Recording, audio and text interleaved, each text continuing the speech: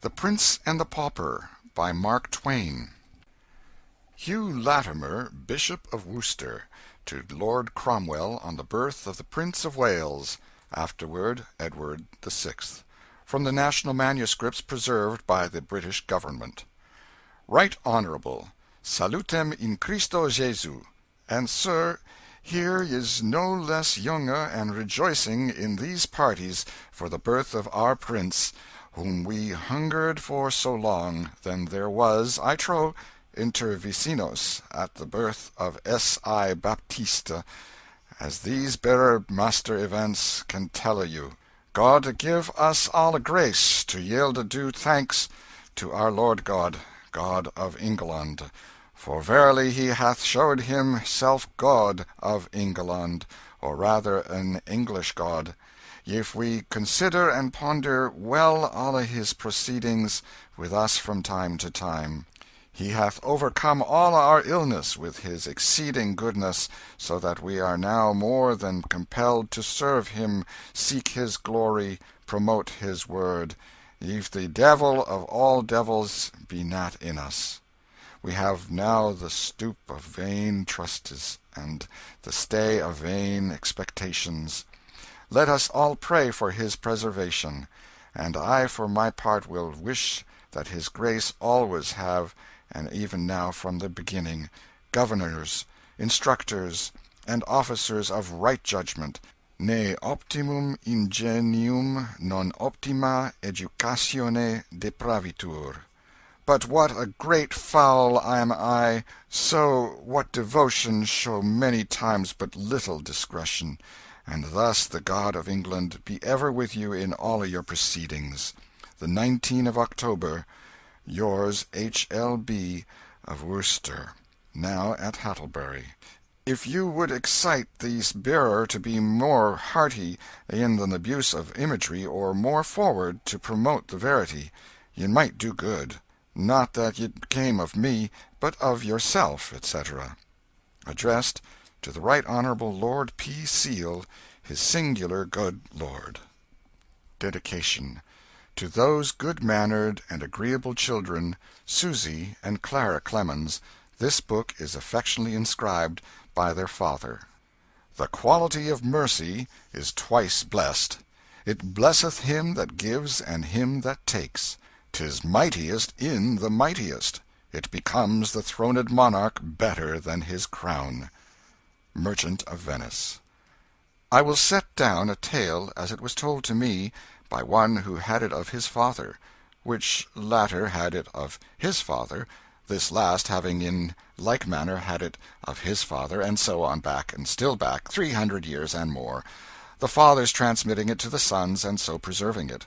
It may be history, it may be only a legend, a tradition; it may have happened, it may not have happened, but it could have happened.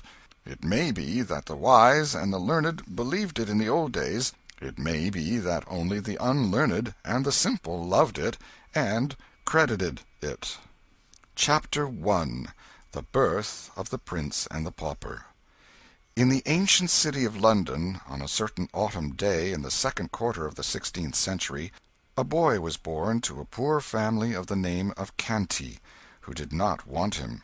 On the same day another English child was born to a rich family of the name of Tudor, who did want him. All England wanted him, too.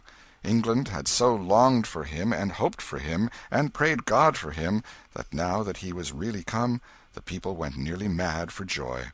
Mere acquaintances hugged and kissed each other, and cried; everybody took a holiday, and high and low, rich and poor, feasted and danced and sang and got very mellow. And they kept this up for days and nights together. By day London was a sight to see, with gay banners waving from every balcony and housetop, and splendid pageants marching along.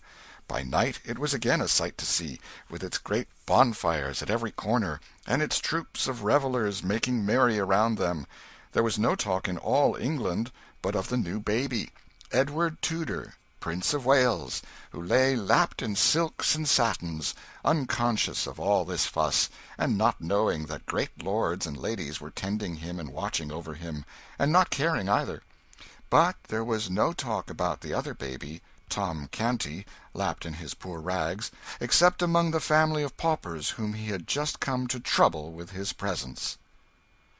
CHAPTER 2 Tom's Early Life. Let us skip a number of years. London was fifteen hundred years old, and was a great town, for that day.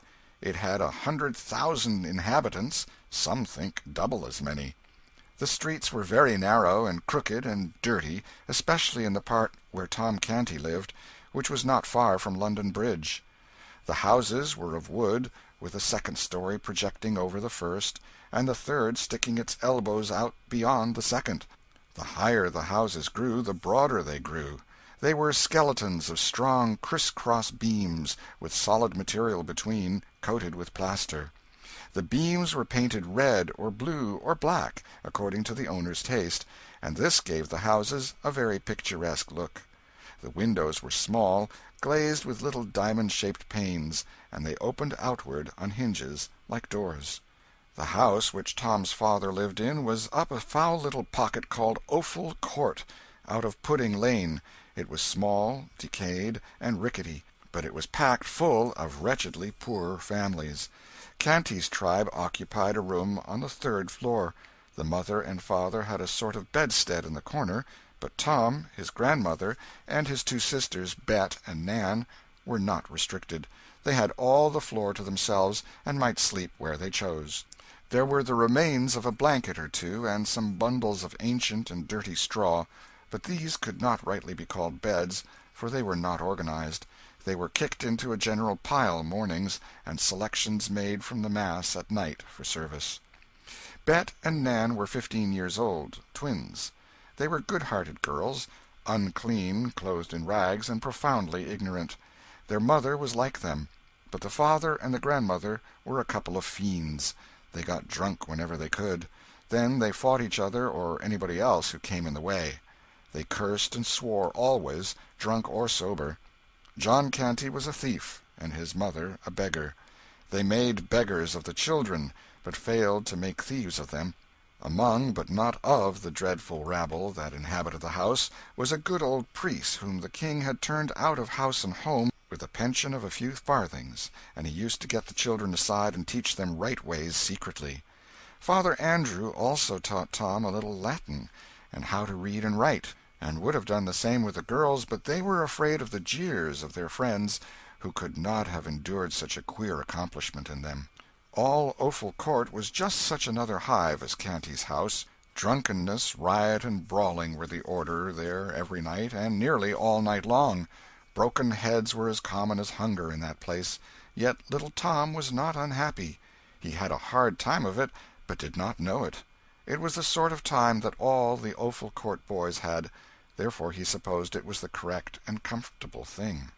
When he came home empty handed at night, he knew his father would curse him and thrash him first, and that when he was done the awful grandmother would do it all over again and improve on it, and that away in the night his starving mother would slip to him stealthily with any miserable scrap or crust she had been able to save for him by going hungry herself notwithstanding she was often caught in that sort of treason, and soundly beaten for it by her husband.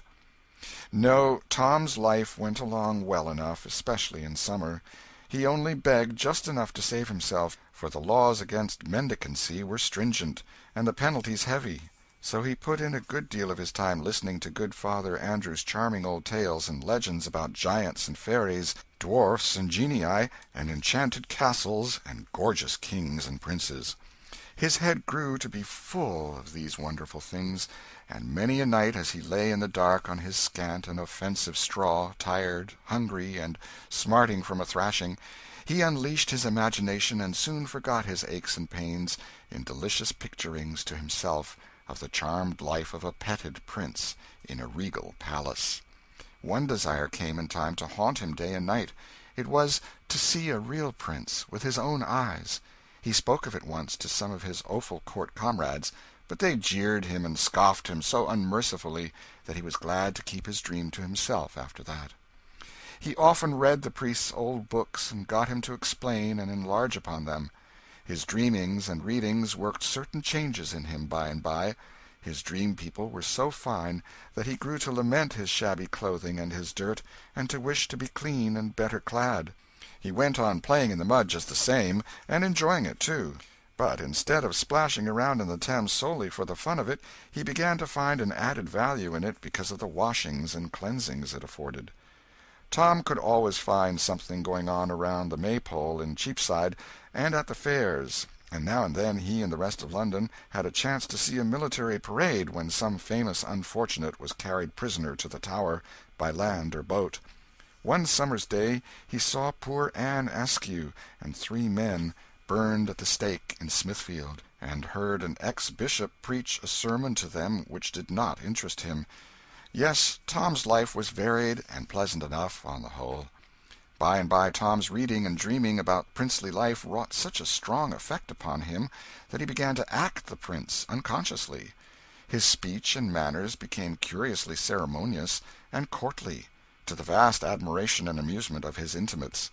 But Tom's influence among these young people began to grow, now, day by day, and in time he came to be looked up to, by them, with a sort of wondering awe, as a superior being. He seemed to know so much and he could do and say such marvellous things; and withal he was so deep and wise.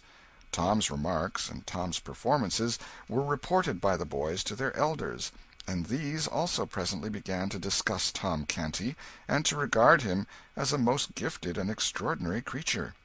Full grown people brought their perplexities to Tom for solution, and were often astonished at the wit and wisdom of his decisions.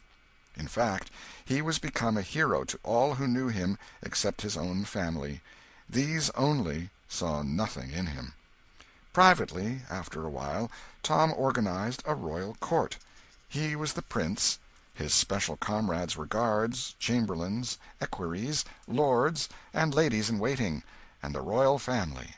Daily the mock prince was received with elaborate ceremonials borrowed by Tom from his romantic readings.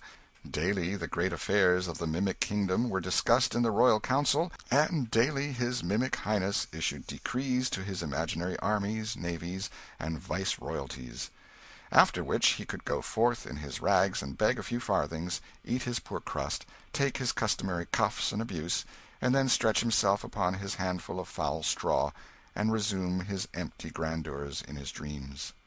And still his desire to look just once upon a real prince, in the flesh, grew upon him, day by day and week by week, until at last it absorbed all other desires, and became the one passion of his life. One January day, on his usual begging tour, he tramped despondently up and down the region round about Mincing Lane and Little East Cheap, hour after hour, barefooted and cold, looking in at cookshop windows and longing for the dreadful pork pies and other deadly inventions displayed there, for to him these were dainties fit for the angels that is, judging by the smell, they were, for it had never been his good luck to own and eat one. There was a cold drizzle of rain, the atmosphere was murky, it was a melancholy day.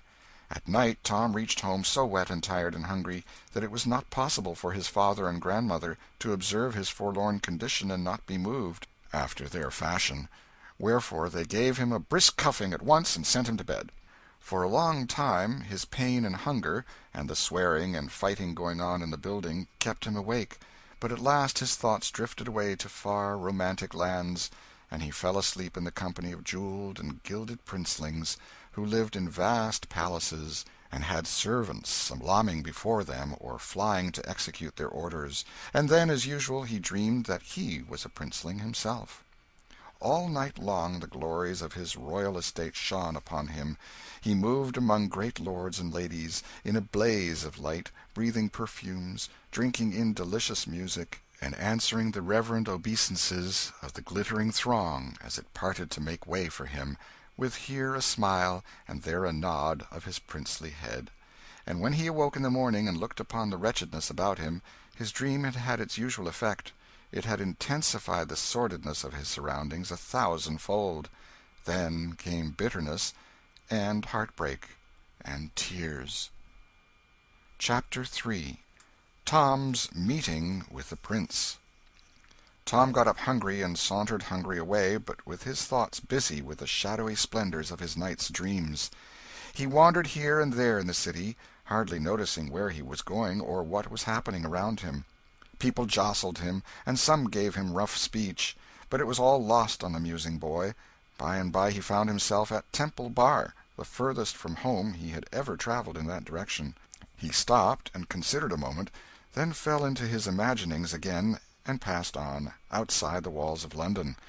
The Strand had ceased to be a country road then, and regarded itself as a street but by a strained construction, for though there was a tolerably compact row of houses on one side of it, there were only some scattering great buildings on the other, these being palaces of rich nobles, with ample and beautiful grounds stretching to the river grounds that are now closely packed with grim acres of brick and stone.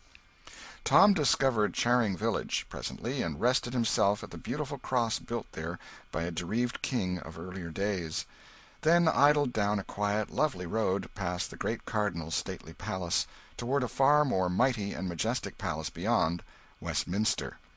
Tom stared in glad wonder at the vast pile of masonry, the wide spreading wings, the frowning bastions and turrets, the huge stone gateway, with its gilded bars and its magnificent array of colossal granite lions and other the signs and symbols of English royalty.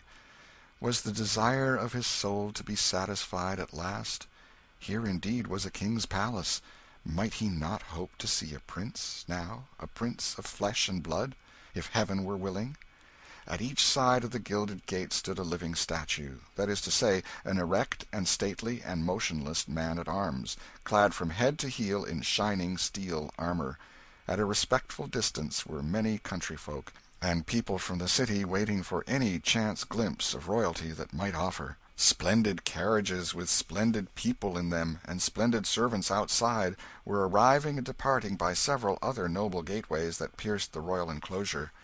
Poor little Tom, in his rags, approached and was moving slow and timidly past the sentinels, with a beating heart and a rising hope, when all at once he caught sight through the golden bars, of a spectacle that almost made him shout for joy. Within was a comely boy, tanned and brown with sturdy outdoor sports and exercises, whose clothing was all of lovely silks and satins, shining with jewels, at his hip a little jewelled sword and dagger, dainty buskins on his feet, with red heels, and on his head a jaunty crimson cap with drooping plumes fastened with a great sparkling gem.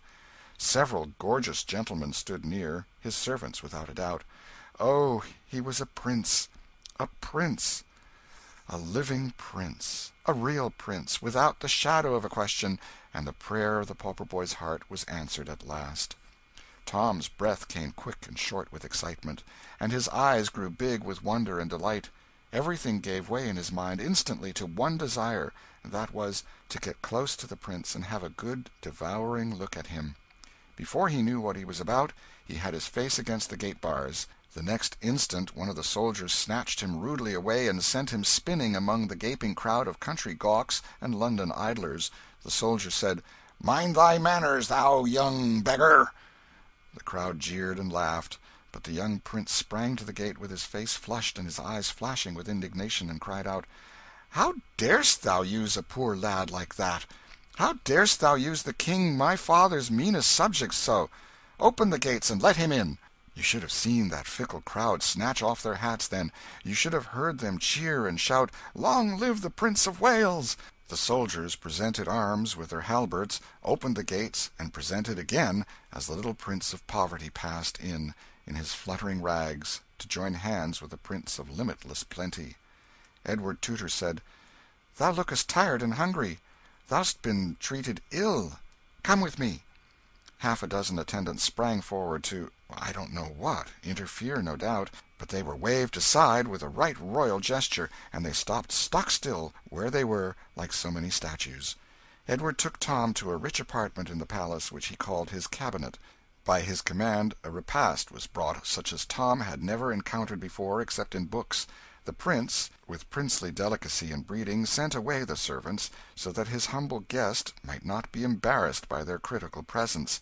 Then he sat near by and asked questions while Tom ate. "What is thy name, lad?" "Tom Canty, an' it please thee, sir." "'Tis an odd one. Where dost live?" "In the city, please thee, sir Offal Court, out of Pudding Lane." "Offal Court! Truly 'tis another odd one. Hast parents?" "Parents have I, sir, and a grandam likewise that is but indifferently precious to me God forgive me if it be offensive to say it also twin sisters, Nan and Bet." "Then is thy grandam not overkind to thee, I take it." "Neither to any other is she, so please your worship. She hath a wicked heart, and worketh evil all her days." "Doth she mistreat thee?" "There be times that she stayeth her hand, being asleep or overcome with drink; but when she hath her judgment clear again, she maketh it up to me with goodly beatings." A fierce look came into the little prince's eyes, and he cried out "What! Beatings?" "Oh, indeed, yes, please you, sir." "Beatings! and thou so frail and little! Harkye, before the night come, she shall hie her to the Tower. The King, my father "In sooth you forget, sir, her low degree. The Tower is for the great alone." "True, indeed I had not thought of that. I will consider of her punishment. Is thy father kind to thee?" "Not more than Gammer Canty, sir." "Fathers be alike, mayhap. Mine hath not a doll's temper. He smiteth with a heavy hand, yet spareth me. He spareth me not always with his tongue, though, sooth to say. How doth thy mother use thee?" "She is good, sir, and giveth me neither sorrow nor pain of any sort, and Nan and Bet are like to her in this. How old be these?" "Fifteen, an't please you, sir." "The Lady Elizabeth, my sister, is fourteen, and the Lady Jane Grey, my cousin, is of mine own age, and comely and gracious withal. But my sister the Lady Mary, with her gloomy mien, and Look you do thy sisters forbid their servants to smile, lest the sin destroy their souls?" "They? Oh, dost think, sir, that they have servants?" The little prince contemplated the little pauper gravely a moment, then said "And prithee why not? Who helpeth them undress at night? Who attireth them when they rise?" "None, sir. Wouldst have them take off their garment and sleep without, like the beasts?" "Their garment! Have they but one? Ah, good your worship, what would they do with more? Truly they have not two bodies each." "Ah, it is a quaint and marvellous thought. Thy pardon, I had not meant to laugh.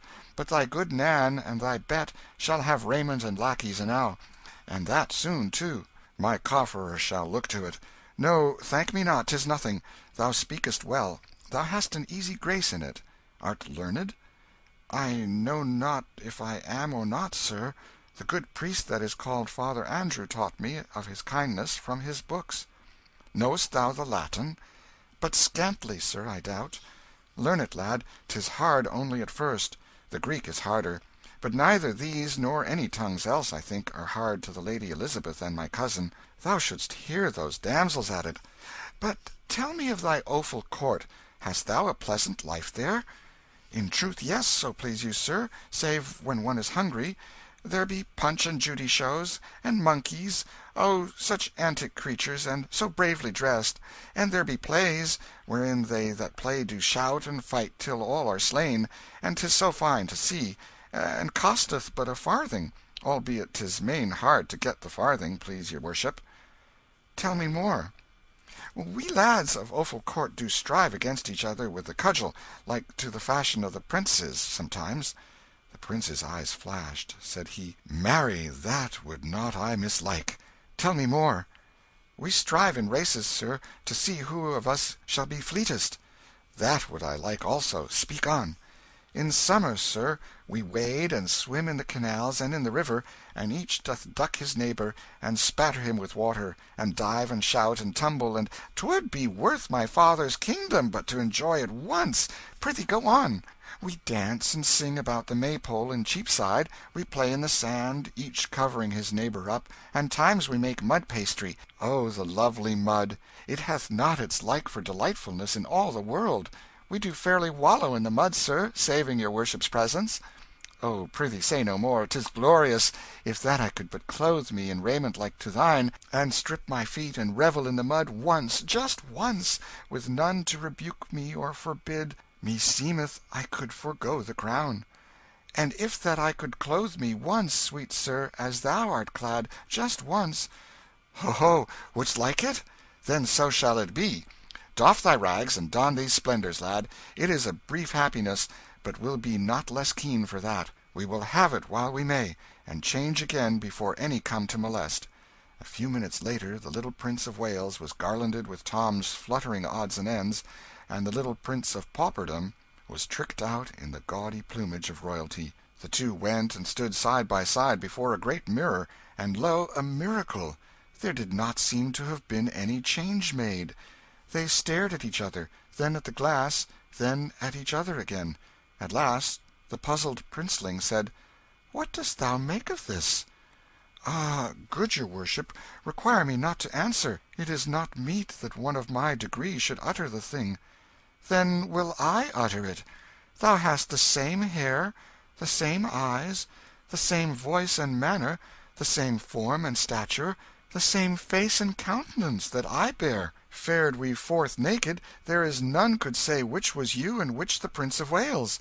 And now that I am clothed as thou wert clothed, it seemeth I should be able the more nearly to feel as thou didst when the brute soldier Harkye, is not this a bruise upon your hand?" "Yes, but it is a slight thing, and your worship knoweth that the poor man at arms "Peace! It was a shameful thing and a cruel!" cried the little prince, stamping his bare foot. "If the King Stir not a step till I come again. It is a command." In a moment he had snatched up and put away an article of national importance that lay upon a table, and was out at the door and flying through the palace grounds in his bannered rags, with a hot face and glowing eyes. As soon as he reached the great gate he seized the bars and tried to shake them, shouting, "Open! Unbar the gates!" The soldier that had maltreated Tom obeyed promptly. And as the prince burst through the portal, half smothered with royal wrath, the soldier fetched him a sounding box on the ear that sent him whirling to the roadway, and said, "Take that, thou beggar's spawn, for what thou got'st me from his highness!" The crowd roared with laughter. The prince picked himself out of the mud, and made fiercely at the sentry, shouting, "I am the Prince of Wales! My person is sacred, and thou shalt hang for laying thy hand upon me! The soldier brought his halbert to present arms, and said mockingly, "I salute your gracious highness!" then angrily, "Be off, thou crazy rubbish!" Here the jeering crowd closed around the poor little prince, and hustled him far down the road, hooting him and shouting, "Way for his royal highness! Way for the Prince of Wales!" CHAPTER 4 The prince's troubles begin. After hours of persistent pursuit and persecution, the little prince was at last deserted by the rabble and left to himself. As long as he had been able to rage against the mob, and threaten it royally, and royally utter commands that were good stuff to laugh at, he was very entertaining. But when weariness finally forced him to be silent, he was no longer of use to his tormentors, and they sought amusement elsewhere. He looked about him, now but could not recognize the locality. He was within the city of London that was all he knew. He moved on aimlessly, and in a little while the houses thinned and the passers by were infrequent. He bathed his bleeding feet in the brook which flowed then where Farringdon Street now is, rested a few moments, then passed on, and presently came upon a great space with only a few scattered houses in it, and a prodigious church. He recognized this church. Scaffoldings were about, everywhere, and swarms of workmen, for it was undergoing elaborate repairs. The prince took heart at once. He felt that his troubles were at an end, now. He said to himself, "It is the ancient Grey Friars Church, which the King my father hath taken from the monks, and given for a home for ever, for poor and forsaken children, and new named it Christ Church. Right gladly will they serve the son of him who hath done so generously by them, and the more that that son is himself as poor and as forlorn as any that be sheltered here this day, or ever shall be." He was soon in the midst of a crowd of boys, who were running, jumping, playing at ball and leap frog, and otherwise disporting themselves, and right noisily, too. They were all dressed alike, and in the fashion which in that day prevailed among serving men and prentices. [Footnote: Christ's hospital costume. It is most reasonable to regard the dress as copied from the costume of the citizens of London of that period, when long blue coats were the common habit of apprentices and serving men, and yellow stockings were generally worn. The coat fits closely to the body, but has loose sleeves, and beneath is worn a sleeveless yellow undercoat.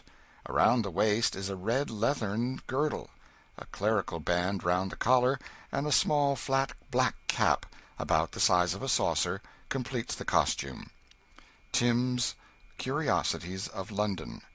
End of Footnote That is to say, each had on the crown of his head a flat black cap about the size of a saucer, which was not useful as a covering, it being of such scanty dimensions, neither was it ornamental; from beneath it the hair fell, unparted, to the middle of the forehead, and was cropped straight around; a clerical band at the neck, a blue gown that fitted closely and hung as low as the knees or lower, blue sleeves, a broad red belt, bright yellow stockings gartered above the knees, low shoes with large metal buckles. It was a sufficiently ugly costume. The boys stopped their play and flocked about the prince, who said with native dignity "Good lads, say to your master that Edward, Prince of Wales, desireth speech with him." A great shout went up at this, and one rude fellow said "Marry, art thou his grace's messenger, beggar?" The prince's face flushed with anger, and his ready hand flew to his hip, but there was nothing there. There was a storm of laughter, and one boy said "Didst mark that? He fancied he had a sword. Belike he is the prince himself." This sally brought more laughter. Poor Edward drew himself up proudly, and said "I am the prince, and it ill beseemeth you, that feed upon the king my father's bounty, to use me so." This was vastly enjoyed, as the laughter testified. The youth who had first spoken shouted to his comrades "Ho, swine, slaves, pensioners of his grace's princely father! Where be your manners? Down on your marrow bones, all of ye, and do reverence to his kingly port and royal rags!" With boisterous mirth they dropped upon their knees in a body, and did mock homage to their prey. The prince spurned the nearest boy with his foot, and said fiercely Take thou that, till the morrow come and I build thee a gibbet!" Ah, but this was not a joke this was going beyond fun. The laughter ceased on the instant, and fury took its place. A dozen shouted "Hale him forth! To the horse pond! to the horse pond! Where be the dogs? Ho there, Lion! Ho, Fangs!"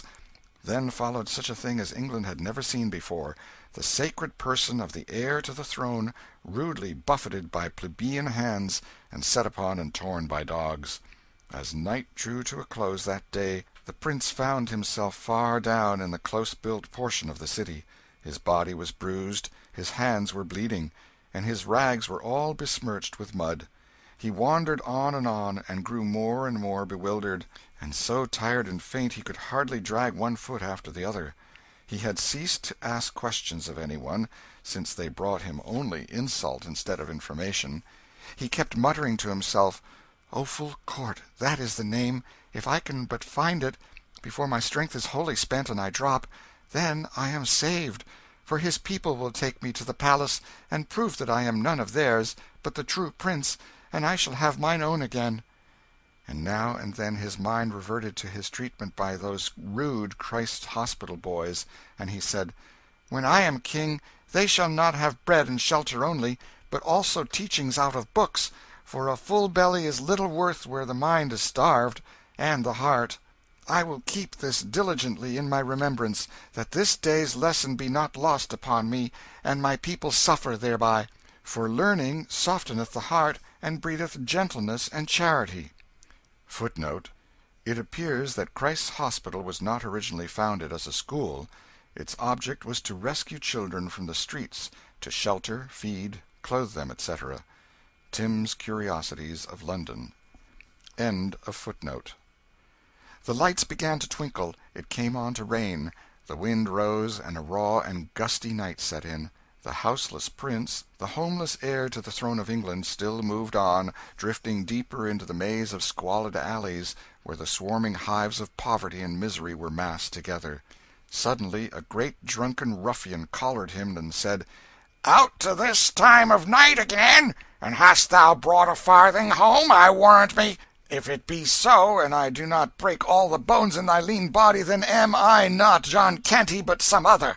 The prince twisted himself loose, unconsciously brushed his profaned shoulder, and eagerly said, "Oh, art his father, truly?" Sweet Heaven grant it be so! Then wilt thou fetch him away and restore me." "His father? I know not what thou mean'st. I but know I am thy father, as thou shalt soon have cause to "Oh, jest not, palter not, delay not! I am worn, I am wounded, I can bear no more. Take me to the King my father, and he will make thee rich beyond thy wildest dreams.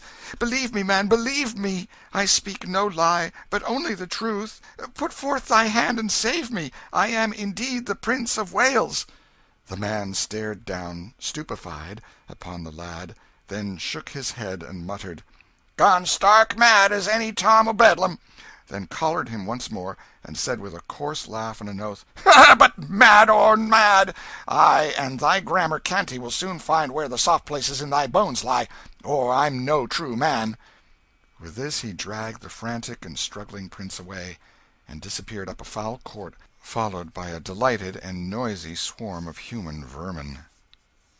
CHAPTER 5 Tom as a Patrician. Tom Canty, left alone in the Prince's cabinet, made good use of his opportunity.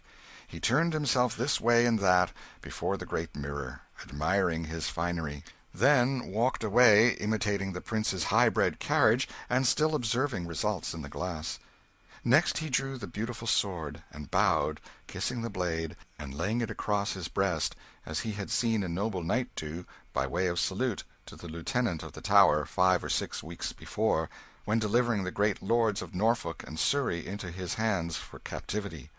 Tom played with the jewelled dagger that hung upon his thigh. He examined the costly and exquisite ornaments of the room, he tried each of the sumptuous chairs, and thought how proud he would be if the Offal Court herd could only peep in and see him in his grandeur. He wondered if they would believe the marvellous tale he should tell when he got home or if they would shake their heads and say his overtaxed imagination had at last upset his reason. At the end of half an hour it suddenly occurred to him that the Prince was gone a long time. Then right away he began to feel lonely. Very soon he fell to listening and longing, and ceased to toy with the pretty things about him. He grew uneasy, then restless, then distressed. Suppose some one should come and catch him in the Prince's clothes! And the Prince not there to explain. Might they not hang him at once, and inquire into his case afterward? He had heard that the great were prompt about small matters.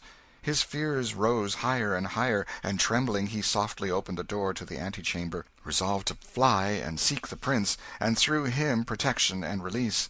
Six gorgeous gentlemen servants and two young pages of high degree, clothed like butterflies, sprung to their feet and bowed low before him. He stepped quickly back and shut the door. He said "Oh, they mock at me they will go and tell oh, why came I here to cast away my life?" He walked up and down the floor, filled with nameless fears, listening, starting at every trifling sound. Presently the door swung open, and a silken page said "The Lady Jane Grey." The door closed, and a sweet young girl, richly clad, bounded toward him. But she stopped suddenly, and said in a distressed voice "Oh, what aileth thee, my lord?" Tom's breath was nearly failing him, but he made shift to stammer out "Ah, be merciful, thou! In sooth I am no lord, but only poor Tom Canty of Offal Court in the city. Prithee let me see the prince, and he will of his grace restore to me my rags, and let me hence unhurt. Oh, be thou merciful, and save me!" By this time the boy was on his knees, and supplicating with his eyes and uplifted hands, as well as with his tongue. The young girl seemed horror stricken. She cried out "Oh, my lord, on thy knees and to me!" Then she fled away in fright, and Tom, smitten with despair, sank down, murmuring "There is no help, there is no hope now will they come and take me!" Whilst he lay there benumbed with terror, dreadful tidings were speeding through the palace. The whisper for it was whispered always flew from menial to menial, from lord to lady, down all the long corridors, from story to story, from saloon to saloon "The prince hath gone mad! the prince hath gone mad!" Soon every saloon, every marble hall, had its groups of glittering lords and ladies, and other groups of dazzling lesser folk, talking earnestly together, in whispers, and every face had in it dismay. Presently a splendid official came marching by these groups, making solemn proclamation "In the name of the King, let none list to this false and foolish matter, upon pain of death, nor discuss the same nor carry it abroad. In the name of the King!" The whispering ceased as suddenly as if the whisperers had been stricken dumb. Soon there was a general buzz along the corridors, of "The Prince! See, the Prince comes!" Poor Tom came slowly walking past the low bowing groups, trying to bow in return, and meekly gazing upon his strange surroundings with bewildered and pathetic eyes. Great nobles walked upon each side of him, making him lean upon them, and so steady his steps. Behind him followed the court physicians and some servants. Presently Tom found himself in a noble apartment of the palace, and heard the door close behind him. Around him stood those who had come with him. Before him at a little distance, reclined a very large and very fat man, with a wide, pulpy face, and a stern expression. His large head was very gray, and his whiskers, which he wore only around his face, like a frame, were gray also. His clothing was of rich stuff, but old, and slightly frayed in places. One of his swollen legs had a pillow under it and was wrapped in bandages. There was silence now, and there was no head there but was bent in reverence, except this man's. This stern countenanced invalid was the dread Henry the Eighth.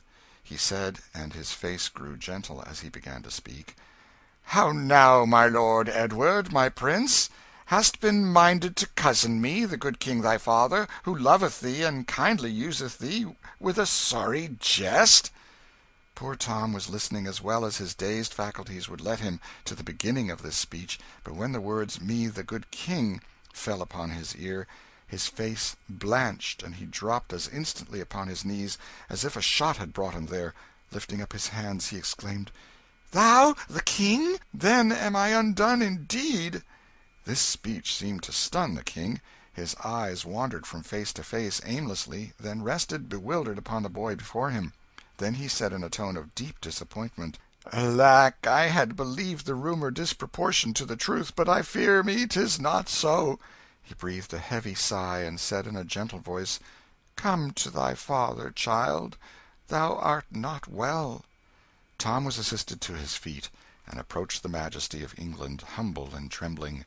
The King took the frightened face between his hands, and gazed earnestly and lovingly into it awhile as if seeking some grateful sign of returning reason there, then pressed the curly head against his breast and patted it tenderly. Presently he said "Dost not know thy father, child? Break not mine old heart say thou knowest me. Thou dost know me, dost thou not?" "Yea, thou art my dread lord the King, whom God preserve!" "True, true, that is well. Be comforted tremble not so. There is none here would hurt thee; there is none here but loves thee. Thou art better now thy ill dream passeth is't not so? And thou knowest thyself now, also is't not so? Thou wilt not miscall thyself again, as they say thou didst a little while agone?" "I pray thee of thy grace believe me. I did but speak the truth, most dread lord, for I am the meanest among thy subjects, being a pauper born and 'tis by a sore mischance and accident I am here, albeit I was therein nothing blameful. I am but young to die, and thou canst save me with one little word oh, speak it, sir!" "Die? Talk not so, sweet prince. Peace, peace to thy troubled heart. Thou shalt not die." Tom dropped upon his knees with a glad cry "God requite thy mercy, O my King, and save thee long to bless thy land!"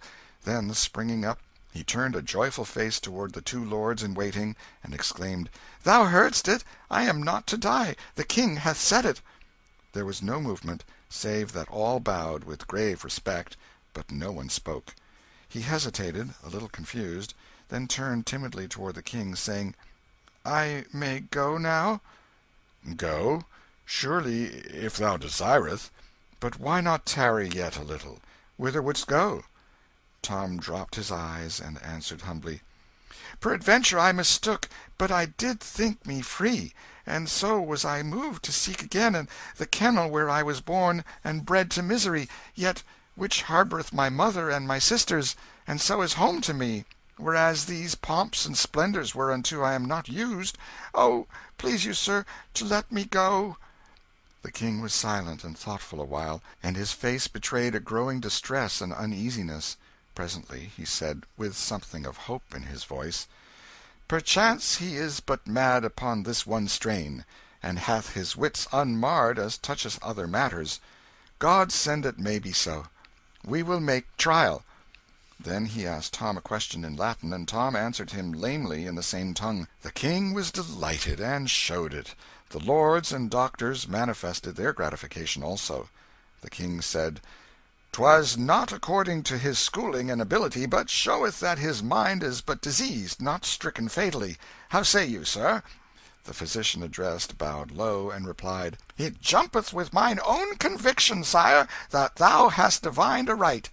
The King looked pleased with this encouragement, coming as it did from so excellent authority, and continued with good heart "Now mark ye all, we will try him further." He put a question to Tom in French. Tom stood silent a moment, embarrassed by having so many eyes centred upon him, then said diffidently "I have no knowledge of this tongue, so please your Majesty." The King fell back upon his couch. The attendants flew to his assistance, but he put them aside, and said "Trouble me not, it is nothing but a scurvy faintness. Raise me there, 'tis sufficient. Come hither, child. There, rest thy poor troubled head upon thy father's heart, and be at peace. Thou'lt soon be well 'tis but a passing fantasy. Fear thou not thou'lt soon be well." Then he turned toward the company. His gentle manner changed, and baleful lightnings began to play from his eyes. He said "List ye all! This my son is mad, but it is not permanent. Overstudy hath done this, and somewhat too much of confinement. Away with his books and teachers see ye to it. Pleasure him with sports, beguile him in wholesome ways, so that his health come again." He raised himself higher still, and went on with energy. He is mad, but he is my son and England's heir, and mad or sane, still shall he reign. And hear ye further, and proclaim it: Whoso speaketh of his distemper, worketh against the peace and order of these realms, and shall to the gallows. Give me to drink I burn this sorrow sappeth my strength. There, take away the cup. Support me there, that is well. Mad is he? Were he a thousand times mad, yet is he Prince of Wales, and I the King will confirm it. This very morrow shall he be installed in his princely dignity, in due and ancient form. Take instant order for it, my Lord Hertford." One of the nobles knelt at the royal couch, and said "The King's majesty knoweth that the hereditary Great Marshal of England lieth attainted in the Tower. It were not meet that one attainted "Peace! Insult not mine ears with his hated name. Is this man to live forever? Am I to be balked of my will? Is the prince to tarry uninstalled, because, forsooth, the realm lacketh an Earl Marshal free of treasonable taint, to invest him with his honours? No, by the splendour of God! Warn my Parliament to bring me Norfolk's doom before the sun rise again, else shall they answer for it grievously. Footnote: The Duke of Norfolk's condemnation commanded. The King was now approaching fast towards his end, and fearing lest Norfolk should escape him, he sent a message to the Commons, by which he desired them to hasten the bill, on pretence that Norfolk enjoyed the dignity of Earl Marshal, and it was necessary to appoint another, who might officiate at the ensuing ceremony of installing his son Prince of Wales. Hume's History of England. Volume 3, page 307.] Lord Hertford said "The King's will is law," and rising, returned to his former place. Gradually the wrath faded out of the old King's face, and he said "Kiss me, my prince. There, what fearest thou? Am I not thy loving father?" "Thou art good to me that am unworthy, O mighty and gracious lord, that in truth I know; but but it grieveth me to think of him that is to die, and "Ah, 'tis like thee, 'tis like thee. I know thy heart is still the same, even though thy mind hath suffered hurt, for thou wert ever of a gentle spirit. But this Duke standeth between thee and thine honours. I will have another in his stead, that shall bring no taint to his great office. Comfort thee, my prince, trouble not thy poor head with this matter." "But is it not I that speed him hence, my liege? How long might he not live, but for me?" "Take no thought of him, my prince, he is not worthy. Kiss me once again, and go to thy trifles and amusements, for my malady distresseth me. I am aweary and would rest. Go with thine uncle Hertford and thy people, and come again when my body is refreshed." Tom, heavy hearted, was conducted from the presence, for this last sentence was a death blow to the hope he had cherished that now he would be set free. Once more he heard the buzz of low voices exclaiming, "The prince! the prince comes!"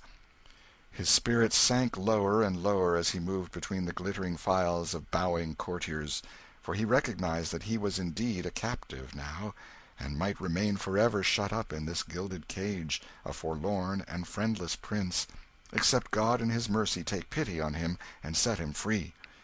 And turn where he would, he seemed to see, floating in the air, the severed head and the remembered face of the great Duke of Norfolk, the eyes fixed on him reproachfully. His old dreams had been so pleasant! But this reality was so dreary. Chapter 6 Tom Receives Instructions Tom was conducted to the principal apartment of a noble suite, and made to sit down a thing which he was loath to do, since there were elderly men and men of high degree about him. He begged them to be seated, also, but they only bowed their thanks or murmured them, and remained standing. He would have insisted, but his uncle, the Earl of Hertford, whispered in his ear, "Prithee insist not, my lord; it is not meet that they sit in thy presence." The Lord St. John was announced, and after making obeisance to Tom, he said "I come upon the King's errand, concerning a matter which requireth privacy. Will it please your royal highness to dismiss all that attend you here, save my lord the Earl of Hertford?" Observing that Tom did not seem to know how to proceed, Hertford whispered him to make a sign with his hand, and not trouble himself to speak unless he chose. When the waiting gentlemen had retired, Lord St. John said "His Majesty commandeth that for due and weighty reasons of state the Prince's grace shall hide his infirmity in all ways that be within his power, till it be past and he be as he was before to wit, that he shall deny to none that he is the true prince, and heir to England's greatness; that he shall uphold his princely dignity, and shall receive, without word or sign of protest, that reverence and observance which unto it do appertain of right and ancient usage; that he shall cease to speak to any of that lowly birth and life his malady hath conjured out of the unwholesome imaginings of o'erwrought fancy that he shall strive with diligence to bring unto his memory again those faces which he was wont to know, and where he faileth he shall hold his peace, neither betraying by semblance of surprise or other sign that he hath forgot that upon occasions of state,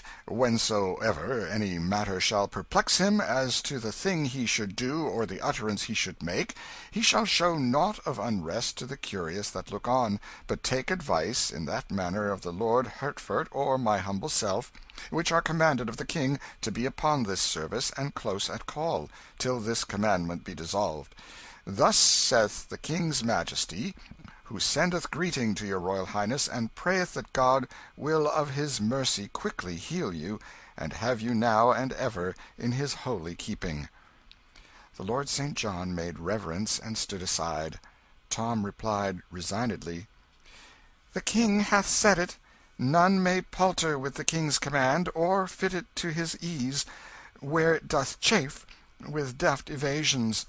The King shall be obeyed. Lord Hertford said "Touching the King's Majesty's ordainment concerning books and such like serious matters, it may peradventure please your highness to ease your time with lightsome entertainment, lest you go wearied to the banquet and suffer harm thereby." Tom's face showed inquiring surprise, and a blush followed when he saw Lord St. John's eyes bent sorrowfully upon him. His lordship said Thy memory still wrongeth thee, and thou hast shown surprise; but suffer it not to trouble thee, for 'tis a matter that will not bide, but depart with thy mending malady. My Lord of Hertford speaketh of the city's banquet which the King's majesty did promise, some two months flown, your highness should attend. Thou recallest it now?" "It grieves me to confess it had indeed escaped me," said Tom, in a hesitating voice, and blushed again. At this moment the Lady Elizabeth and the Lady Jane Grey were announced. The two lords exchanged significant glances, and Hertford stepped quickly toward the door. As the young girls passed him, he said in a low voice "I pray thee, ladies, seem not to observe his humours, nor show surprise when his memory doth lapse. It will grieve you to note how it doth stick at every trifle."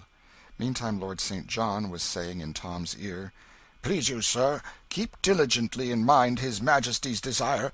Remember all thou canst, seem to remember all else. Let them not perceive that thou art much changed from thy wont, for thou knowest how tenderly thy old playfellows bear thee in their hearts, and how 'twould grieve them. Art willing, sir, that I remain, and thine uncle?" Tom signified assent with a gesture and a murmured word, for he was already learning and in his simple heart was resolved to acquit himself as best he might according to the King's command. In spite of every precaution, the conversation among the young people became a little embarrassing at times. More than once, in truth, Tom was near to breaking down and confessing himself unequal to his tremendous part; but the tact of the Princess Elizabeth saved him, or a word from one or the other of the vigilant lords, thrown in apparently by chance, had the same happy effect. Once the little Lady Jane turned to Tom and dismayed him with this question "Hast paid thy duty to the Queen's majesty to day, my lord?" Tom hesitated, looked distressed, and was about to stammer out something at hazard, when Lord St. John took the word, and answered for him with the easy grace of a courtier accustomed to encounter delicate difficulties, and to be ready for them. "He hath indeed, madam, and she did greatly hearten him, as touching his Majesty's condition is it not so, your highness?" Tom mumbled something that stood for assent, but felt that he was getting upon dangerous ground. Somewhat later it was mentioned that Tom was to study no more at present, whereupon her little ladyship exclaimed "'Tis a pity, 'tis such a pity! Thou wert proceeding bravely.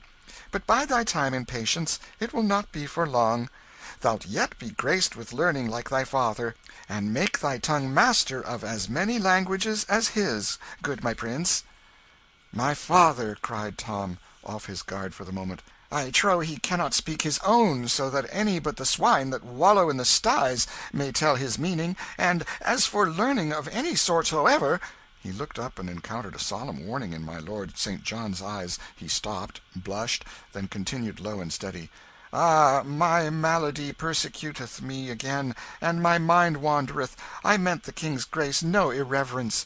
"We know it, sir," said the Princess Elizabeth, taking her brother's hand between her two palms, respectfully but caressingly. "Trouble not thyself as to that. The fault is none of thine, but thy distemper's." "Thou'rt a gentle comforter, sweet lady," said Tom gratefully, "and my heart moveth me to thank thee for't, an I may be so bold. Once the giddy little Lady Jane fired a simple Greek phrase at Tom. The Princess Elizabeth's quick eye saw by the serene blankness of the target's front that the shaft was overshot; so she tranquilly delivered a return volley of sounding Greek on Tom's behalf, and then straightway changed the talk to other matters. Time wore on pleasantly, and likewise smoothly, on the whole. Snags and sandbars grew less and less frequent, and Tom grew more and more at his ease seeing that all were so lovingly bent upon helping him and overlooking his mistakes.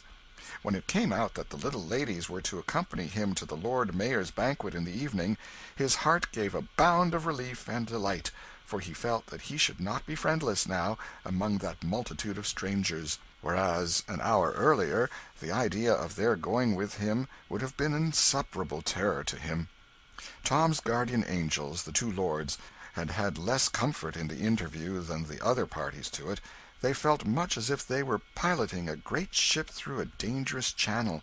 They were on the alert constantly, and found their office no child's play.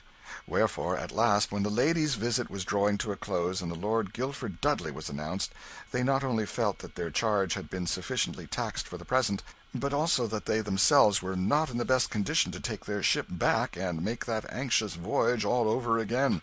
So they respectfully advised Tom to excuse himself, which he was very glad to do, although a slight shade of disappointment might have been observed upon my Lady Jane's face when she heard the splendid stripling denied admittance.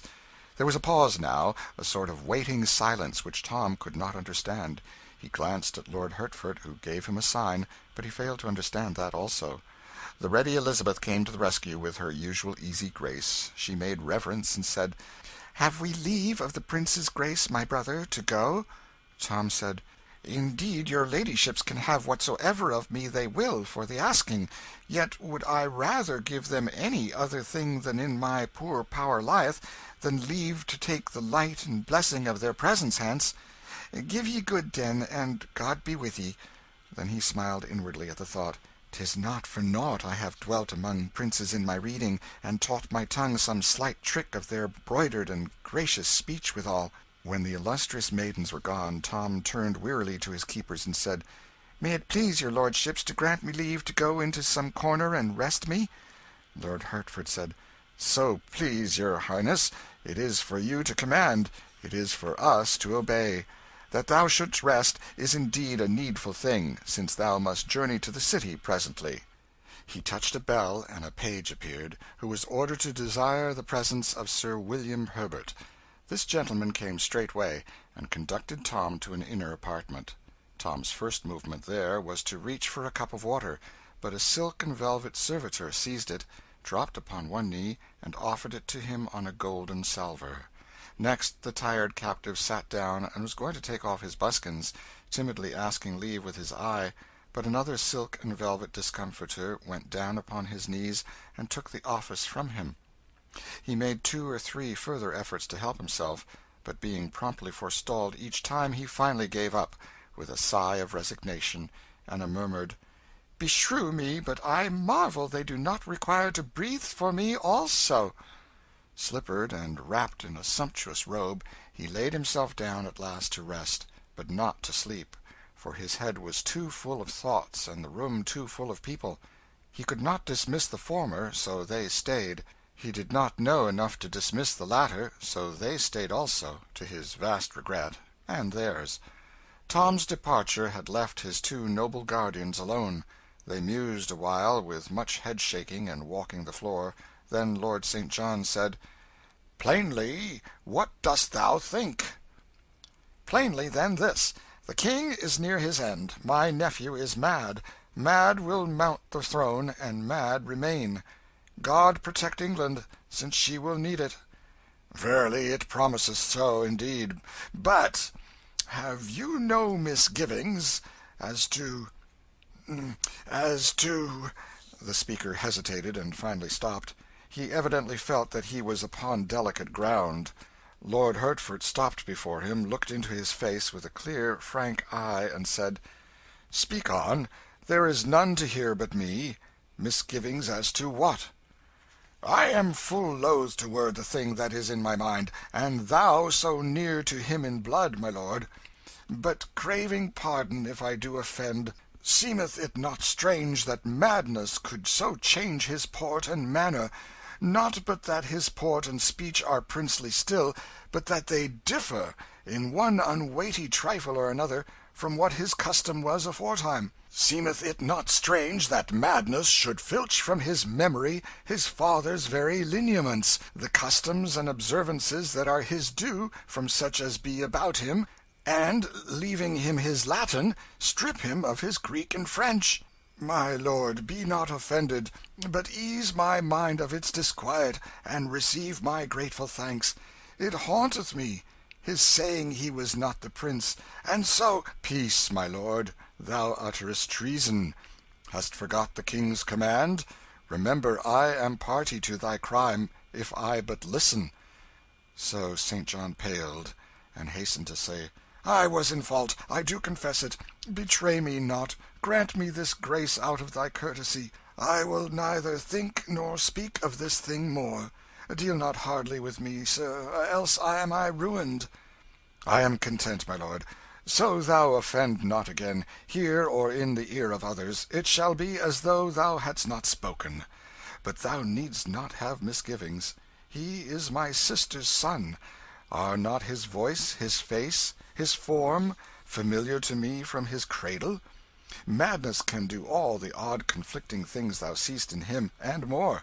Dost not recall how that the old Baron Marley, being mad, forgot the favour of his own countenance that he had known for sixty years, and held it was another's?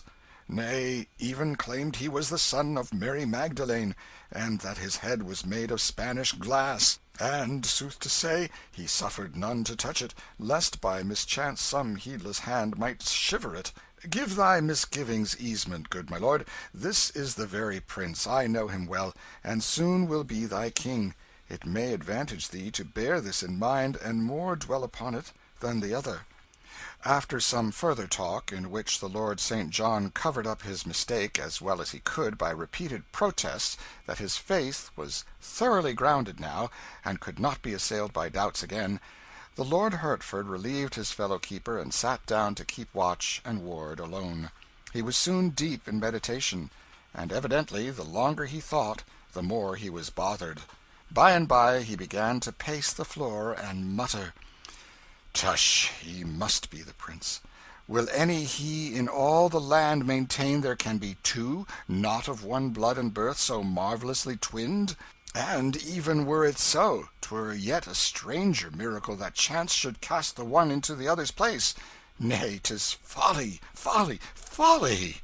Presently he said "Now were he impostor, and called himself prince, look you that would be natural, that would be reasonable.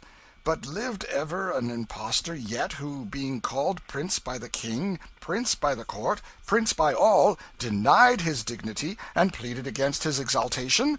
No, by the soul of St. Swithin, no! This is the true prince gone mad." CHAPTER 7 Tom's First Royal Dinner. Somewhat after one in the afternoon, Tom resignedly underwent the ordeal of being dressed for dinner.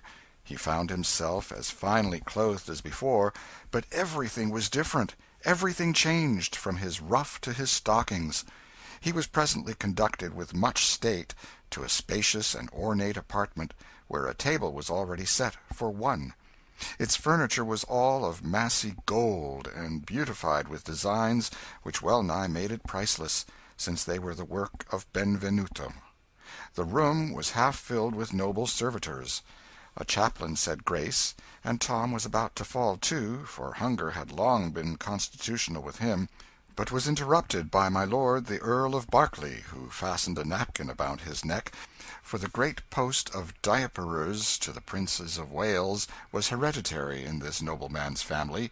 Tom's cupbearer was present, and forestalled all his attempts to help himself to wine. The taster to his Highness the Prince of Wales was there also, prepared to taste any suspicious dish, upon requirement, and run the risk of being poisoned.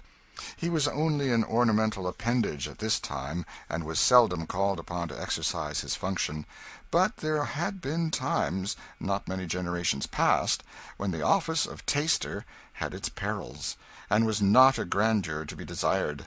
Why they did not use a dog or a plumber seems strange; but all the ways of royalty are strange. My Lord D'Arcy, first groom of the chamber, was there, to do goodness knows what, but there he was let that suffice. The Lord Chief Butler was there, and stood behind Tom's chair, overseeing the solemnities, under command of the Lord Great Steward and the Lord Head Cook, who stood near. Tom had three hundred and eighty four servants beside these, but they were not all in that room, of course, nor the quarter of them, neither was Tom aware yet that they existed. All those that were present had been well drilled, within the hour, to remember that the prince was temporarily out of his head, and to be careful to show no surprise at his vagaries. These vagaries were soon on exhibition before them, but they only moved their compassion and their sorrow, not their mirth. It was a heavy affliction to them to see the beloved prince so stricken. Poor Tom ate with his fingers mainly, but no one smiled at it, or even seemed to observe it. He inspected his napkin curiously, and with deep interest, for it was of a very dainty and beautiful fabric, then said, with simplicity "Prithee take it away, lest in mine unheedfulness it be soiled."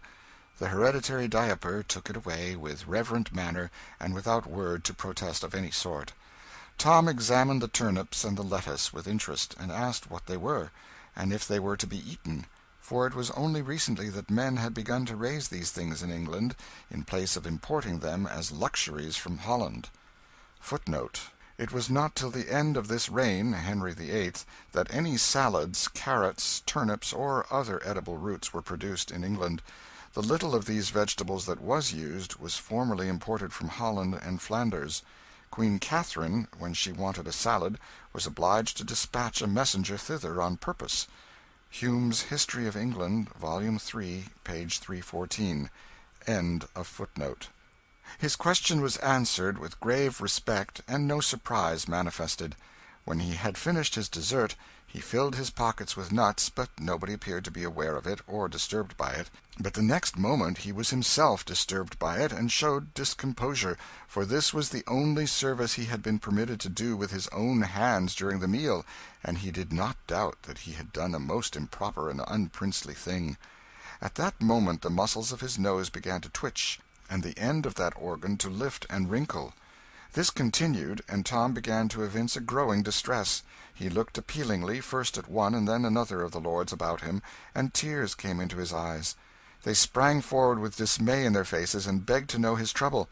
Tom said with genuine anguish "I crave your indulgence my nose itcheth cruelly. What is the custom and usage in this emergence? Prithee speed, for 'tis but a little time that I can bear it." None smiled, but all were sore perplexed, and looked one to the other in deep tribulation for counsel. But behold, here was a dead wall, and nothing in English history to tell how to get over it. The master of ceremonies was not present; there was no one who felt safe to venture upon this uncharted sea, or risk the attempt to solve this solemn problem. Alas, there was no hereditary scratcher.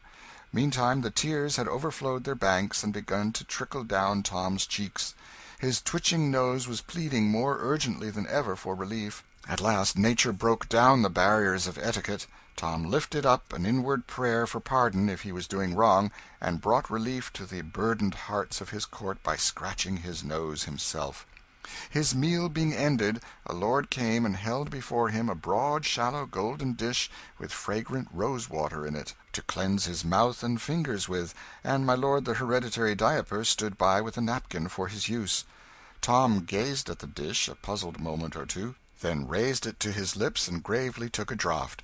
Then he returned it to the waiting lord, and said "Nay, it likes me not, my lord. It hath a pretty flavour, but it wanteth strength." This new eccentricity of the prince's ruined mind made all the hearts about him ache, but the sad sight moved none to merriment. Tom's next unconscious blunder was to get up and leave the table just when the chaplain had taken his stand behind his chair, and with uplifted hands and closed uplifted eyes was in the act of beginning the blessing. Still nobody seemed to perceive that the prince had done a thing unusual. By his own request, our small friend was now conducted to his private cabinet, and left there alone to his own devices. Hanging upon hooks in the oaken wainscoting were the several pieces of a suit of shining steel armour, covered all over with beautiful designs, exquisitely inlaid in gold. This martial panoply belonged to the true prince a recent present from Madam Parr the Queen. Tom put on the greaves, the gauntlets, the plumed helmet, and such other pieces as he could don without assistance, and for a while was minded to call for help and complete the matter, but bethought him of the nuts he had brought away from dinner, and the joy it would be to eat them with no crowd to eye him and no grand hereditaries to pester him with undesired services. So he restored the pretty things to their several places, and soon was cracking nuts and feeling almost naturally happy for the first time since God for his sins had made him a prince. When the nuts were all gone, he stumbled upon some inviting books in a closet among them one about the etiquette of the English court. This was a prize. He lay down upon a sumptuous divan, and proceeded to instruct himself with honest zeal. Let us leave him there for the present. End of chapter 7. CHAPTER 8 The Question of the Seal. About five o'clock Henry VIII. awoke out of an unrefreshing nap, and muttered to himself, Troublous dreams, troublous dreams! Mine end is now at hand so say these warnings, and my failing pulses do confirm it. Presently a wicked light flamed up in his eye, and he muttered, Yet will not I die till he go before. His attendants perceiving that he was awake, one of them asked his pleasure concerning the Lord Chancellor, who was waiting without. "Admit him, admit him!" exclaimed the King eagerly. The Lord Chancellor entered and knelt by the King's couch, saying I have given order, and according to the King's command, the peers of the realm, in their robes, do now stand at the bar of the House, where, having confirmed the Duke of Norfolk's doom, they humbly wait his Majesty's further pleasure in the matter." The King's face lit up with a fierce joy. Said he "Lift me up! In mine own person will I go before my Parliament, and with mine own hand will I seal the warrant that rids me of His voice failed, an ashen pallor swept the flush from his cheeks, and the attendants eased him back upon his pillows and hurriedly assisted him with restoratives. Presently he said sorrowfully "Alack, how have I longed for this sweet hour! And lo! Too late it cometh, and I am robbed of this so coveted chance. But speed ye, speed ye! Let others do this happy office sith 'tis denied to me. I put my great seal in commission. Choose thou the lords that shall compose it, and get ye to your work. Speed ye, man! Before the sun shall rise and set again, bring me his head that I may see it." "According to the King's command, so shall it be. Will't please your Majesty to order that the Seal be now restored to me, so that I may forth upon the business?" "The Seal! Who keepeth the Seal but thou?" "Please your Majesty, you did take it from me two days since, saying it should no more do its office till your own royal hand should use it upon the Duke of Norfolk's warrant." "Why, so in sooth I did. I do remember it. What did I with it? I am very feeble. So oft, these days doth my memory play the traitor with me. 'Tis strange, strange!" The King dropped into inarticulate mumblings, shaking his gray head weakly, from time to time, and gropingly trying to recollect what he had done with the Seal. At last my Lord Hertford ventured to kneel and offer information. "Sire, if that I may be so bold. Here be several that do remember, with me, how that you gave the Great Seal into the hands of his Highness the Prince of Wales, to keep against the day that "True, true, most true," interrupted the King. "Fetch it! Go time flieth." Lord Hertford flew to Tom, but returned to the King before very long, troubled and empty handed. He delivered himself to this effect. It grieveth me, my lord King, to bear so heavy and unwelcome tidings, but it is the will of God that the prince's affliction abideth still, and he cannot recall to mind that he received the Seal. So came I quickly to report, thinking it were waste of precious time, and little worth withal, that any should attempt to search the long array of chambers and saloons that belong unto his royal high A groan from the King interrupted my lord at this point. After a little while his Majesty said with a deep sadness in his tone, "Trouble him no more, poor child. The hand of God lieth heavy upon him, and my heart goeth out in loving compassion for him, and sorrow that I may not bear his burden on mine own old trouble weighted shoulders, and so bring him peace." He closed his eyes, fell to mumbling, and presently was silent. After a time he opened his eyes again, and gazed vacantly around until his glance rested upon the kneeling Lord Chancellor. Instantly his face flushed with wrath. "What, thou here yet? By the glory of God, an thou gettest not about that traitor's business, thy mitre shall have holiday the morrow, for lack of a head to grace withal." The trembling Chancellor answered "Good your Majesty, I cry you mercy. I but waited for the Seal. "Man, hast lost thy wits? The small seal which aforetime I was wont to take with me abroad lieth in my treasury; and since the Great Seal hath flown away, shall not it suffice? Hast lost thy wits? Begone! and harkye, come no more till thou do bring his head." The poor chancellor was not long in removing himself from this dangerous vicinity, nor did the commission waste time in giving the royal assent to the work of the slavish Parliament and appointing the morrow for the beheading of the premier peer of England, the luckless Duke of Norfolk. [Footnote: Attainder of Norfolk. The House of Peers, without examining the prisoner, without trial or evidence, passed a bill of attainder against him and sent it down to the Commons.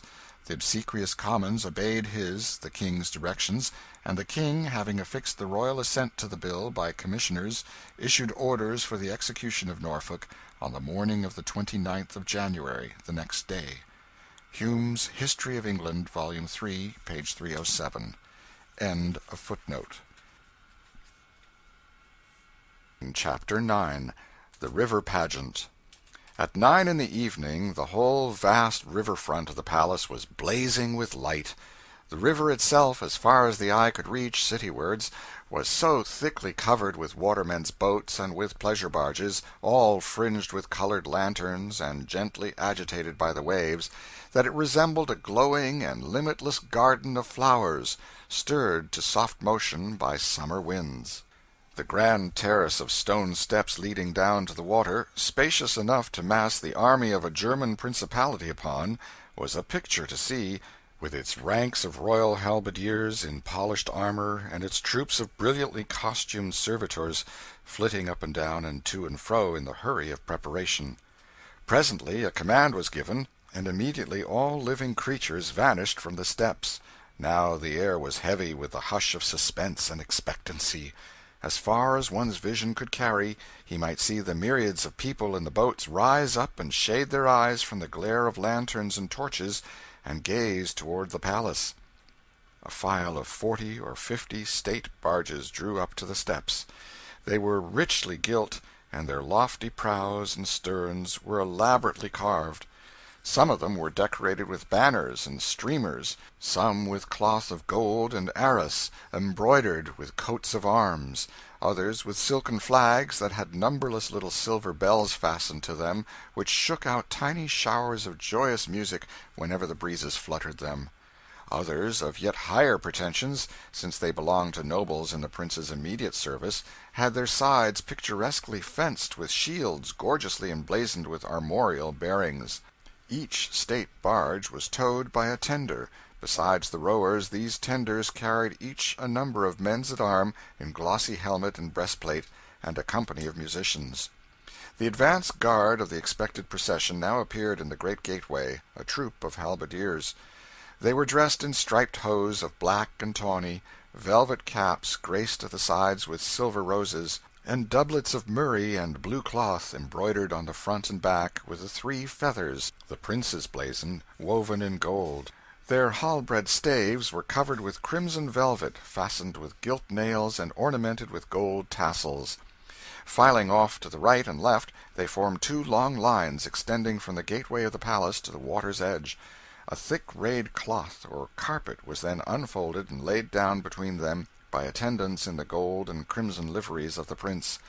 This done, a flourish of trumpets resounded from within, a lively prelude arose from the musicians on the water, and two ushers with white wands marched with a slow and stately pace from the portal.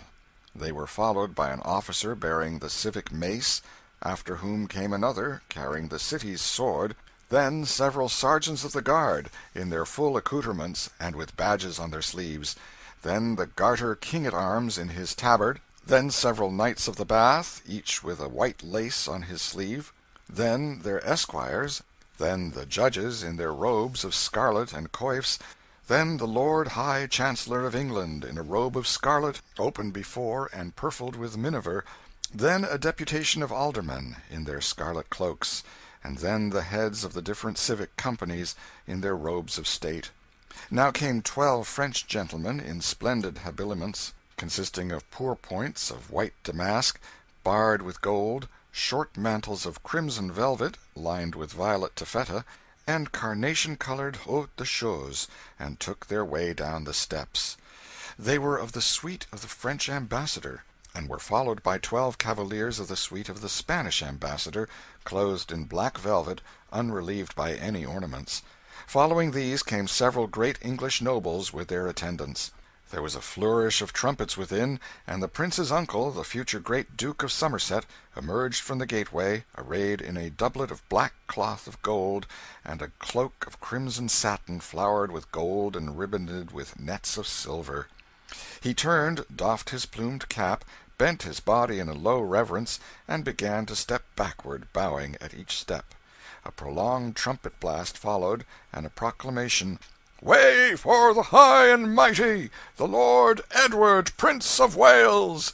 High aloft on the palace walls a long line of red tongues of flame leapt forth, with a thunder crash; the mast whirled on the river burst into a mighty roar of welcome, and Tom Canty, the cause and hero of it all, stepped into view and slightly bowed his princely head.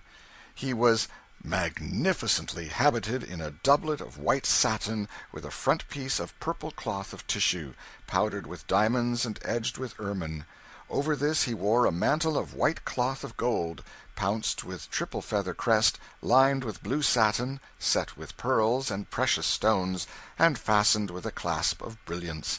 About his neck hung the Order of the Garter and several princely foreign orders and wherever the light fell upon him jewels responded with a blinding flash. Oh, Tom Canty, born in a hovel, bred in the gutters of London, familiar with rags and dirt and misery, what a spectacle is this! CHAPTER X. CHAPTER X. The Prince in the Toils. We left John Canty dragging the rightful prince into Offal Court, with a noisy and delighted mob at his heels. There was but one person in it who offered a pleading word for the captive, and he was not heeded. He was hardly even heard, so great was the turmoil. The prince continued to struggle for freedom and to rage against the treatment he was suffering, until John Canty lost what little patience was left him, and raised his oaken cudgel in a sudden fury over the prince's head. The single pleader for the lad sprang to stop the man's arm, and the blow descended upon his own wrist. Canty roared out "Thou'lt meddle, wilt thou? Then have thy reward!" His cudgel crashed down upon the meddler's head; there was a groan, a dim form sank to the ground among the feet of the crowd, and the next moment it lay there in the dark, alone.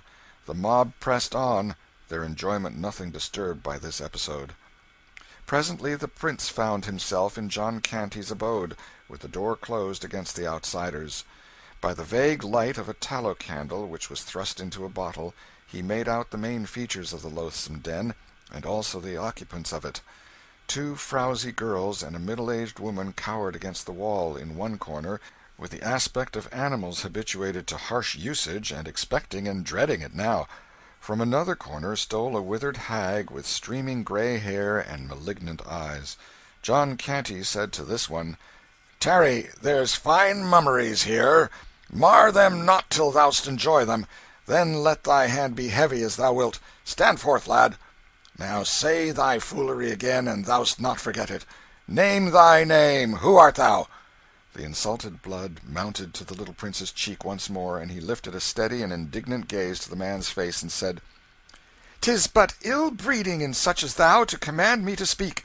I tell thee now, as I told thee before, I am Edward, Prince of Wales, and none other. The stunning surprise of this reply nailed the hag's feet to the floor where she stood, and almost took her breath. She stared at the prince in stupid amazement, which so amused her ruffianly son that he burst into a roar of laughter. But the effect on Tom Canty's mother and sisters was different. Their dread of bodily injury gave way at once to distress of a different sort. They ran forward with woe and dismay in their faces, exclaiming, "Oh, poor Tom, poor lad!" The mother fell on her knees before the prince, put her hands upon his shoulders, and gazed yearningly into his face through her rising tears; and then she said "Oh, my poor boy, thy foolish reading hath wrought its woeful work at last, and ta'en thy wit away. And why didst thou cleave to it, when I so warned thee against it? Thou'st broke thy mother's heart." The prince looked into her face, and said gently "Thy son is well, and hath not lost his wits, good dame comfort thee. Let me to the palace where he is, and straightway will the King my father restore him to thee." "The King thy father? Oh, my child, unsay these words that be freighted with death for thee, and ruin for all that be near to thee. Shake off this gruesome dream. Call back thy poor wandering memory. Look upon me. Am I not thy mother, that bore thee and loveth thee?" The prince shook his head, and reluctantly said, "God knoweth I am loth to grieve thy heart, but truly have I never looked upon thy face before." The woman sank back to a sitting posture on the floor, and covering her eyes with her hands, gave way to heart broken sobs and wailings.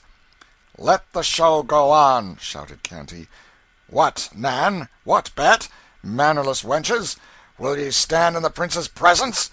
Upon your knees, ye pauper scum, and do him reverence!" He followed this with another horse laugh. The girls began to plead timidly for their brother, and Nan said, "An thou wilt but let him to bed, father, rest and sleep will heal his madness. Prithee do." "Do, father," said Bet. "He is more worn than is his wont. To morrow will he be himself again, and will beg with diligence and come not empty home again." This remark sobered the father's joviality, and brought his mind to business. He turned angrily upon the prince, and said "The morrow must we pay two pennies to him that owns this hole two pennies, mark ye all this money for a half year's rent, else out of this we go. Show what thou'st gathered, with thy lazy begging." The prince said "Offend me not with thy sordid matters. I tell thee again I am the King's son. A sounding blow upon the prince's shoulder from Canty's broad palm sent him staggering into Goodwife Canty's arms, who clasped him to her breast and sheltered him from a pelting rain of cuffs and slaps by interposing her own person. The frightened girls retreated to their corner, but the grandmother stepped eagerly forward to assist her son. The prince sprang away from Mrs. Canty, exclaiming "Thou shalt not suffer for me, madam. Let these swine do their will upon me alone. This speech infuriated the swine to such a degree that they set about their work without waste of time. Between them they belaboured the boy right soundly, and then gave the girls and their mother a beating for showing sympathy for the victim. "Now," said Canty, "to bed, all of you. The entertainment has tired me." The light was put out and the family retired. As soon as the snorings of the head of the house and his mother showed that they were asleep, the young girls crept to where the prince lay and covered him tenderly from the cold with straw and rags and their mother crept to him also, and stroked his hair and cried over him, whispering broken words of comfort and compassion in his ear the while. She had saved a morsel for him to eat, also, but the boy's pains had swept away all appetite, at least for black and tasteless crusts. He was touched by her brave and costly defence of him, and by her commiseration, and he thanked her in very noble and princely words, and begged her to go to her sleep and try to forget her sorrows. And he added that the King, his father, would not let her loyal kindness and devotion go unrewarded. This return to his madness broke her heart anew, and she strained him to her breast again and again, and then went back, drowned in tears, to her bed. As she lay thinking and mourning, the suggestion began to creep into her mind that there was an undefinable something about this boy that was lacking in Tom Canty, mad or sane. She could not describe it, she could not tell just what it was, and yet her sharp mother instinct seemed to detect it and perceive it. What if the boy were really not her son, after all? Oh, absurd! She almost smiled at the idea, spite of her griefs and troubles. No matter, she found that it was an idea that would not down, but persisted in haunting her. It pursued her, it harassed her, it clung to her, and refused to be put away or ignored. At last she perceived that there was not going to be any peace for her until she should devise a test that should prove, clearly and without question, whether this lad was her son or not, and so banish these wearing and worrying doubts. Ah, yes, this was plainly the right way out of the difficulty. Therefore she set her wits to work at once to contrive that test. But it was an easier thing to propose than to accomplish. She turned over in her mind one promising test after another, but was obliged to relinquish them all none of them were absolutely sure, absolutely perfect, and an imperfect one could not satisfy her. Evidently she was racking her head in vain. It seemed manifest that she must give the matter up. While this depressing thought was passing through her mind, her ear caught the regular breathing of the boy, and she knew he had fallen asleep and while she listened the measured breathing was broken by a soft, startled cry, such as one utters in a troubled dream. This chance occurrence furnished her instantly with a plan worth all her labored tests combined. She at once set herself feverishly but noiselessly to work to relight her candle, muttering to herself, "Had I but seen him then, I should have known. Since that day, when he was little, that the powder burst in his face, he hath never been startled of a sudden out of his dreams or out of his thinkings, but he hath cast his hand before his eyes, even as he did that day; and not as others would do it, with the palm inward, but always with the palm turned outward. I have seen it a hundred times, and it hath never varied nor ever failed. Yes, I shall soon know, now." By this time she had crept to the slumbering boy's side, with the candle shaded in her hand. She bent heedfully and warily over him, scarcely breathing, in her suppressed excitement, and suddenly flashed the light in his face and struck the floor by his ear with her knuckles. The sleeper's eyes sprung wide open, and he cast a startled stare about him, but he made no special movement with his hands. The poor woman was smitten almost helpless with surprise and grief but she contrived to hide her emotions, and to soothe the boy to sleep again. Then she crept apart and communed miserably with herself upon the disastrous result of her experiment. She tried to believe that her Tom's madness had banished this habitual gesture of his, but she could not do it. "No," she said, "his hands are not mad. They could not unlearn so old a habit in so brief a time. Oh, this is a heavy day for me!" Still, hope was as stubborn now as doubt had been before. She could not bring herself to accept the verdict of the test. She must try the thing again. The failure must have been only an accident. So she startled the boy out of his sleep a second and a third time, at intervals, with the same result which had marked the first test. Then she dragged herself to bed and fell sorrowfully asleep, saying, "But I cannot give him up oh no, I cannot, I cannot! He must be my boy!" The poor mother's interruptions having ceased, and the prince's pains having gradually lost their power to disturb him, utter weariness at last sealed his eyes in a profound and restful sleep. Hour after hour slipped away, and still he slept like the dead. Thus four or five hours passed; then his stupor began to lighten. Presently, while half asleep and half awake, he murmured "Sir William!" After a moment "Ho, Sir William Herbert! Hie thee hither, and list to the strangest dream that ever Sir William, dost hear? Man, I did think me changed to a pauper, and Ho, there, guards! Sir William! What? Is there no groom of the chamber in waiting? Alack, it shall go hard with "What aileth thee?" asked a whisper near him. "Who art thou calling?" "Sir William Herbert! Who art thou?" "I? Who should I be but thy sister Nan? Oh, Tom, I had forgot. Thou'rt mad yet poor lad, thou'rt mad yet would I had never woke to know it again. But prithee master thy tongue, lest we all be beaten till we die." The startled prince sprang partly up, but a sharp reminder from his stiffened bruises brought him to himself, and he sunk back among his foul straw with a groan and the ejaculation, "Alas, it was no dream, then!" In a moment all the heavy sorrow and misery which sleep had banished were upon him again, and he realized that he was no longer a petted prince in a palace, with the adoring eyes of a nation upon him but a pauper, an outcast, clothed in rags, prisoner in a den fit only for beasts, and consorting with beggars and thieves. In the midst of his grief he began to be conscious of hilarious noises and shoutings apparently but a block or two away. The next moment there were several sharp raps at the door. And John Canty ceased from snoring, and said, "Who knocketh? What wilt thou?" A voice answered, "Know'st thou who it was thou laid thy cudgel on?" "No, neither know I nor care. Belike thou'lt change thy note eftsoons, and thou wouldst save thy neck nothing but flight away stead thee. The man is this moment delivering up the ghost. 'Tis the priest Father Andrew." "God a mercy!" exclaimed Canty. He roused his family, and hoarsely commanded, "Up with all of ye and fly, or bide where ye are and perish!" Scarcely five minutes later the Canty household were in the street and flying for their lives. John Canty held the prince by the wrist, and hurried him along the dark way, giving him this caution in low voice "Mind thy tongue, thou mad fool, and speak not our name. I will choose me a new name, speedily, to throw the law's dogs off the scent. Mind thy tongue, I tell ye!" He growled these words to the rest of the family "If it so chance that we be separated, let each make for London Bridge. Whoso findeth himself as far as the last linen draper's shop on the bridge, let him tarry there till the others be come. Then will we flee into Southwark together." At this moment the party burst suddenly out of darkness into light; and not only into light, but into the midst of a multitude of singing, dancing, and shouting people massed together on the river's frontage. There was a line of bonfires stretching as far as one could see, up and down the Thames. London Bridge was illuminated, Southwark Bridge likewise.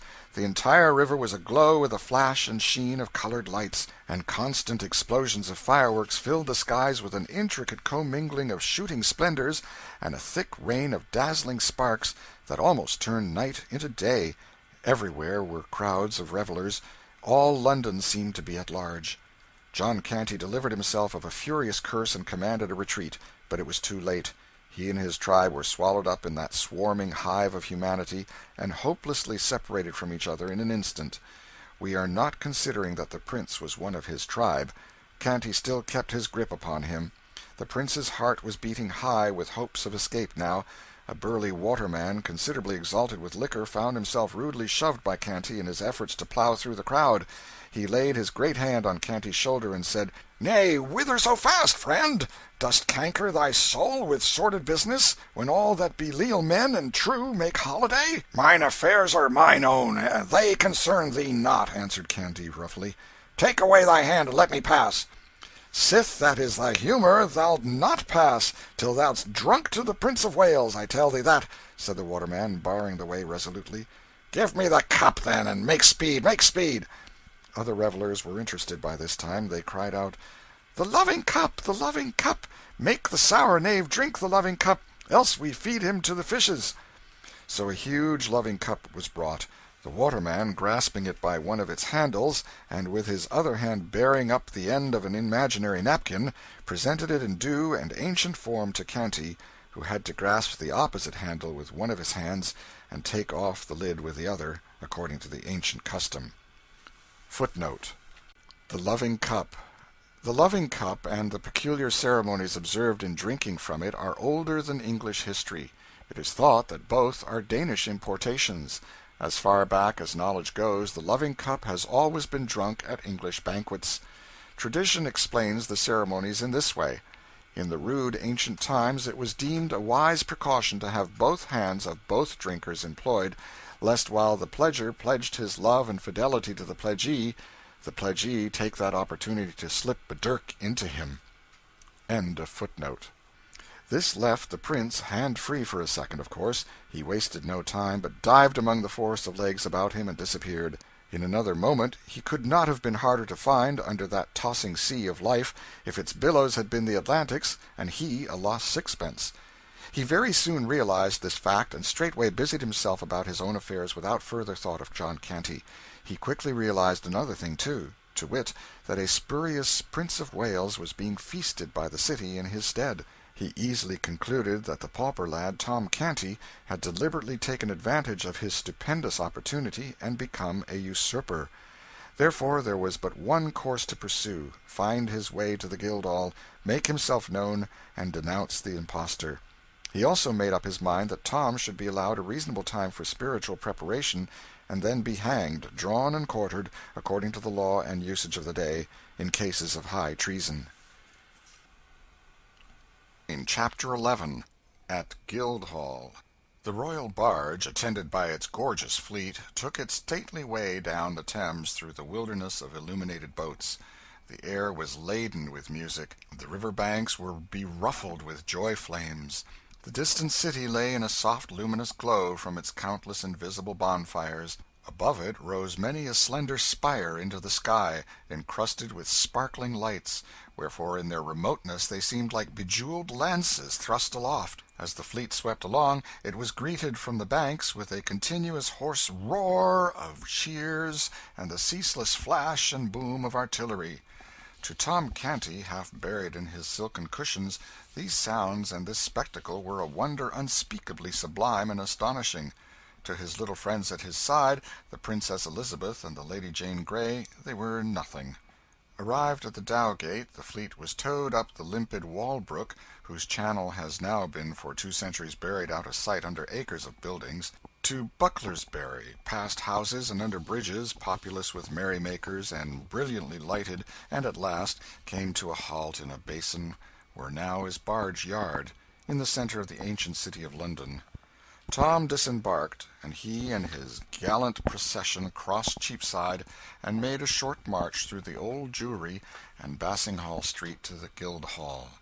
Tom and his little ladies were received with due ceremony by the Lord Mayor and the fathers of the city, in their gold chains and scarlet robes of state, and conducted to a rich canopy of state at the head of the great hall, preceded by heralds making proclamation, and by the mace and the city sword. The lords and ladies who were to attend upon Tom and his two small friends took their places behind their chairs. At a lower table the court grandees and other guests of noble degree were seated, with the magnates of the city. The commoners took places at a multitude of tables on the main floor of the hall. From their lofty vantage ground the giants Gog and Magog, the ancient guardians of the city, contemplated the spectacle below them with eyes grown familiar to it in forgotten generations. There was a bugle blast and a proclamation and a fat butler appeared in a high perch in the leftward wall, followed by his servitors bearing with impressive solemnity a royal baron of beef, smoking hot and ready for the knife. After grace, Tom being instructed, rose, and the whole house with him, and drank from a portly golden loving cup with the Princess Elizabeth. From her it passed to the Lady Jane, and then traversed the general assemblage. So the banquet began. By midnight the revelry was at its height. Now came one of those picturesque spectacles so admired in that old day. A description of it is still extant in the quaint wording of a chronicler who witnessed it. Space being made, presently entered a baron and an earl apparelled after the Turkish fashion, in long robes of bawdkin powdered with gold, hats on their heads of crimson velvet, with great rolls of gold, girded with two swords, called scimitars, hanging by great baldricks of gold. Next came yet another baron and another earl, in two long gowns of yellow satin, traversed with white satin, and in every bend of white was a bend of crimson satin, after the fashion of Russia, with furred hats of gray on their heads, either of them having a hatchet in their hands, and boots with pikes, points a foot long turned up, and after them came a knight, then the Lord High Admiral, and with him five nobles, in doublets of crimson velvet, voided low on the back and before to the cannel bone, laced on the breasts with chains of silver, and over that short cloaks of crimson satin, and on their heads hats after the dancers' fashion, with pheasants' feathers in them. These were apparelled after the fashion of Prussia. The torch-bearers, which were about an hundred, were apparelled in crimson satin and green, like Moors, their faces black. Next came in a mummerie. Then the minstrels, which were disguised, danced; and the lords and ladies did wildly dance also, that it was a pleasure to behold. And while Tom, in his high seat, was gazing upon this wild dancing, lost in admiration of the dazzling commingling of kaleidoscopic colors which the whirling turmoil of gaudy figures below him presented, the ragged but real little Prince of Wales was proclaiming his rights and his wrongs, denouncing the impostor, and clamoring for admission at the gates of Guildhall. The crowd enjoyed this episode prodigiously, and pressed forward and craned their necks to see the small rioter. Presently they began to taunt him and mock at him, purposely to goad him into a higher and still more entertaining fury. Tears of mortification sprung to his eyes, but he stood his ground and defied the mob right royally. Other taunts followed; added mocking stung him, and he exclaimed "I tell ye again, you pack of unmannerly curs, I am the Prince of Wales, and all forlorn and friendless as I be, with none to give me word of grace or help me in my need, yet will not I be driven from my ground, but will maintain it." "Though thou be prince or no prince, 'tis all one. Thou be'st a gallant lad, and not friendless neither. Here stand I by thy side to prove it; and mind I tell thee thou mightst have a worser friend than Miles Hendon, and yet not tire thy legs with seeking. Rest thy small jaw, my child; I talk the language of these base kennel rats like to a very native." The speaker was a sort of Don Cesar de Bazan in dress, aspect, and bearing. He was tall, trim built, muscular. His doublet and trunks were of rich material, but faded and threadbare and their gold lace adornments were sadly tarnished. His ruff was rumpled and damaged; the plume in his slouched hat was broken and had a bedraggled and disreputable look; at his side he wore a long rapier in a rusty iron sheath. His swaggering carriage marked him at once as a ruffler of the camp. The speech of this fantastic figure was received with an explosion of jeers and laughter. Some cried, "'Tis another prince in disguise!" "Ware thy tongue, friend! Belike he is dangerous!" "Marry, he looketh it! Mark his eye!" "Pluck the lad from him! To the horse pond with the cub!" Instantly a hand was laid upon the prince under the impulse of this happy thought. As instantly the stranger's long sword was out and the meddler went to the earth under a sounding thump with the flat of it. The next moment a score of voices shouted, "Kill the dog! Kill him! Kill him!" and the mob closed in on the warrior, who backed himself against a wall and began to lay about him with his long weapon like a madman. His victims sprawled this way and that, but the mob tide poured over their prostrate forms and dashed itself against the champion with undiminished fury. His moments seemed numbered, his destruction certain, when suddenly a trumpet blast sounded, a voice shouted, "Way for the King's messenger!" And a troop of horsemen came charging down upon the mob, who fled out of harm's reach as fast as their legs could carry them. The bold stranger caught up the prince in his arms, and was soon far away from danger and the multitude. Return we within the Guildhall. Suddenly, high above the jubilant roar and thunder of the revel, broke the clear peal of a bugle note. There was instant silence, a deep hush. Then a single voice rose, that of the messenger from the palace and began to pipe forth a proclamation, the whole multitude standing, listening. The closing words, solemnly pronounced, were, "The King is dead!" The great assemblage bent their heads upon their breasts with one accord, remained so, in profound silence, a few moments, then all sunk upon their knees in a body, stretched out their hands toward Tom, and a mighty shout burst forth that seemed to shake the building. Long live the King! Poor Tom's dazed eyes wandered abroad over this stupefying spectacle, and finally rested dreamily upon the kneeling princesses beside him a moment, then upon the Earl of Hertford. A sudden purpose dawned in his face. He said in a low tone, at Lord Hertford's ear "Answer me truly, on thy faith and honour. Uttered I here a command, the which none but a king might hold privilege and prerogative to utter, would such commandment be obeyed, and none rise up to say me nay?" "None, my liege, in all these realms. In thy person bides the majesty of England. Thou art the king. Thy word is law." Tom responded in a strong, earnest voice, with great animation. Then shall the King's law be law of mercy, from this day, and never more be law of blood. Up from thy knees and away! To the Tower, and say the King decrees the Duke of Norfolk shall not die." [Footnote: The Duke of Norfolk's narrow escape. Had Henry VIII survived a few hours longer, his order for the Duke's execution would have been carried into effect.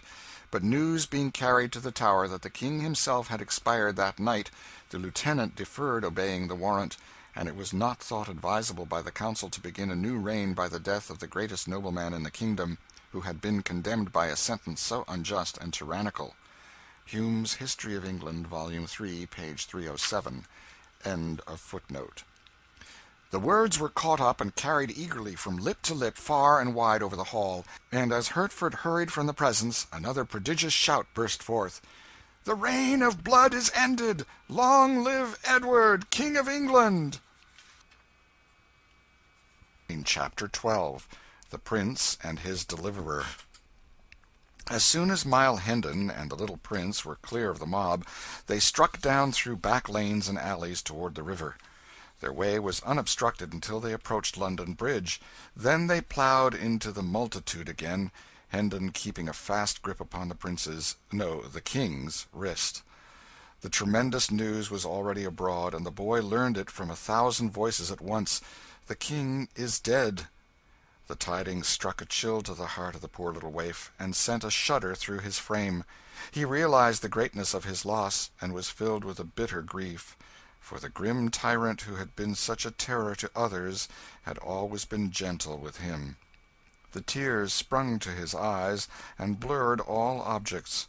For an instant he felt himself the most forlorn, outcast, and forsaken of God's creatures. Then another cry shook the night with its far reaching thunders "Long live King Edward the Sixth!" and this made his eyes kindle, and thrilled him with pride to his fingers' ends. "Ah," he thought, "how grand and strange it seems! I am king!" Our friends threaded their way slowly through the throngs upon the bridge. This structure, which had stood for six hundred years, and had been a noisy and populous thoroughfare all that time, was a curious affair, for a closely packed rank of stores and shops, with family quarters overhead, stretched along both sides of it, from one bank of the river to the other. The bridge was a sort of town to itself. It had its inn, its beer houses its bakeries, its haberdasheries, its food markets, its manufacturing industries, and even its church. It looked upon the two neighbors which it linked together, London and Southwark, as being well enough as suburbs, but not otherwise particularly important. It was a close corporation, so to speak. It was a narrow town, of a single street a fifth of a mile long. Its population was but a village population and everybody in it knew all his fellow townsmen intimately, and had known their fathers and mothers before them, and all their little family affairs into the bargain. It had its aristocracy, of course, its fine old families of butchers and bakers and what not, who had occupied the same old premises for five or six hundred years, and knew the great history of the bridge from beginning to end, and all its strange legends and who always talked bridgy talk, and thought bridgy thoughts, and lied in a long, level, direct, substantial, bridgy way. It was just the sort of population to be narrow and ignorant and self conceited. Children were born on the bridge, were reared there, grew to old age, and finally died, without ever having set a foot upon any part of the world but London Bridge alone. Such people would naturally imagine that the mighty and interminable procession which moved through its streets night and day, with its confused roar of shouts and cries, its neighings and bellowings and bleatings, and its muffled thunder tramp, was the one great thing in this world, and themselves somehow the proprietors of it. And so they were, in effect; at least they could exhibit it from their windows, and did, for a consideration whenever a returning king or hero gave it a fleeting splendor, for there was no place like it for affording a long, straight, uninterrupted view of marching columns. Men born and reared upon the bridge found life unendurably dull and inane elsewhere. History tells of one of these who left the bridge at the age of seventy one and retired to the country. But he could only fret and toss in his bed; he could not go to sleep, the deep stillness was so painful, so awful, so oppressive. When he was worn out with it, at last, he fled back to his old home a lean and haggard spectre, and fell peacefully to rest and pleasant dreams under the lulling music of the lashing waters and the boom and crash and thunder of London Bridge. In the times of which we are writing, the bridge furnished object lessons in English history for its children namely, the livid and decaying heads of renowned men impaled upon iron spikes atop of its gateways. But we digress. Hendon's lodgings were in the little inn on the bridge. As he neared the door with his small friend, a rough voice said "So thou'rt come at last! Thou'lt not escape again, I warrant thee. And if pounding thy bones to a pudding can teach thee somewhat, thou'lt not keep us waiting another time, mayhap." And John Canty put out his hand to seize the boy. Miles Hendon stepped in the way and said "Not too fast, friend. Thou art needlessly rough, methinks. What is the lad to thee?" "If it be any business of thine to make and meddle in others' affairs, he is my son." "'Tis a lie!" cried the little King, hotly. "Boldly said, and I believe thee, whether thy small head piece be sound or cracked, my boy. But whether this scurvy ruffian be thy father or no, 'tis all one. He shall not have thee to beat thee and abuse, according to his threat, so thou prefer to abide with me." "I do, I do! I know him not, I loathe him, and will die before I will go with him." "Then 'tis settled, and there is nought more to say." "We will see as to that. exclaimed John Canty, striding past Hendon to get at the boy. "By force shall he "If thou do but touch him, thou animated offal, I will spit thee like a goose," said Hendon, barring the way and laying his hand upon his sword hilt. Canty drew back. "Now mark ye," continued Hendon, "I took this lad under my protection when a mob of such as thou would have mishandled him, mayhap killed him. Dost imagine I will desert him now to a worser fate? For whether thou art his father or no and sooth to say I think it is a lie a decent swift death were better for such a lad than life in such brute hands as thine.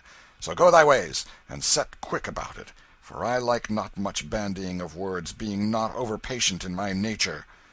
John Canty moved off, muttering threats and curses, and was swallowed from sight in the crowd. Hendon ascended three flights of stairs to his room, with his charge, after ordering a meal to be sent thither. It was a poor apartment, with a shabby bed and some odds and ends of old furniture in it, and was vaguely lighted by a couple of sickly candles. The little King dragged himself to the bed and lay down upon it, almost exhausted with hunger and fatigue. He had been on his feet a good part of a day and a night, for it was now two or three o'clock in the morning, and had eaten nothing meantime. He murmured drowsily, "Prithee call me when the table is spread," and sunk into a deep sleep immediately. A smile twinkled in Hendon's eyes, and he said to himself, "By the mass, the little beggar takes to one's quarters and usurps one's bed with as natural and easy a grace as if he owned them, with never a by your leave, or so please it you, or anything of the sort. In his diseased ravings he called himself the Prince of Wales, and bravely doth he keep up the character. Poor little friendless rat, doubtless his mind has been disordered with ill usage. Well, I will be his friend. I have saved him, and it draweth me strongly to him. Already I love the bold tongued little rascal. How soldier like he faced the smutty rabble, and flung back his high defiance! And what a comely, sweet, and gentle face he hath, now that sleep hath conjured away his troubles and its griefs. I will teach him, I will cure his malady; yea, I will be his elder brother, and care for him and watch over him; and whoso would shame him or do him hurt, may order his shroud, for though I be burnt for it, he shall need it." He bent over the boy and contemplated him with kind and pitying interest, tapping the young cheek tenderly and smoothing back the tangled curls with his great brown hand. A slight shiver passed over the boy's form. Hendon muttered. See, now, how like a man it was to let him lie here uncovered and fill his body with deadly rheums. Now what shall I do? 'Twill wake him to take him up and put him within the bed, and he sorely needeth sleep. He looked about for extra covering, but finding none, doffed his doublet and wrapped the lad in it, saying, I am used to nipping air and scant apparel; 'tis little I shall mind the cold; then walked up and down the room to keep his blood in motion, soliloquizing as before. His injured mind persuades him he is Prince of Wales. 'Twill be odd to have a Prince of Wales still with us, now that he that was the prince is prince no more, but king. For this poor mind is set upon the one fantasy, and will not reason out that now it should cast by the prince and call itself the king. If my father liveth still, after these seven years that I have heard naught from him in my foreign dungeon, he will welcome the poor lad and give him generous shelter for my sake. So will my good elder brother, Arthur. My other brother, Hugh but I will crack his crown an he interfere, the fox hearted, ill conditioned animal. Yes, thither will we fare, and straightway, too." A servant entered with a smoking meal, disposed it upon a small deal table, placed the chairs, and took his departure, leaving such cheap lodgers as these to wait upon themselves. The door slammed after him, and the noise woke the boy, who sprung to a sitting posture, and shot a glad glance about him. Then a grieved look came into his face, and he murmured to himself with a deep sigh, "Alack, it was but a dream woe is me!" Next he noticed Miles Hendon's doublet, glanced from that to Hendon, comprehended the sacrifice that had been made for him, and said gently, "Thou art good to me yes, thou art very good to me. Take it and put it on I shall not need it more. Then he got up and walked to the washstand in the corner, and stood there waiting. Hendon said in a cheery voice "We'll have a right hearty sup and bite now, for everything is savoury and smoking hot; and that and thy nap together will make thee a little man again, never fear." The boy made no answer, but bent a steady look, that was filled with grave surprise, and also somewhat touched with impatience, upon the tall knight of the sword. Hendon was puzzled, and said "What's amiss?" "Good sir, I would wash me." "Oh, is that all? Ask no permission of Miles Hendon for aught thou cravest. Make thyself perfectly free here, and welcome, with all that are his belongings." Still the boy stood, and moved not. More, he tapped the floor once or twice with his small impatient foot. Hendon was wholly perplexed. Said he "Bless us, what is it?" "Prithee pour the water, and make not so many words." Hendon, suppressing a horse laugh, and saying to himself, "By all the saints, but this is admirable!" stepped briskly forward, and did the small insolent's bidding, then stood by, in a sort of stupefaction, until the command, "Come! The towel!" woke him sharply up. He took up a towel from under the boy's nose and handed it to him without comment. He now proceeded to comfort his own face with a wash, and while he was at it, his adopted child seated himself at the table and prepared to fall to. Hendon dispatched his ablutions with alacrity, then drew back the other chair, and was about to place himself at table, when the boy said indignantly "Forbear! Wouldst sit in the presence of the King?" This blow staggered Hendon to his foundations. He muttered to himself, "Lo, the poor thing's madness is up with the time. It hath changed with the great change that is come to the realm, and now in fancy is he king. Good lack, I must humour the conceit, too.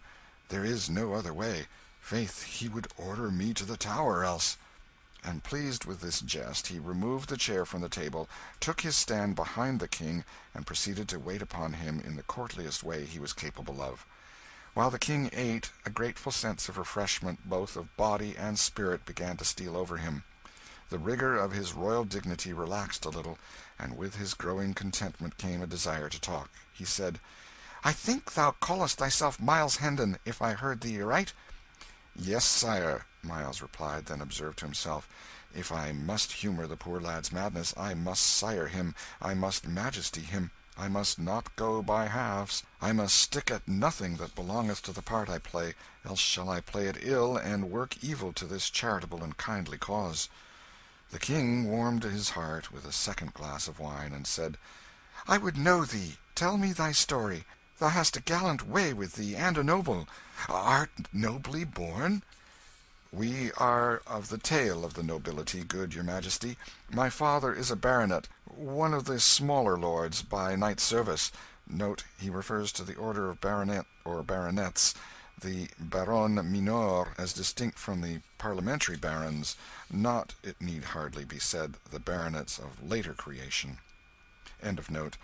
Sir Richard Hendon, of Hendon Hall, by Monk's Holm in Kent. The name has escaped my memory. Uh, go on, tell me thy story." "'Tis not much, your Majesty, yet perchance it may beguile a short half hour for want of a better. My father, Sir Richard, is very rich, and of a most generous nature. My mother died whilst I was yet a boy. I have two brothers Arthur, my elder, with a soul like to his father's, and Hugh, younger than I, a mean spirit, covetous, treacherous vicious, underhanded, a reptile. Such was he from the cradle; such was he ten years past, when I last saw him; a ripe rascal at nineteen, I being twenty then, and Arthur twenty two. There is none other of us but the Lady Edith, my cousin. She was sixteen then, beautiful, gentle, good, the daughter of an earl, the last of her race, heiress of a great fortune and a lapsed title. My father was her guardian. I loved her and she loved me; but she was betrothed to Arthur from the cradle, and Sir Richard would not suffer the contract to be broken. Arthur loved another maid, and bade us be of good cheer and hold fast to the hope that delay and luck together would some day give success to our several causes. Hugh loved the Lady Edith's fortune, though in truth he said it was herself he loved; but then 'twas his way, alway, to say the one thing and mean the other. But he lost his arts upon the girl. He could deceive my father, but none else. My father loved him best of us all, and trusted and believed him; for he was the youngest child, and others hated him these qualities being in all ages sufficient to win a parent's dearest love. And he had a smooth, persuasive tongue, with an admirable gift of lying. And these be qualities which do mightily assist a blind affection to cozen itself.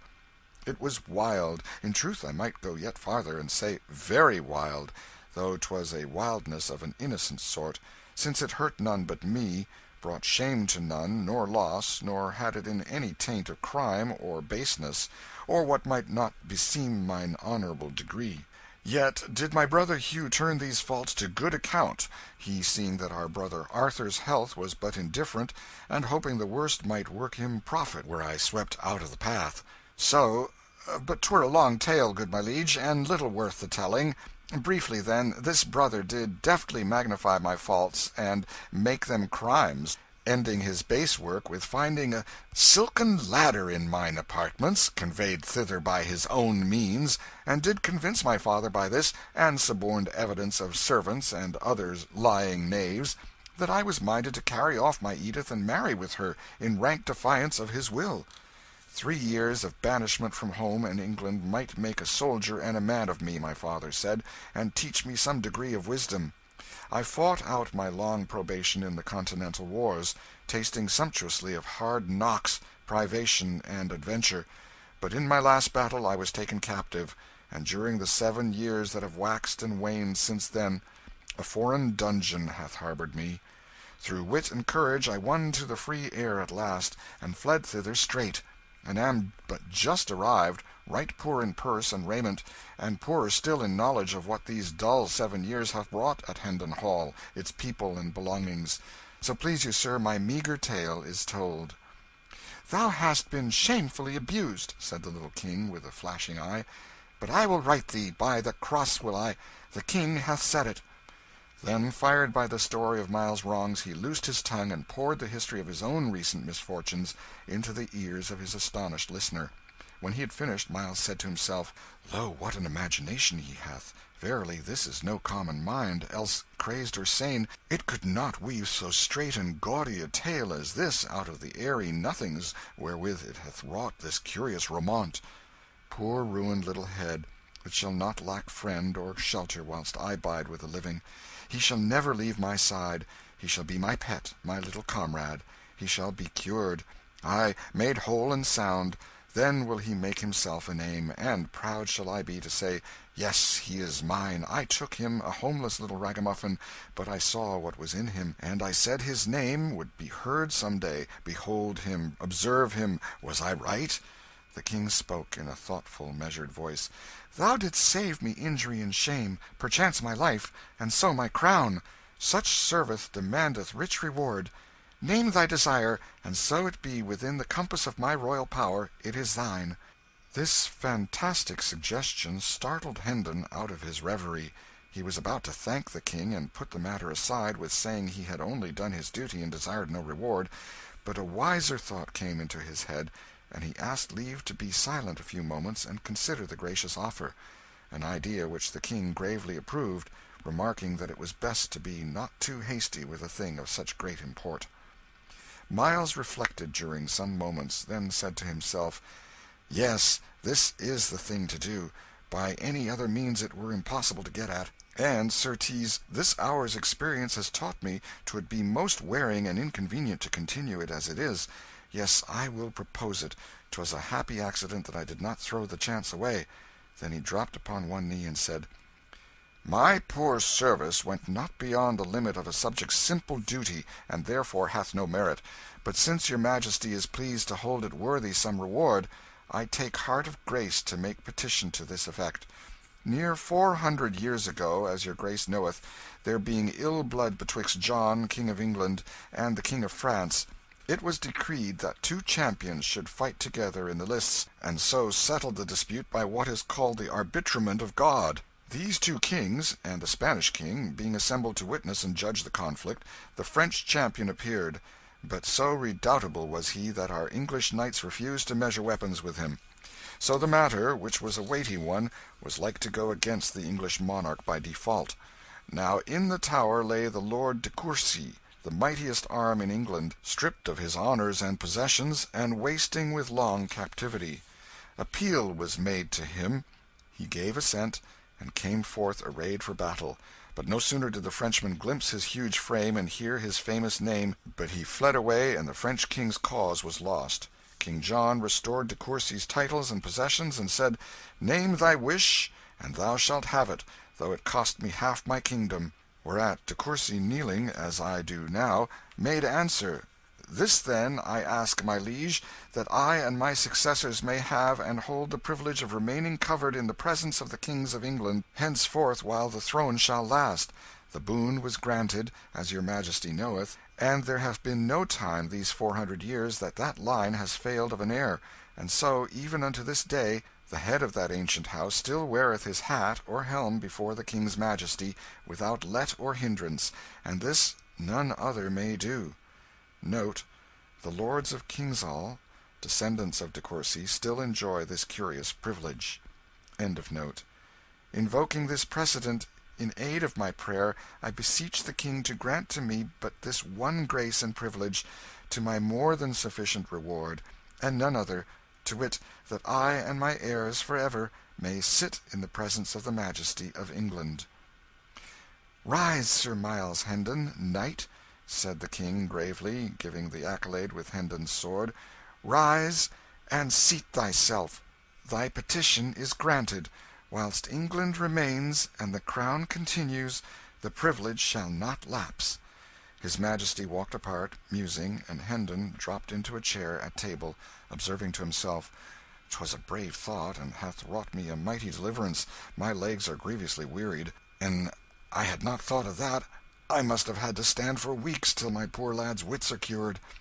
After a little he went on, "And so I am become a knight of the kingdom of dreams and shadows a most odd and strange position, truly, for one so matter of fact as I. I will not laugh. No, God forbid; for this thing which is so substanceless to me is real to him, and to me also in one way it is not a falsity, for it reflects with truth the sweet and generous spirit that is in him." After a pause "Ah, what if he should call me by my fine title before folk! There'd be a merry contrast betwixt my glory and my raiment. But no matter; let him call me what he will, so it please him. I shall be content." CHAPTER 13 The Disappearance of the Prince. A heavy drowsiness presently fell upon the two comrades. The King said "Remove these rags," meaning his clothing. Hendon disapparelled the boy without dissent or remark, tucked him up in bed, then glanced about the room, saying to himself, ruefully, "He hath taken my bed again, as before. Marry, what shall I do?" The little King observed his perplexity, and dissipated it with a word. He said, sleepily "Thou wilt sleep athwart the door, and guard it." In a moment more he was out of his troubles, in a deep slumber. "Dear heart, he should have been born a king," muttered Hendon, admiringly. "He playeth the part to a marvel." Then he stretched himself across the door, on the floor, saying contentedly. I have lodged worse for seven years. 'Twould be but ill gratitude to Him above to find fault with this." He dropped asleep as the dawn appeared. Toward noon he rose, uncovered his unconscious ward a section at a time and took his measure with a string. The King awoke just as he had completed his work, complained of the cold, and asked what he was doing. "'Tis done now, my liege," said Hendon. "I have a bit of business outside, but will presently return. Sleep thou again thou need'st it. There, let me cover thy head also thou'lt be warmer the sooner." The King was back in dreamland before this speech was ended. Miles slipped softly out, and slipped as softly in again in the course of thirty or forty minutes, with a complete second hand suit of boy's clothing, of cheap material, and showing signs of wear but tidy and suited to the season of the year. He seated himself and began to overhaul his purchase, mumbling to himself, "A longer purse would have got a better sort, but when one has not the long purse, one must be content with what a short one may do. There was a woman in our town, in our town did dwell" He stirred, methinks. I must sing in a less thunderous key. 'Tis not good to mar his sleep, with this journey before him, and he so wearied out, poor chap. This garment 'tis well enough, A stitch here and another one there will set it aright. This other is better, albeit a stitch or two will not come amiss in it, likewise. These be very good and sound, and will keep his small feet warm and dry an odd new thing to him belike, since he has doubtless been used to foot it bare, winters and summers the same. Would thread were bread, seeing one getteth a year's sufficiency for a farthing, and such a brave big needle without cost, for mere love. Now shall I have the demon's own time to thread it." And so he had. He did as men have always done, and probably always will do, to the end of time held the needle still, and tried to thrust the thread through the eye, which is the opposite of a woman's way. Time and time again the thread missed the mark, going sometimes on one side of the needle and sometimes on the other, sometimes doubling up against the shaft. But he was patient, having been through these experiences before, when he was soldiering. He succeeded at last, and took up the garment that had lain waiting, meantime, across his lap, and began his work. The inn is paid, the breakfast that is to come included, and there is wherewithal left to buy a couple of donkeys and meet our little costs for the two or three days betwixt this and the plenty that awaits us at Hendon Hall. She loved her husband oh, Body of me, I have driven the needle under my nail! It matters little 'tis not a novelty. Yet 'tis not a convenience neither. We shall be merry there, little one, never doubt it; thy troubles will vanish there, and likewise thy sad distemper. She loved her husband dearly, but another man These be noble large stitches," holding the garment up and viewing it admiringly. "They have a grandeur and a majesty that do cause these small stingy ones of the tailor man to look mightily paltry and plebeian. She loved her husband dearly. But another man he loved she Marry, 'tis done a goodly piece of work, too, and wrought with expedition. Now will I wake him, apparel him, pour for him, feed him, and then will we hie us to the mart by the Tabard Inn in Southwark, and uh, be pleased to rise, my liege. He answereth not. What ho, my liege! Of a truth must I profane his sacred person with a touch, sith his slumber is deaf to speech. What! He threw back the covers the boy was gone! He stared about him in speechless astonishment for a moment, noticed for the first time that his ward's ragged raiment was also missing, when he began to rage and storm and shout for the innkeeper. At that moment a servant entered with the breakfast. "Explain, thou limb of Satan, or thy time is come!" roared the man of war, and made so savage a spring towards the waiter that this latter could not find his tongue, for the instant, for fright and surprise. "Where is the boy?" In disjointed and trembling syllables the man gave the information desired. "You were hardly gone from the place, your worship, when a youth came running and said it was your worship's will that the boy come to you straight, at the bridge end on the Southwark side. I brought him hither, and when he woke the lad and gave his message, the lad did grumble some little for being disturbed so early, as he called it, but straightway trussed on his rags and went with the youth, only saying it had been better manners that your worship came yourself, not sent a stranger, and so "And so thou'rt a fool a fool and easily cozened! Hang all thy breed! Yet mayhap no hurt is done possibly no harm is meant the boy. I will go fetch him. Make the table ready. Stay the coverings of the bed were disposed as if one lay beneath them. Happened that by accident?" "I know not, good your worship. I saw the youth meddle with them he that uh, came for the boy." "Thousand deaths! 'Twas done to deceive me 'tis plain 'twas done to gain time. Hark ye was that youth alone?" "All alone, your worship."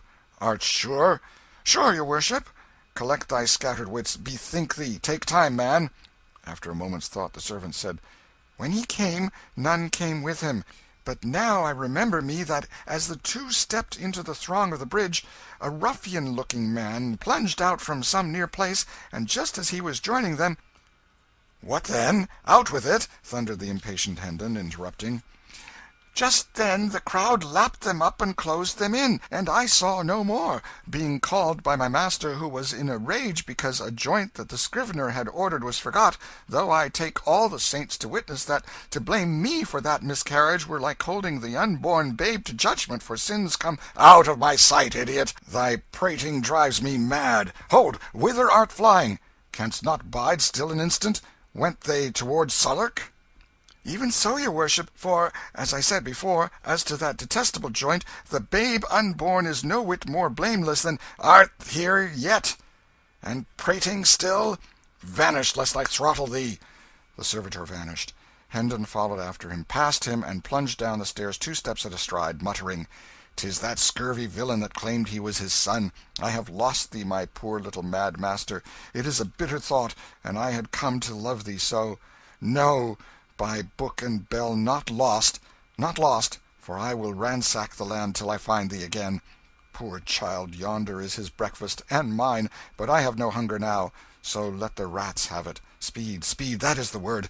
As he wormed his swift way through the noisy multitudes upon the bridge, he several times said to himself, clinging to the thought as if it were a particularly pleasing one, "He grumbled, but he went! He went, yes, because he thought Miles Hendon asked it. Sweet lad, he would ne'er have done it for another I know it well." CHAPTER 14 Le Roi est mort! Vive le Roi! Toward daylight of the same morning, Tom Canty stirred out of a heavy sleep and opened his eyes in the dark. He lay silent a few moments, trying to analyse his confused thoughts and impressions, and get some sort of meaning out of them; then suddenly he burst out in a rapturous but guarded voice "I see it all, I see it all! Now, God be thanked, I am indeed awake at last! Come, joy! vanish, sorrow! Ho, Nan! Bet! kick off your straw and hie thee hither to my side, till I do pour into your unbelieving ears the wildest madcap dream that ever the spirits of night did conjure up to astonish the soul of man withal. Ho, Nan, I say! Bet!" A dim form appeared at his side, and a voice said "Wilt deign to deliver thy commands?" "Commands? Oh, woe is me, I know thy voice! Speak thou who am I?" "Thou? In sooth yesternight wert thou the Prince of Wales, to day art thou my most gracious liege Edward, King of England." Tom buried his head among his pillows, murmuring plaintively "Alack, it was no dream! Go to thy rest, sweet sir leave me to my sorrows." Tom slept again, and after a time he had this pleasant dream. He thought it was summer, and he was playing, all alone, in the fair meadow called Goodman's Fields, when a dwarf only a foot high, with long red whiskers and a humped back, appeared to him suddenly and said "Dig by that stump!" He did so, and found twelve bright new pennies wonderful riches. Yet this was not the best of it, for the dwarf said "I know thee. Thou art a good lad, and a deserving. Thy distress shall end, for the day of thy reward is come. Dig here every seventh day, and thou shalt find always the same treasure twelve bright new pennies. Tell none keep the secret." Then the dwarf vanished, and Tom flew to Offal Court with his prize, saying to himself, "Every night will I give my father a penny he will think I begged it. It will glad his heart, and I shall no more be beaten. One penny every week the good priest that teacheth me shall have; mother, Nan, and Bet the other four. We be done with hunger and rags, now done with fears and frets and savage usage." In his dream he reached his sordid home all out of breath, but with eyes dancing with grateful enthusiasm; cast four of his pennies into his mother's lap, and cried out "They are for thee! All of them, every one for thee and Nan and Bet, and honestly come by, not begged nor stolen."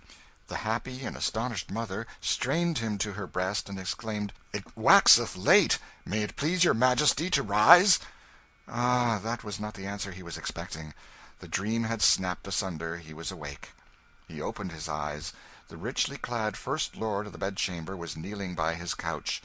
The gladness of the lying dream faded away the poor boy recognised that he was still a captive and a king. The room was filled with courtiers clothed in purple mantles, the mourning colour, and with noble servants of the monarch. Tom sat up in bed and gazed out from the heavy silken curtains upon this fine company. The weighty business of dressing began, and one courtier after another knelt and paid his court and offered to the little King his condolences upon his heavy loss, whilst the dressing proceeded. In the beginning, a shirt was taken up by the chief equerry in waiting, who passed it to the First Lord of the Buckhounds, who passed it to the second gentleman of the bedchamber, who passed it to the head ranger of Windsor Forest, who passed it to the third groom of the Stole, who passed it to the Chancellor Royal of the Duchy of Lancaster, who passed it to the Master of the Wardrobe, who passed it to Norroy King at Arms, who passed it to the Constable of the Tower, who passed it to the Chief Steward of the Household, who passed it to the Hereditary Grand Diaperer, who passed it to the Lord High Admiral of England, who passed it to the Archbishop of Canterbury, who passed it to the First Lord of the Bedchamber, who took what was left of it and put it on Tom.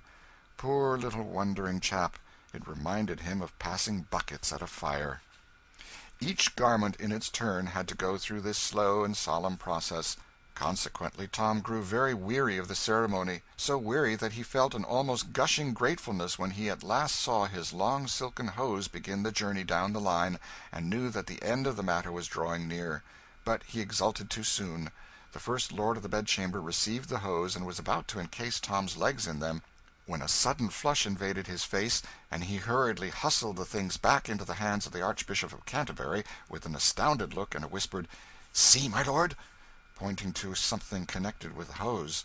The Archbishop paled, then flushed, and passed the hose to the Lord High Admiral, whispering, "See, my lord!" The Admiral passed the hose to the Hereditary Grand Diaperer, and had hardly breath enough in his body to ejaculate, "See, my lord!" The hose drifted backward along the line, to the Chief Steward of the Household, the Constable of the Tower, Norroy King at Arms, the Master of the Wardrobe, the Chancellor Royal of the Duchy of Lancaster, the Third Groom of the Stole, the Head Ranger of Windsor Forest, the Second Gentleman of the Bedchamber, the First Lord of the Buckhounds, accompanied always with that amazed and frightened "See, see!" till they finally reached the hands of the Chief Equerry in waiting, who gazed a moment, with a pallid face upon what had caused all this dismay, then hoarsely whispered "Body of my life, a tag gone from a truss point! To the Tower with the head keeper of the King's hose!" After which he leaned upon the shoulder of the First Lord of the Buckhounds to regather his vanished strength whilst fresh hose, without any damaged strings to them, were brought. But all things must have an end, and so, in time, Tom Canty was in a condition to get out of bed.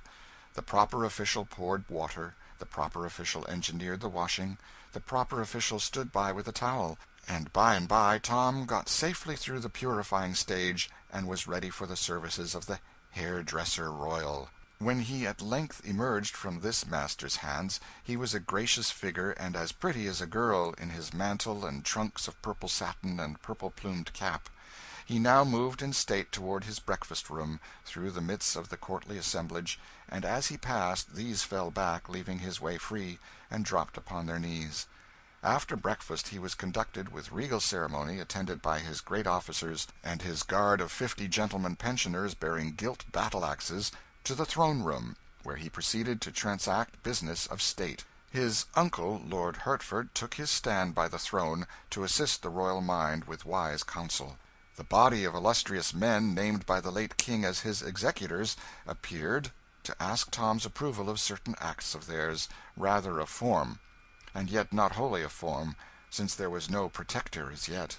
The Archbishop of Canterbury made report of the decree of the Council of Executors concerning the obsequies of his late most illustrious Majesty, and finished by reading the signatures of the executors, to wit, the Archbishop of Canterbury, the Lord Chancellor of England, William Lord St. John, John Lord Russell, Edward Earl of Hertford, John Viscount Lisle, Cuthbert Bishop of Durham. Tom was not listening. An earlier clause of the document was puzzling him. At this point he turned and whispered to Lord Hertford "What day did he say the burial hath been appointed for?" "The sixteenth of the coming month, my liege." "'Tis a strange folly. Will he keep?"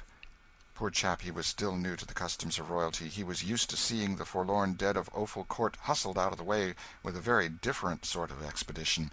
However, the Lord Hertford set his mind at rest with a word or two. A Secretary of State presented an order of the Council appointing the morrow at eleven for the reception of the foreign ambassadors, and desired the King's assent. Tom turned an inquiring look toward Hertford, who whispered "Your Majesty will signify consent. They come to testify their royal master's sense of the heavy calamity which hath visited your Grace and the realm of England." Tom did as he was bidden. Another secretary began to read a preamble concerning the expenses of the late King's household, which had amounted to twenty eight thousand pounds during the preceding six months a sum so vast that it made Tom Canty gasp. He gasped again when the fact appeared that twenty thousand pounds of this money were still owing and unpaid. [Footnote: Hume.] End a footnote and once more when it appeared that the King's coffers were about empty, and his twelve hundred servants much embarrassed for lack of the wages due them. Tom spoke out with lively apprehension "We be going to the dogs, 'tis plain. 'Tis meet and necessary that we take a smaller house and set the servants at large, sith they be of no value but to make delay, and trouble one with offices that harass the spirit and shame the soul, they misbecoming any but a doll, that hath nor brains nor hands to help itself withal. I remember me of a small house that standeth over against the fish market, by Billingsgate a sharp pressure upon Tom's arm stopped his foolish tongue, and sent a blush to his face; but no countenance there betrayed any sign that this strange speech had been remarked or given concern.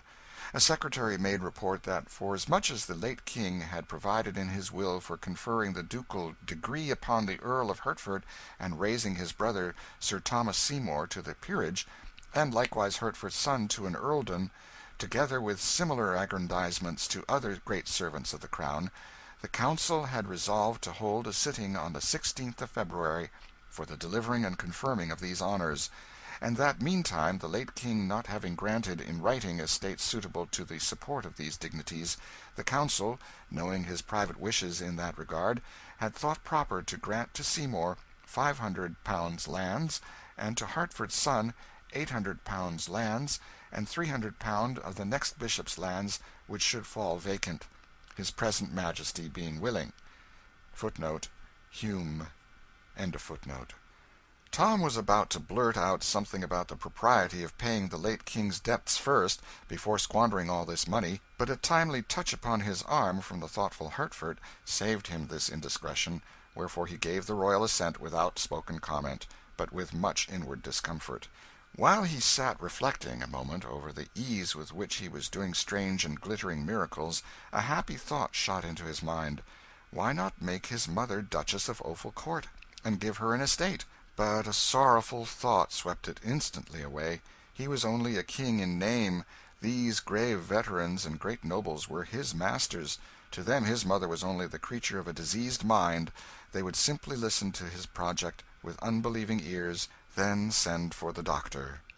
The dull work went tediously on. Petitions were read, and proclamations, patents, and all manner of wordy, repetitious, and wearisome papers relating to the public business, and at last Tom sighed pathetically and murmured to himself, "In what have I offended, that the good Lord should take me away from the fields and the free air and the sunshine, to shut me up here and make me a king and afflict me so?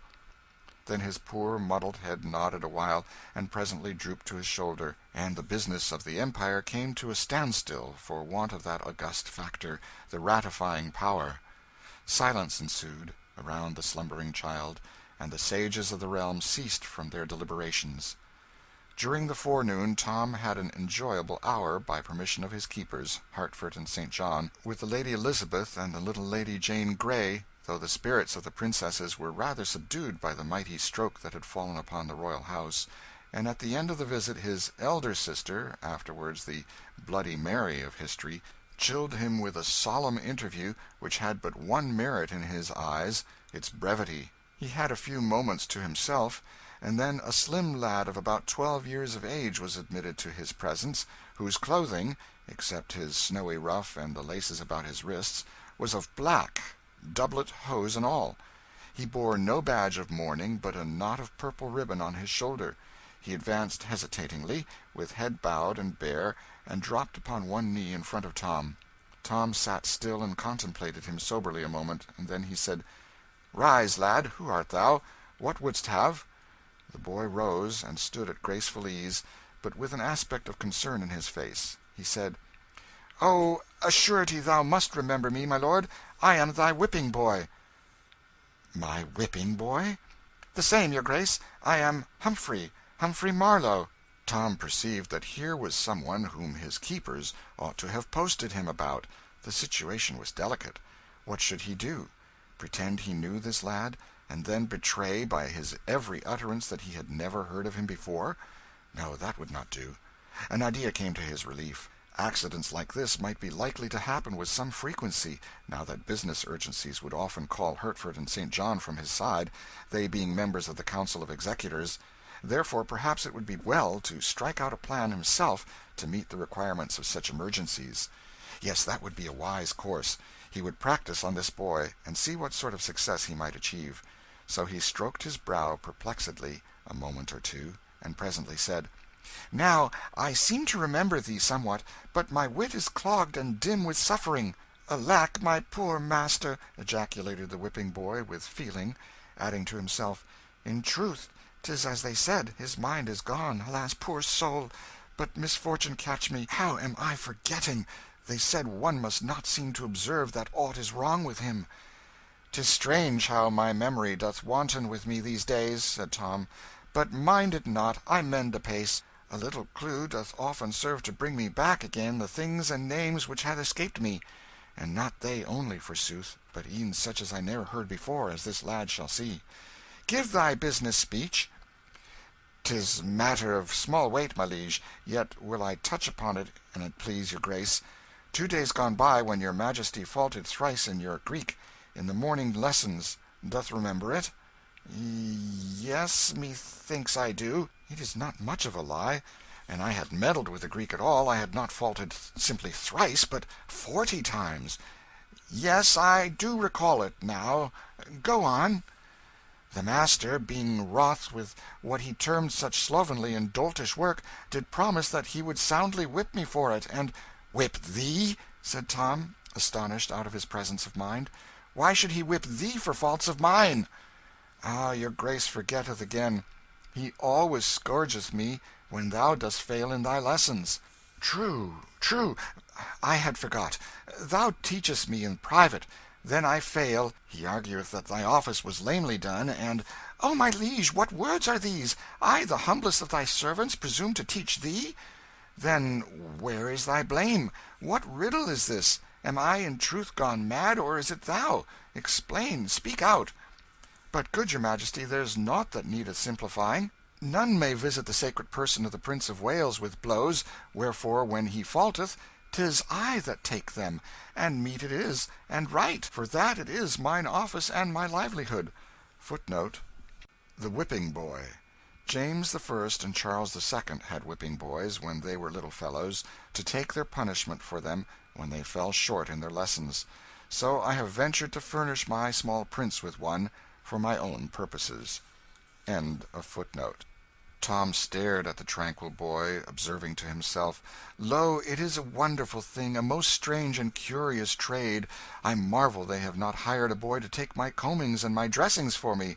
Would Heaven they would! And they will do this thing I will take my lashings in mine own person, giving God thanks for the change." Then he said aloud, "And hast thou been beaten, poor friend, according to the promise?" "No, good your majesty, my punishment was appointed for this day, and peradventure it may be annulled, as unbefitting the season of mourning. That is come upon us. I know not, and so have made bold to come hither and remind your grace about your gracious promise to intercede in my behalf." "With the master? To save thee thy whipping? Ah, thou dost remember. My memory mendeth, thou seest. Set thy mind at ease; thy back shall go unscathed I will see to it." "Oh, thanks, my good lord!" cried the boy, dropping upon his knee again. "Mayhap I have ventured far enow, and yet Seeing Master Humphrey hesitate, Tom encouraged him to go on, saying he was in the granting mood. "Then I will speak it out, for it lieth near my heart. Sith thou art no more Prince of Wales, but King, thou canst order matters as thou wilt, with none to say thee nay. Wherefore it is not in reason that thou wilt longer vex thyself with dreary studies, but wilt burn thy books and turn thy mind to things less irksome. Then am I ruined, and mine orphan sisters with me." "Ruined? Prithee, how?" "My back is my bread, O my gracious liege. If it go idle, I starve. An thou cease from study, mine office is gone. Thou'lt need no whipping boy. Do not turn me away." Tom was touched with this pathetic distress. He said, with a right royal burst of generosity "Discomfort thyself no further, lad. Thine office shall be permanent in thee, and thy line for ever." Then he struck the boy a light blow on the shoulder with the flat of his sword, exclaiming, "Rise, Humphrey Marlow! hereditary grand whipping boy to the royal house of England. Banish sorrow, I will betake me to my books again, and study so ill that they must in justice treble thy wage, so mightily shall the business of thine office be augmented." The grateful Humphrey responded fervently "Thanks, O most noble master! This princely lavishness doth far surpass my most distempered dreams of fortune. Now shall I be happy all my days, and all the house of Marlow after me." Tom had wit enough to perceive that here was a lad who could be useful to him. He encouraged Humphrey to talk, and he was nothing loath. He was delighted to believe that he was helping in Tom's cure, for always, as soon as he had finished calling back to Tom's diseased mind the various particulars of his experiences and adventures in the royal schoolroom and elsewhere about the palace, he noticed that Tom was then able to recall the circumstances quite clearly. At the end of an hour Tom found himself well freighted with very valuable information concerning personages and matters pertaining to the court. So he resolved to draw instruction from this source daily, and to this end he would give order to admit Humphrey to the royal closet whenever he might come, provided the Majesty of England was not engaged with other people. Humphrey had hardly been dismissed when my Lord Hertford arrived with more trouble for Tom. He said that the Lords of the Council, fearing that some overwrought report of the King's damaged health might have leaked out and got abroad, they deemed it wise and best that his Majesty should begin to dine in public after a day or two his wholesome complexion and vigorous step, assisted by a carefully guarded repose of manner and ease and grace of demeanour, would more surely quiet the general pulse, in case any evil rumours had gone out, than any other scheme that could be devised. Then the Earl proceeded very delicately to instruct Tom as to the observances proper to the stately occasion, under the rather thin disguise of reminding him concerning things already known to him. But to his vast gratification it turned out that Tom needed very little help in this line. He had been making use of Humphrey in that direction, for Humphrey had mentioned that within a few days he was to begin to dine in public, having gathered it from the swift winged gossip of the court. Tom kept these facts to himself, however. Seeing the royal memory so improved, the Earl ventured to apply a few tests to it, in an apparently casual way, to find out how far its amendment had progressed. The results were happy, here and there, in spots spots where Humphrey's tracks remained and on the whole my lord was greatly pleased and encouraged. So encouraged was he, indeed, that he spoke up and said in a quiet, hopeful voice "Now am I persuaded that if your Majesty will but tax your memory yet a little farther, it will resolve the puzzle of the Great Seal a loss which was of moment yesterday, although of none to day, since its term of service ended with our late lord's life. May it please your grace to make the trial?" Tom was at sea. A great seal was a something which he was totally unacquainted with. After a moment's hesitation he looked up innocently and asked "What was it like, my lord?" The Earl started, almost imperceptibly, muttering to himself. Alack, his wits are flown again it was ill wisdom to lead him on to strain them. Then he deftly turned the talk to other matters, with the purpose of sweeping the unlucky seal out of Tom's thoughts a purpose which easily succeeded. CHAPTER 15 Tom as King the next day the foreign ambassadors came, with their gorgeous trains, and Tom, throned in awful state, received them. The splendours of the scene delighted his eye and fired his imagination, at first, but the audience was long and dreary, and so were most of the addresses; wherefore what began as a pleasure grew into weariness and homesickness by and by. Tom said the words which Hertford put into his mouth from time to time, and tried hard to acquit himself satisfactorily; but he was too new to such things, and too ill at ease to accomplish more than a tolerable success. He looked sufficiently like a king, but he was ill able to feel like one. He was cordially glad when the ceremony was ended. The larger part of his day was wasted, as he termed it in his own mind, in labours pertaining to his royal office. Even the two hours devoted to certain princely pastimes and recreations were rather a burden to him than otherwise, they were so fettered by restrictions and ceremonious observances. However, he had a private hour with his whipping boy, which he counted clear gain, since he got both entertainment and needful information out of it. The third day of Tom Canty's kingship came and went much as the others had done, but there was a lifting of his cloud in one way: he felt less uncomfortable than at first. He was getting a little used to his circumstances and surroundings. His change still galled, but not all the time. He found that the presence and homage of the great afflicted and embarrassed him less and less sharply with every hour that drifted over his head. But for one single dread, he could have seen the fourth day approach without serious distress the dining in public. It was to begin that day. There were greater matters in the programme, for on that day he would have to preside at a council which would take his views and commands concerning the policy to be pursued toward various foreign nations scattered far and near over the great globe. On that day, too, Hertford would be formally chosen to the grand office of Lord Protector. Other things of note were appointed for that fourth day also, but to Tom they were all insignificant compared with the ordeal of dining all by himself with a multitude of curious eyes fastened upon him, and a multitude of mouths whispering comments upon his performance, and upon his mistakes if he should be so unlucky as to make any. Still, nothing could stop that fourth day, and so it came. It found poor Tom low spirited and absent minded, and this mood continued; he could not shake it off. The ordinary duties of the morning dragged upon his hands and wearied him. Once more he felt the sense of captivity heavy upon him. Late in the forenoon he was in a large audience chamber conversing with the Earl of Hertford and dully awaiting the striking of the hour appointed for a visit of ceremony from a considerable number of great officials and courtiers. After a little while Tom, who had wandered to a window and become interested in the life and movement of the great highway beyond the palace gates and not idly interested, but longing with all his heart to take part in person in its stir and freedom saw the van of a hooting and shouting mob of disorderly men, women, and children of the lowest and poorest degree approaching from up the road. "I would I knew what 'tis about!" he exclaimed, with all a boy's curiosity in such happenings. "Thou art King," solemnly responded the Earl with a reverence. "Have I your Grace's leave to act?"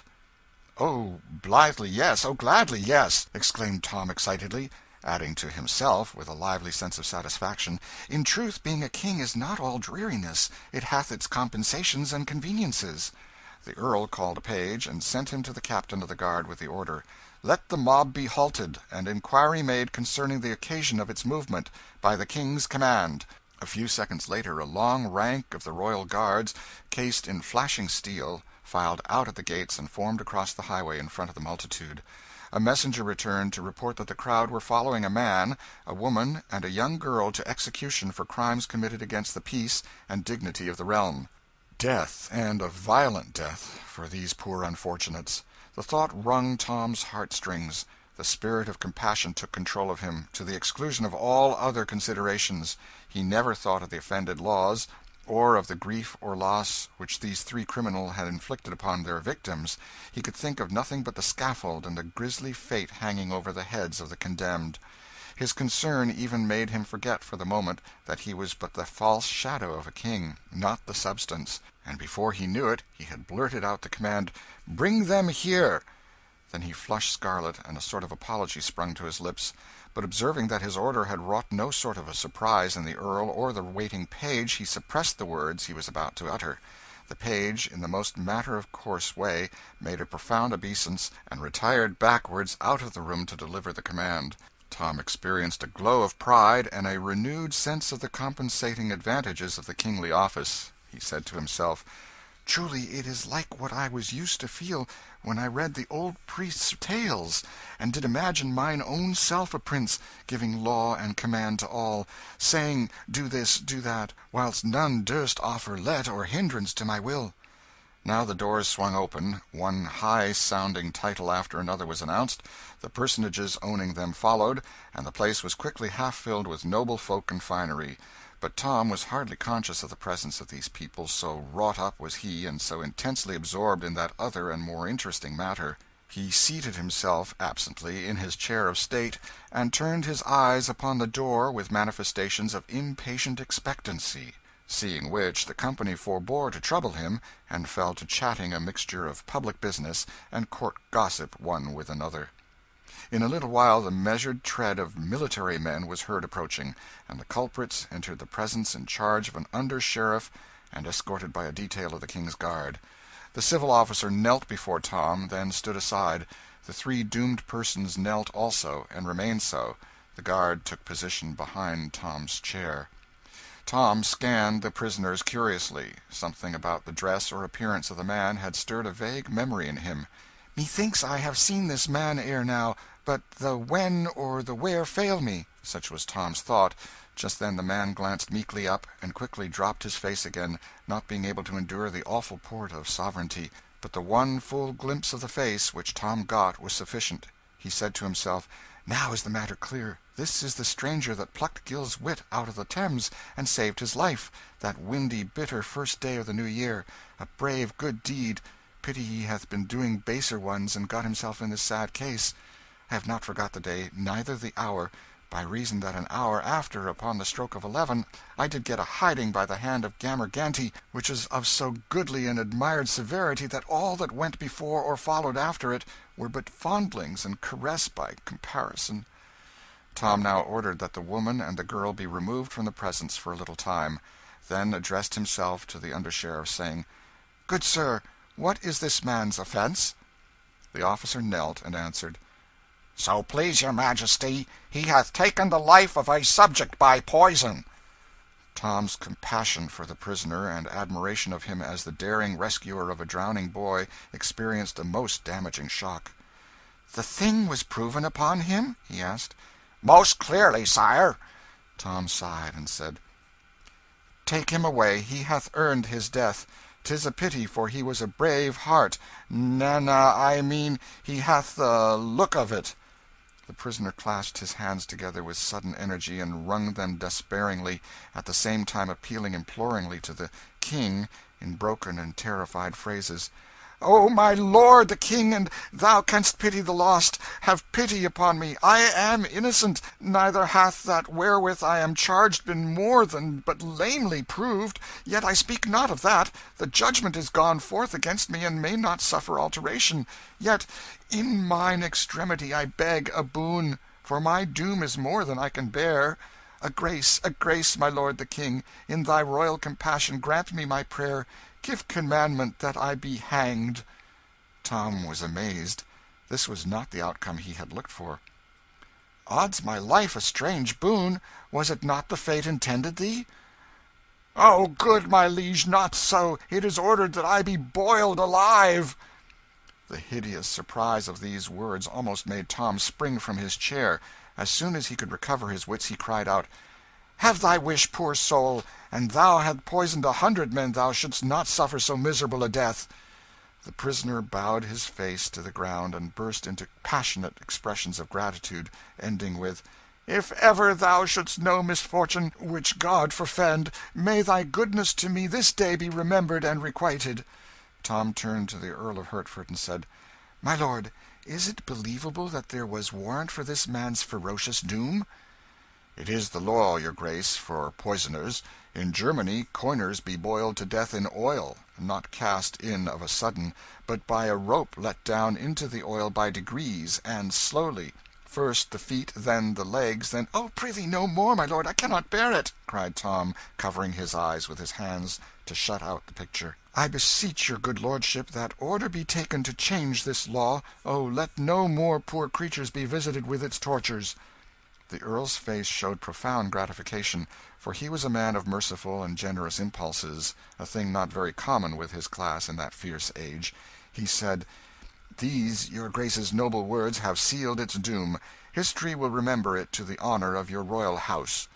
The under sheriff was about to remove his prisoner. Tom gave him a sign to wait, and then he said "Good sir, I would look into this matter further. The man has said his deed was but lamely proved. Tell me what thou knowest." "If the King's grace please, it did appear upon the trial that this man entered into a house in the hamlet of Islington, where one lay sick.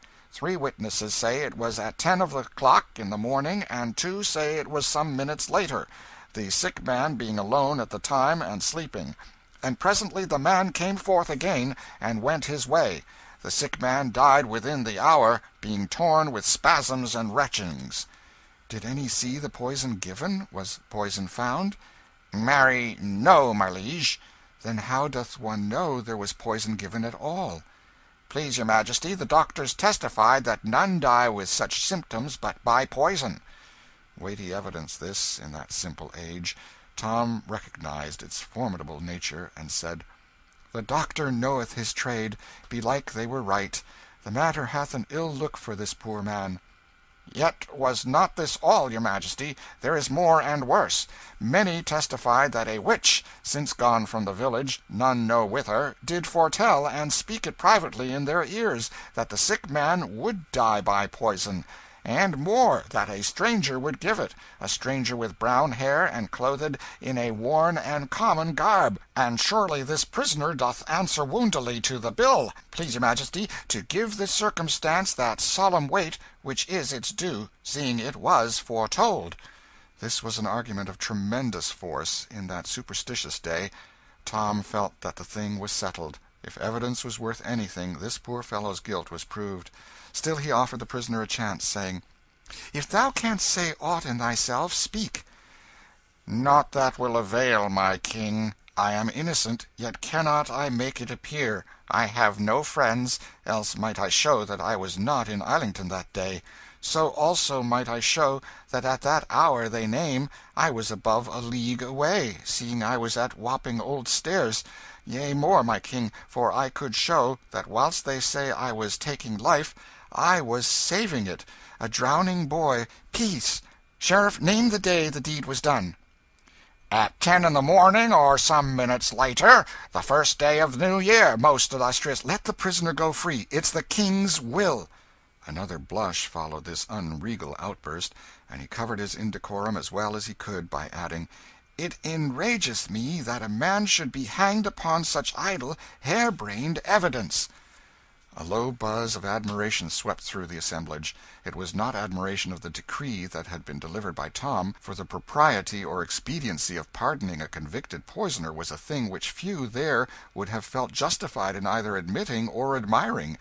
No, the admiration was for the intelligence and spirit which Tom had displayed. Some of the low voiced remarks were to this effect "This is no mad king; he hath his wits sound. How sanely he puts his questions! How like his former natural self was this abrupt imperious disposal of the matter! God be thanked, his infirmity is spent. This is no weakling, but a king. He hath borne himself like to his own father." The air being filled with applause, Tom's ear necessarily caught a little of it. The effect which this had upon him was to put him greatly at his ease, and also to charge his system with very gratifying sensations.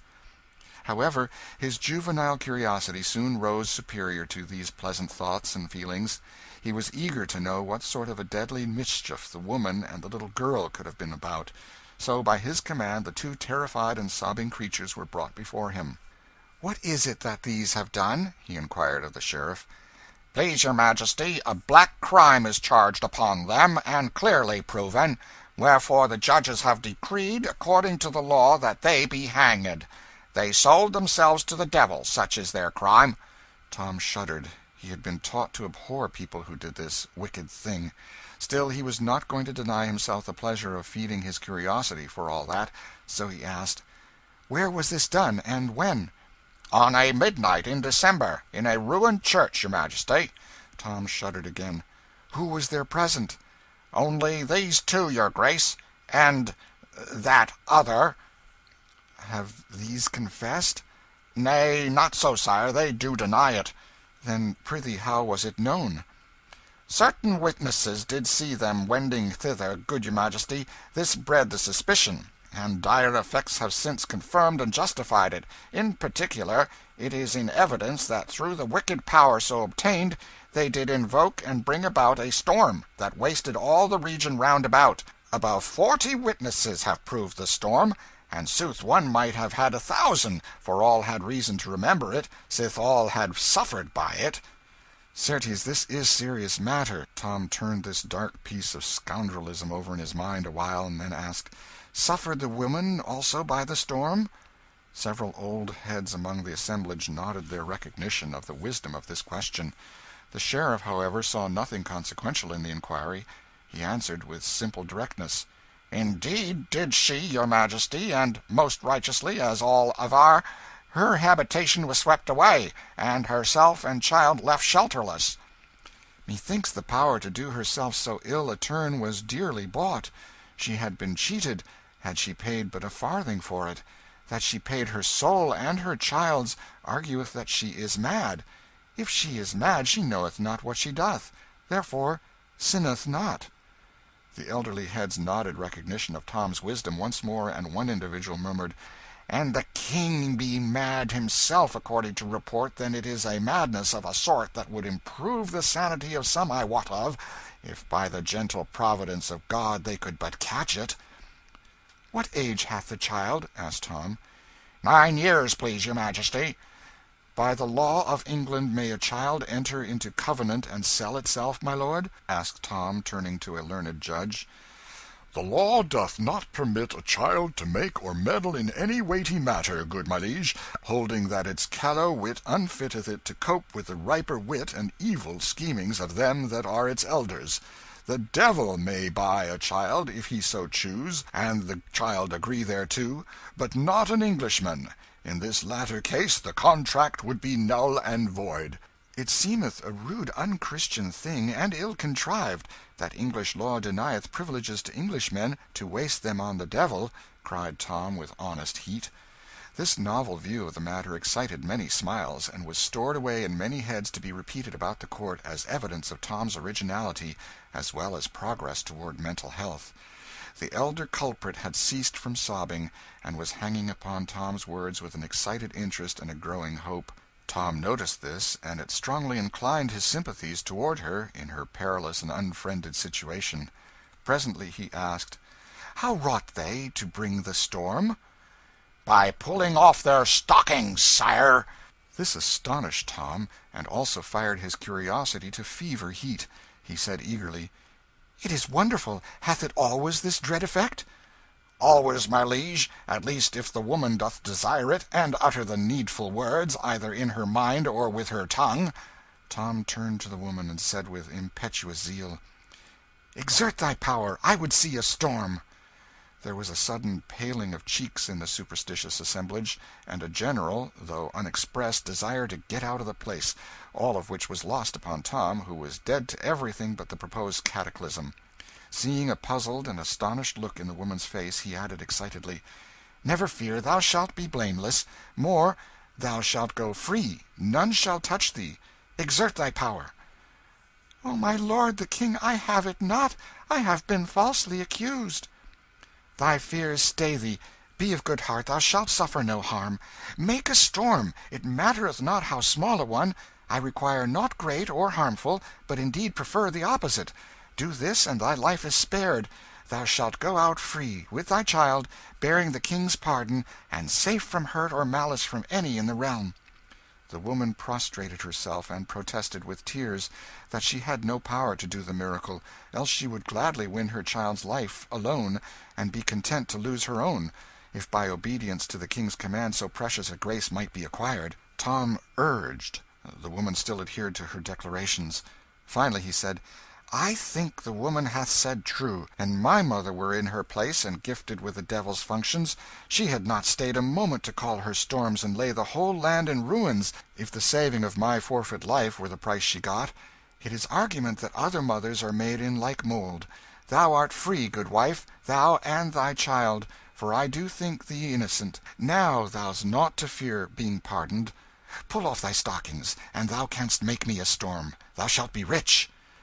The redeemed creature was loud in her gratitude, and proceeded to obey, whilst Tom looked on with eager expectancy, a little marred by apprehension, the courtiers at the same time manifesting decided discomfort and uneasiness.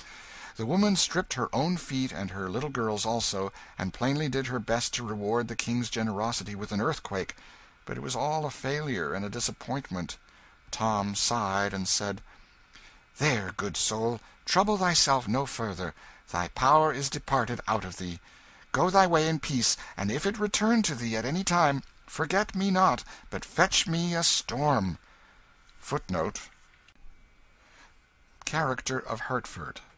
The young King discovered an extreme attachment to his uncle, who was, in the main, a man of moderation and probity. Hume's History of England, vol. iii, p. 324. But if he, the Protector, gave offence by assuming too much state, he deserves great praise on account of the laws passed this session, by which the rigour of former statutes was much mitigated, and some security given to the freedom of the constitution. All laws were repealed which extended the crime of treason beyond the statute of the 25th of Edward III. All laws enacted during the late reign extending the crime of felony all the former laws against Lollardy or heresy, together with the statute of the Six Articles none were to be accused for words but within a month after they were spoken. By these repeals several of the most rigorous laws that ever passed in England were annulled, and some dawn, both of civil and religious liberty, began to appear to the people. A repeal also passed of that law, the destruction of all laws, by which the King's proclamation was made of equal force with a statute. Ibid., vol. iii, p. 339. CHAPTER 16 The State Dinner THE dinner hour drew near, yet strangely enough the thought brought but slight discomfort to Tom, and hardly any terror. The morning's experiences had wonderfully built up his confidence. The poor little ash cat was already more wonted to his strange garret, after four days' habit, than a mature person could have become in a full month. A child's facility in accommodating itself to circumstances was never more strikingly illustrated. Let us privileged ones hurry to the great banqueting room and have a glance at matters there whilst Tom is being made ready for the imposing occasion. It is a spacious apartment, with gilded pillars and pilasters, and pictured walls and ceilings. At the door stand tall guards, as rigid as statues, dressed in rich and picturesque costumes, and bearing halberds. In a high gallery which runs all around the place is a band of musicians and a packed company of citizens of both sexes, in brilliant attire. In the centre of the room, upon a raised platform, is Tom's table. Now let the ancient chronicler speak. A gentleman enters the room bearing a rod, and along with him another bearing a tablecloth, which, after they have both kneeled three times with the utmost veneration, he spreads upon the table; and after kneeling again, they both retire. They come two others, one with the rod again, the other with a salt cellar, a plate, and bread.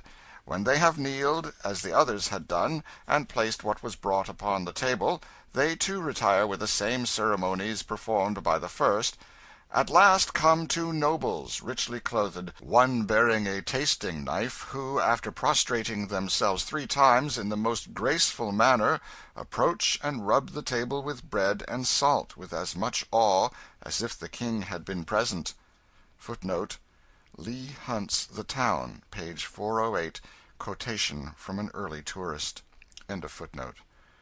So end the solemn preliminaries. Now, far down the echoing corridors we hear a bugle blast, and the indistinct cry, "Place for the King! Way for the King's most excellent Majesty!" These sounds are momently repeated, they grow nearer and nearer, and presently, almost in our faces, the martial note peals, and the cry rings out, "Way for the King!" At this instant the shining pageant appears, and files in at the door, with a measured march. Let the chronicler speak again. First come gentlemen, barons, earls, knights of the garter, all richly dressed and bareheaded.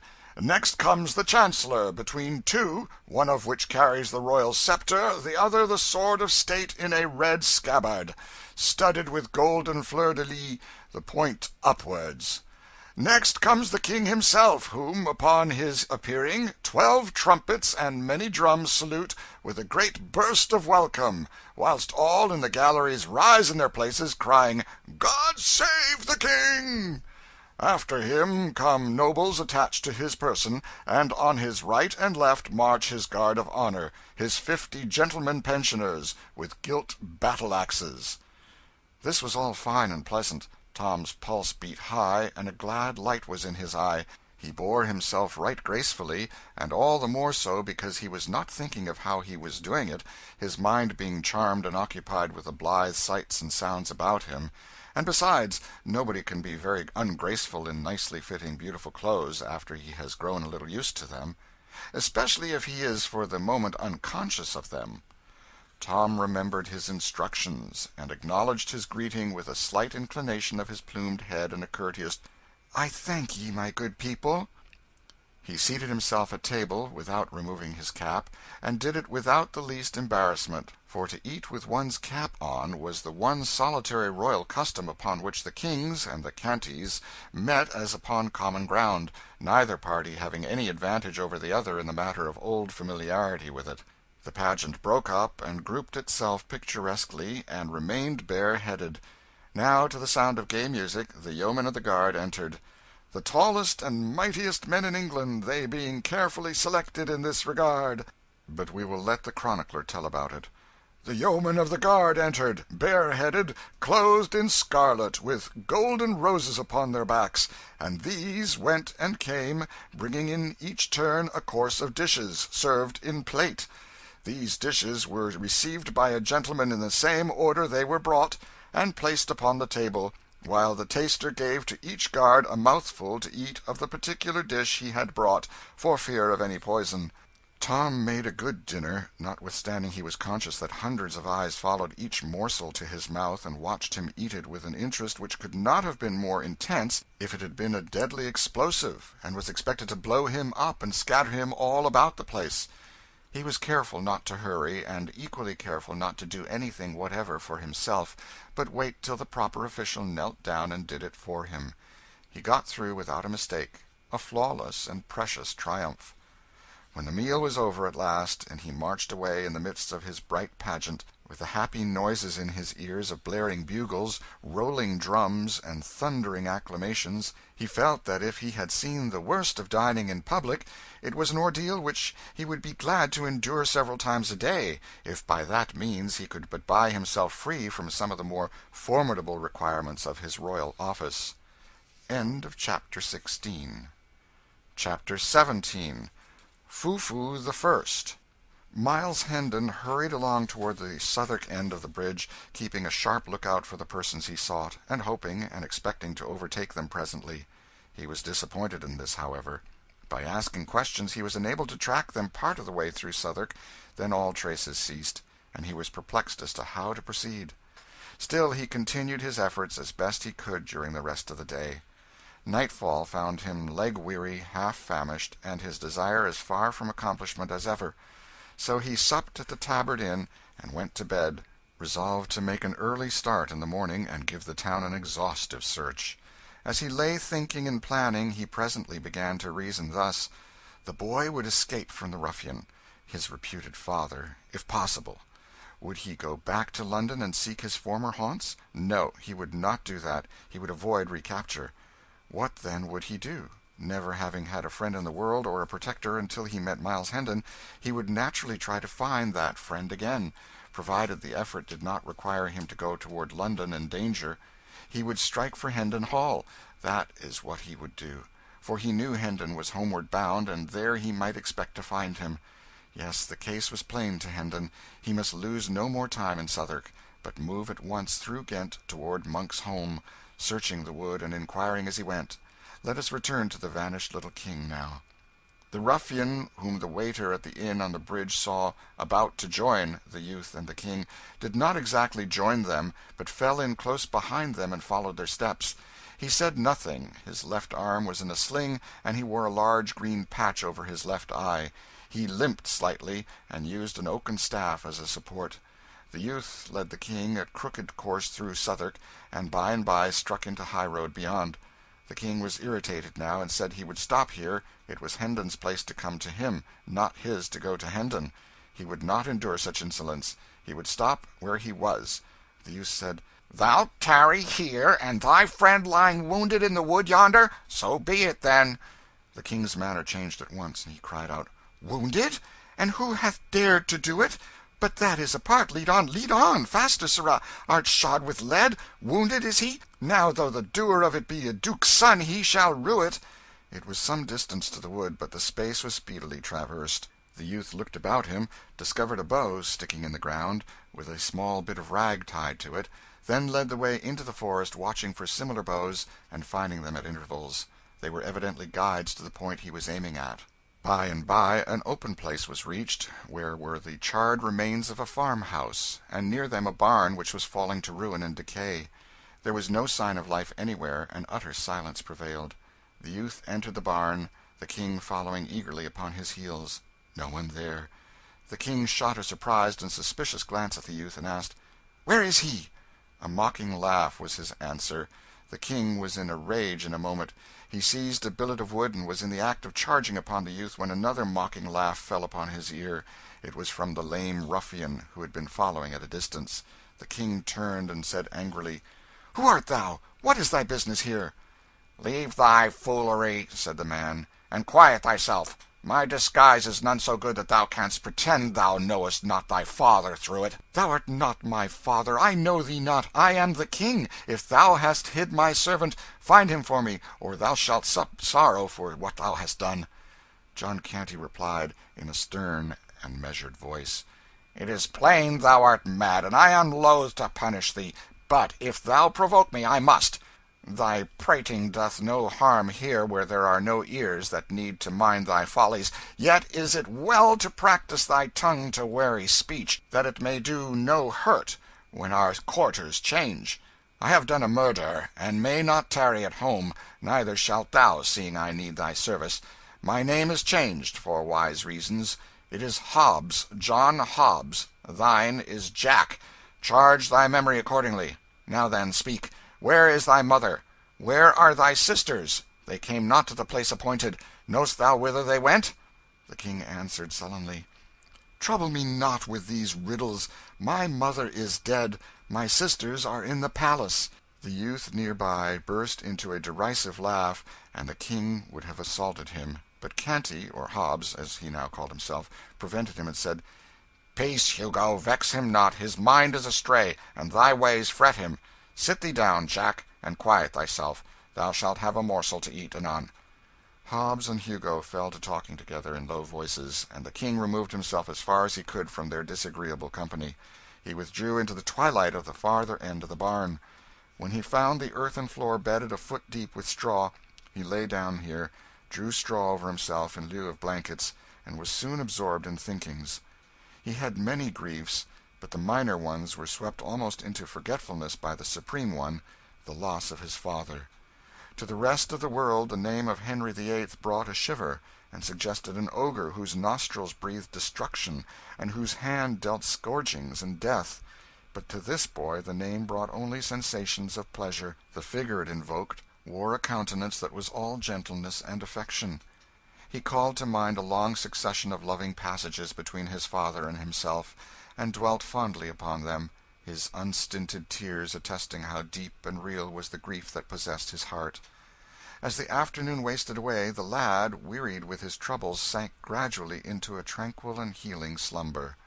After a considerable time he could not tell how long his senses struggled to a half consciousness, and as he lay with closed eyes, vaguely wondering where he was and what had been happening, he noted a murmurous sound the sullen beating of rain upon the roof. A snug sense of comfort stole over him, which was rudely broken, the next moment, by a chorus of piping cackles and coarse laughter. It startled him disagreeably, and he unmuffled his head to see whence this interruption proceeded.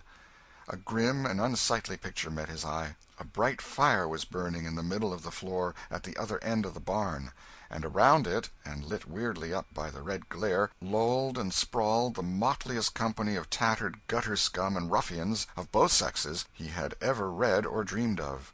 There were huge, stalwart men, brown with exposure, long haired, and clothed in fantastic rags; there were middle sized youths, of truculent countenance, and similarly clad; there were blind mendicants with patched or bandaged eyes crippled ones with wooden legs and crutches; there was a villain looking peddler with his pack, a knife grinder, a tinker, and a barber surgeon, with the implements of their trades; some of the females were hardly grown girls, some were at prime, some were old and wrinkled hags, and all were loud, brazen, foul mouthed, and all soiled and slatternly.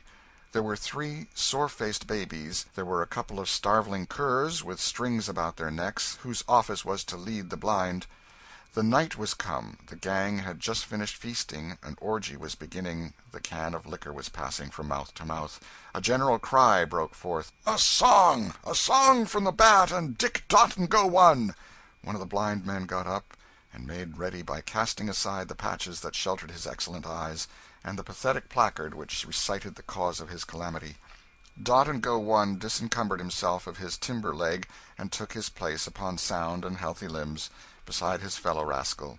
Then they roared out a rollicking ditty, and were reinforced by the whole crew, at the end of each stanza, in a rousing chorus. By the time the last stanza was reached, the half drunken enthusiasm had risen to such a pitch that everybody joined in and sang it clear through from the beginning, producing a volume of villainous sound that made the rafters quake. These were the inspiring words Bien Darkmans then, Bowes, Mort, and Ken, the Bien Coves beings awast, on Chates to trine by Rome coves dine, for his long lib at last binged out bein morts and tour and tour bing out of the Rome vile bine, and tour the cove that cloyed your duds upon the chates to trine. Footnote From the English Rogue, London, 1665. Conversation followed, not in the thieves' dialect of the song, for that was only used in talk when unfriendly ears might be listening. In the course of it, it appeared that John Hobbs was not altogether a new recruit, but had trained in the gang at some former time. His later history was called for, and when he said he had "accidentally" killed a man, considerable satisfaction was expressed. When he added that the man was a priest, he was roundly applauded, and had to take a drink with everybody. Old acquaintances welcomed him joyously, and new ones were proud to shake him by the hand. He was asked why he had tarried away so many months. He answered. London is better than the country, and safer these late years. The laws be so bitter and so diligently enforced, and I had not had that accident I had stayed there. I had resolved to stay and never more venture countrywards, but the accident has ended that." He inquired how many persons the gang numbered now. The ruffler, or chief, answered "Five and twenty sturdy budges, bulks, files, clapperdogeons, and maunders counting the dells and doxies and other morts. [Footnote: Canting terms for various kinds of thieves, beggars, and vagabonds, and their female companions.] Most are here, the rest are wandering eastward along the winter lay. We follow at dawn. I do not see the wen among the honest folk about me. Where may he be? Poor lad, his diet is brimstone now, and over hot for a delicate taste. He was killed in a brawl, somewhere about midsummer. I sorrow to hear that. The wen was a capable man, and brave. That was he, truly. Black Bess, his dell, is of us yet, but absent on the eastward tramp. A fine lass, of nice ways and orderly conduct, none ever seeing her drunk above four days in the seven. She was ever strict, I remember it well a goodly wench and worthy all commendation. Her mother was more free and less particular a troublesome and ugly tempered beldame, but furnished with a wit above the common. We lost her through it. Her gift of palmistry and other sorts of fortune telling begot for her at last a witch's name and fame. The law roasted her to death at a slow fire. It did touch me to a sort of tenderness to see the gallant way she met her lot cursing and rivaling all the crowd that gaped and gazed around her, whilst the flames licked upward toward her face and catched her thin locks and crackled about her old gray head. Cursing them, said I? Cursing them! Why, an' thou wouldst live a thousand years thou'dst never hear so masterful a cursing. Alack, her art died with her. There be base and weakling imitations left, but no true blasphemy." The Ruffler sighed, the listeners sighed in sympathy. A general depression fell upon the company for a moment, for even hardened outcasts like these are not wholly dead to sentiment, but are able to feel a fleeting sense of loss and affliction at wide intervals and under peculiarly favoring circumstances, as in cases like to this, for instance, when genius and culture depart and leave no heir. However, a deep drink all round soon restored the spirits of the mourners. "Have any others of our friends fared hardly?" asked Hobbs. Some, yes particularly newcomers, such as small husbandmen, turned shiftless and hungry upon the world because their farms were taken from them and to be changed to sheep ranges. They begged, and were whipped at the cart's tail, naked from the girdle up, till the blood ran, then set in the stocks to be pelted. They begged again, were whipped again, and deprived of an ear. They begged a third time, poor devils what else could they do? and were branded on the cheek with a red hot iron, then sold for slaves. They ran away, were hunted down, and hanged. 'Tis a brief tale, and quickly told. Others of us have fared less hardly. Stand forth, yokel, Burns, and Hodge show your adornments." These stood up, and stripped away some of their rags, exposing their backs, criss-crossed with ropy old welts left by the lash. One turned up his hair and showed the place where a left ear had once been. Another showed a brand upon his shoulder, the letter V, and a mutilated ear. The third said, "I am Yokel, once a farmer and prosperous, with loving wife and kids. Now am I somewhat different in estate and calling, and the wife and kids are gone. Mayhap they are in heaven, mayhap in in the other place. But the kindly God be thanked, they bide no more in England. My good old blameless mother strove to earn bread by nursing the sick. One of these died, the doctors knew not how, so my mother was burnt for a witch, whilst my babes looked on and wailed English law. Up all with your cups! now all together and with a cheer! Drink to the merciful English law that delivered her from the English hell! Thank you, mates, one and all. I begged from house to house, I and the wife, bearing with us the hungry kids, but it was crime to be hungry in England, so they stripped us and lashed us through three towns. Drink ye all again to the merciful English law! For its lash drank deep of my Mary's blood, and its blessed deliverance came quick. She lies there in the potter's field, safe from all harms. And the kids well, whilst the law lashed me from town to town, they starved. Drink, lads only a drop a drop to the poor kids, that never did any creature harm. I begged again begged for a crust, and got the stocks and lost an ear. See, here bides the stump. I begged again, and here's the stump of the other to keep me minded of it.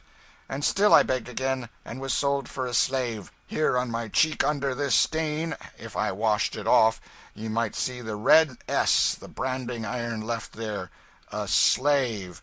Do you understand that word? An English slave.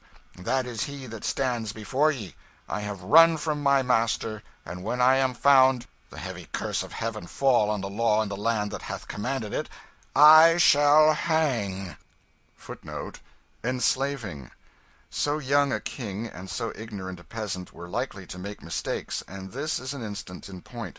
The peasant was suffering from this law by anticipation.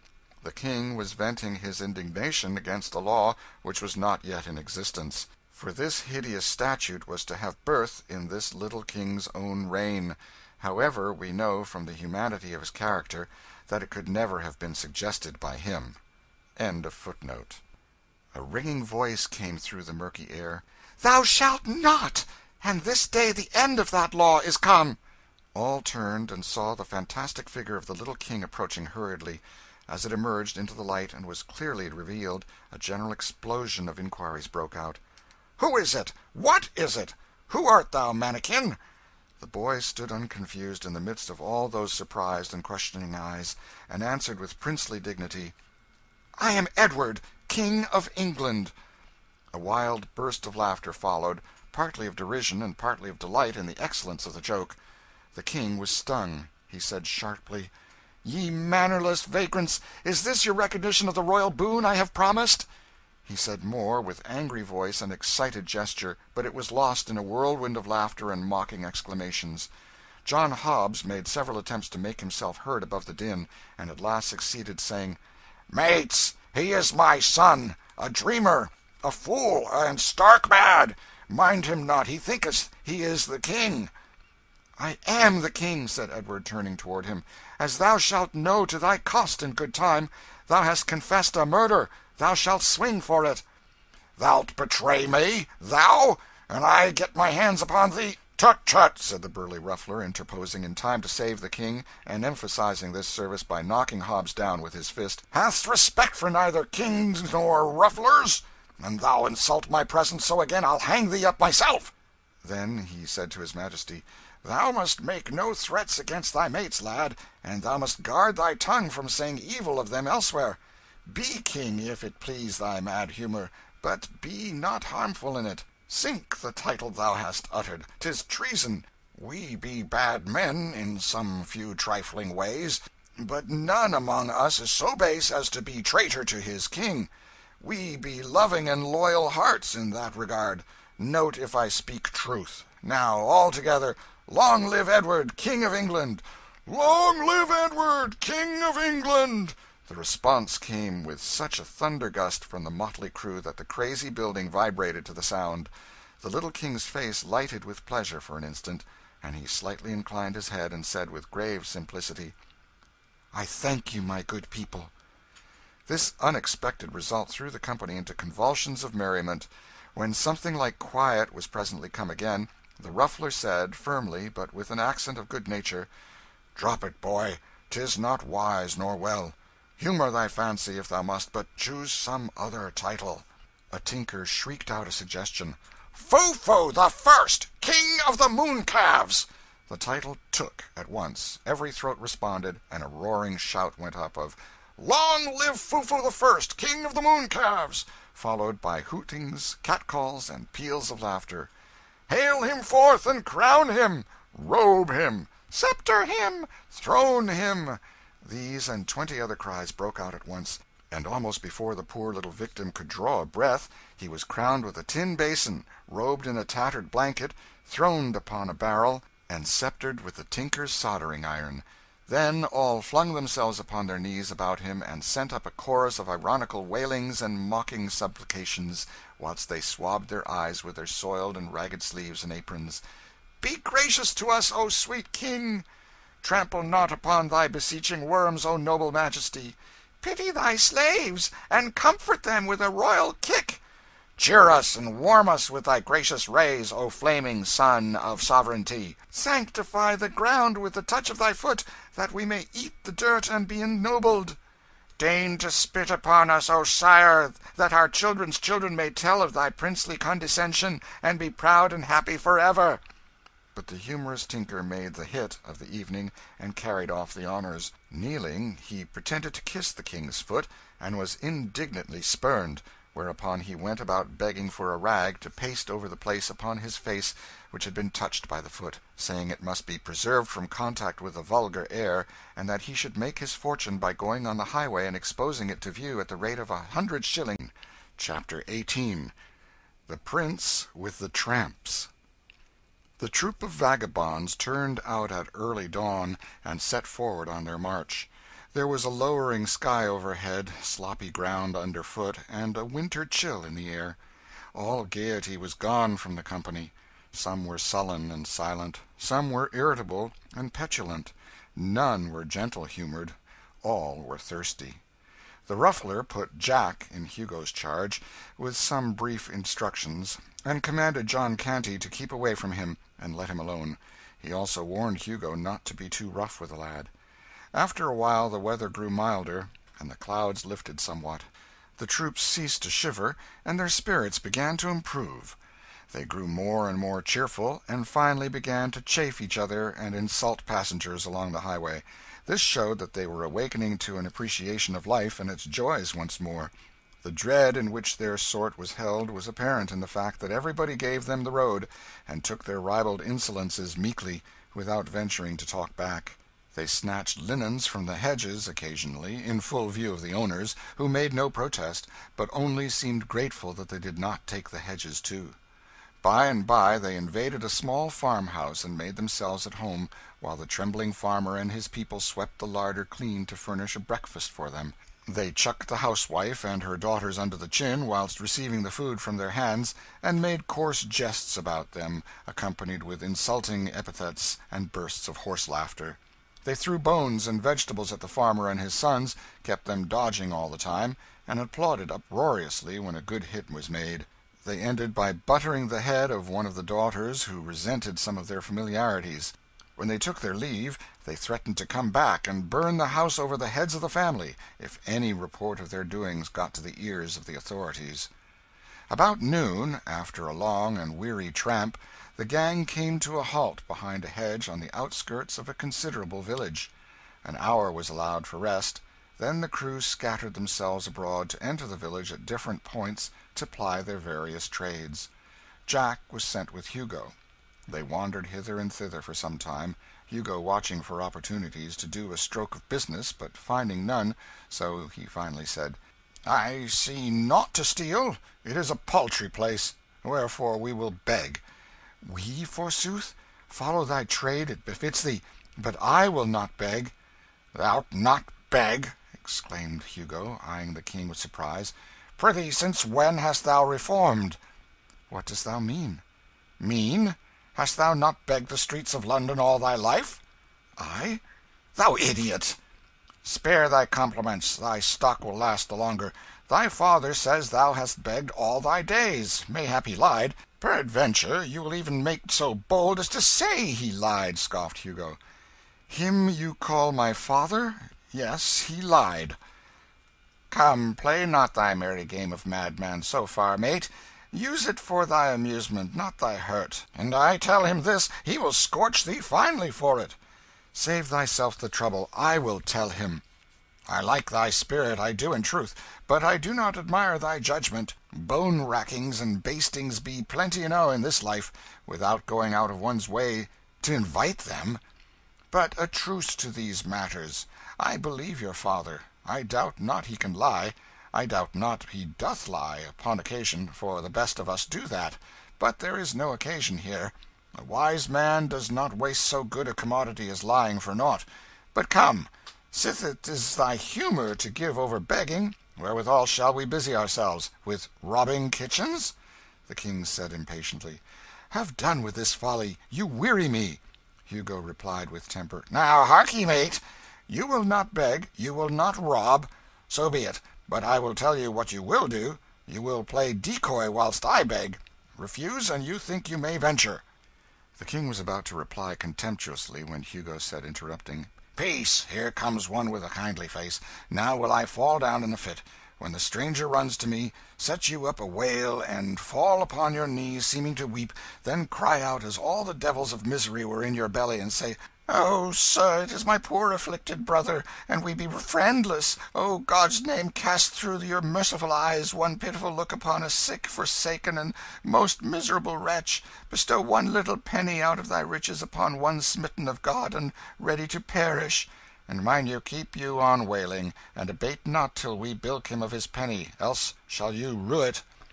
Then immediately Hugo began to moan and groan, and roll his eyes, and reel and totter about; and when the stranger was close at hand, down he sprawled before him with a shriek and began to writhe and wallow in the dirt in seeming agony. "Oh dear, oh dear!" cried the benevolent stranger. "Oh poor soul, poor soul, how he doth suffer! There, let me help thee up. "Oh, noble sir, forbear, and God love you for a princely gentleman; but it giveth me cruel pain to touch me when I am taken so. My brother there will tell you, your worship, how I am racked with anguish when these fits be upon me. A penny, dear sir, a penny, to buy a little food then leave me to my sorrows." "A penny! Thou shalt have three, thou hapless creature!" And he fumbled in his pocket with nervous haste and got them out. "There, poor lad! Take them, and most welcome. Now come hither, my boy, and help me carry thy stricken brother to yon house, where "I am not his brother," said the King, interrupting. "What? Not his brother? "Oh, hear him!" groaned Hugo, then privately ground his teeth. "He denies his own brother, and he with one foot in the grave. Boy, thou art indeed hard of heart. If this is thy brother "For shame! and he scarce able to move a hand or a foot. If he is not thy brother, who is he, then?" "A beggar and a thief. He has got your money, and has picked your pocket likewise. An thou wouldst do a healing miracle, lay thy staff over his shoulders, and trust Providence for the rest." But Hugo did not tarry for the miracle. In a moment he was up and off like the wind, the gentleman following after and raising the hue and cry lustily as he went. The King, breathing deep gratitude to Heaven for his own release, fled in the opposite direction and did not slacken his pace until he was out of harm's reach. He took the first road that offered, and soon put the village behind him. He hurried along, as briskly as he could, during several hours, keeping a nervous watch over his shoulder for pursuit; but his fears left him at last, and a grateful sense of security took their place. He recognised now that he was hungry, and also very tired; so he halted at a farmhouse but when he was about to speak, he was cut short and driven rudely away. His clothes were against him. He wandered on, wounded and indignant, and was resolved to put himself in the way of like treatment no more. But hunger is pride's master; so as the evening drew near, he made an attempt at another farmhouse; but here he fared worse than before, for he was called hard names and was promised arrest as a vagrant except he moved on promptly. The night came on, chilly and overcast and still the footsore monarch laboured slowly on. He was obliged to keep moving, for every time he sat down to rest he was soon penetrated to the bone with the cold. All his sensations and experiences, as he moved through the solemn gloom and the empty vastness of the night, were new and strange to him.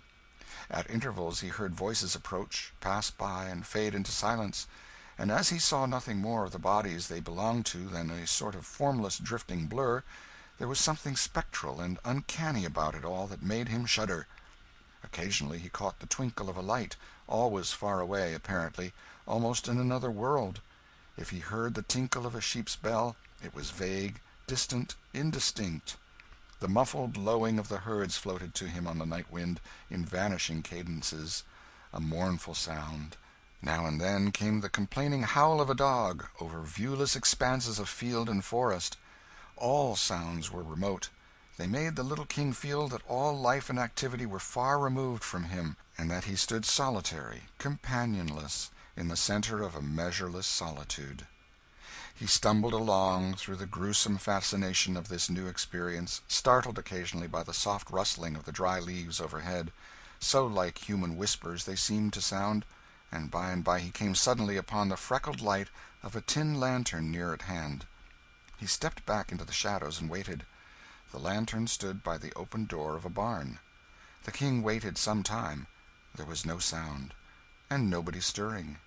He got so cold, standing still, and the hospitable farm looked so enticing, that at last he resolved to risk everything and enter. He started swiftly and stealthily, and just as he was crossing the threshold he heard voices behind him. He darted behind a cask, within the barn, and stooped down. Two farm labourers came in, bringing the lantern with them, and fell to work, talking meanwhile. Whilst they moved about with the light, the King made good use of his eyes, and took the bearings of what seemed to be a good sized stall at the further end of the place, proposing to grope his way to it when he should be left to himself. He also noted the position of a pile of horse blankets, midway of the route, with the intent to levy upon them for the service of the crown of England for one night. By and by the men finished, and went away, fastening the door behind them and taking the lantern with them. The shivering King made for the blankets, with as good speed as the darkness would allow, gathered them up, and then groped his way safely to the stall. Of two of the blankets he made a bed, then covered himself with the remaining two. He was a glad monarch now though the blankets were old and thin, and not quite warm enough, and besides gave out a pungent horsey odour that was almost suffocatingly powerful. Although the King was hungry and chilly, he was also so tired and so drowsy that these latter influences soon began to get the advantage of the former, and he presently dozed off into a state of semi consciousness. Then, just as he was on the point of losing himself wholly, he distinctly felt something touch him. He was broad awake in a moment, and gasping for breath. The cold horror of that mysterious touch in the dark almost made his heart stand still. He lay motionless and listened, scarcely breathing; but nothing stirred, and there was no sound. He continued to listen and wait, during what seemed a long time; but still nothing stirred, and there was no sound. So he began to drop into a drowse once more, at last and all at once he felt that mysterious touch again. It was a grisly thing, this light touch from this noiseless and invisible presence. It made the boy sick with ghostly fears. What should he do? That was the question, but he did not know how to answer it. Should he leave these reasonably comfortable quarters and fly from this inscrutable horror? But fly whither? He could not get out of the barn, and the idea of scurrying blindly hither and thither in the dark, within the captivity of the four walls, with this phantom gliding after him, and visiting him with that soft hideous touch upon his cheek or shoulder at every turn, was intolerable. But to stay where he was, and endure this living death all night was that better? No. What then was there left to do? Ah, there was but one course, and he knew it well. He must put out his hand and find that thing. It was easy to think this, but it was hard to brace himself up to try it. Three times he stretched his hand a little way out into the dark, gingerly, and snatched it suddenly back with a gasp, not because it had encountered anything, but because he had felt so sure it was just going to. But the fourth time he groped a little further, and his hand lightly swept against something soft and warm. This petrified him nearly with fright. His mind was in such a state that he could imagine the thing to be nothing else than a corpse, newly dead and still warm. He thought he would rather die than touch it again; but he thought this false thought because he did not know the immortal strength of human curiosity. In no long time his hand was tremblingly groping again, against his judgment and without his consent, but groping persistently on just the same. It encountered a bunch of long hair. He shuddered, but followed up the hair and found what seemed to be a warm rope; followed up the rope and found an innocent calf. For the rope was not a rope at all, but the calf's tail. The King was cordially ashamed of himself for having gotten all that fright and misery out of so paltry a matter as a slumbering calf; but he need not have felt so about it, for it was not the calf that frightened him, but a dreadful non existent something which the calf stood for; and any other boy, in those old superstitious times, would have acted and suffered just as he had done.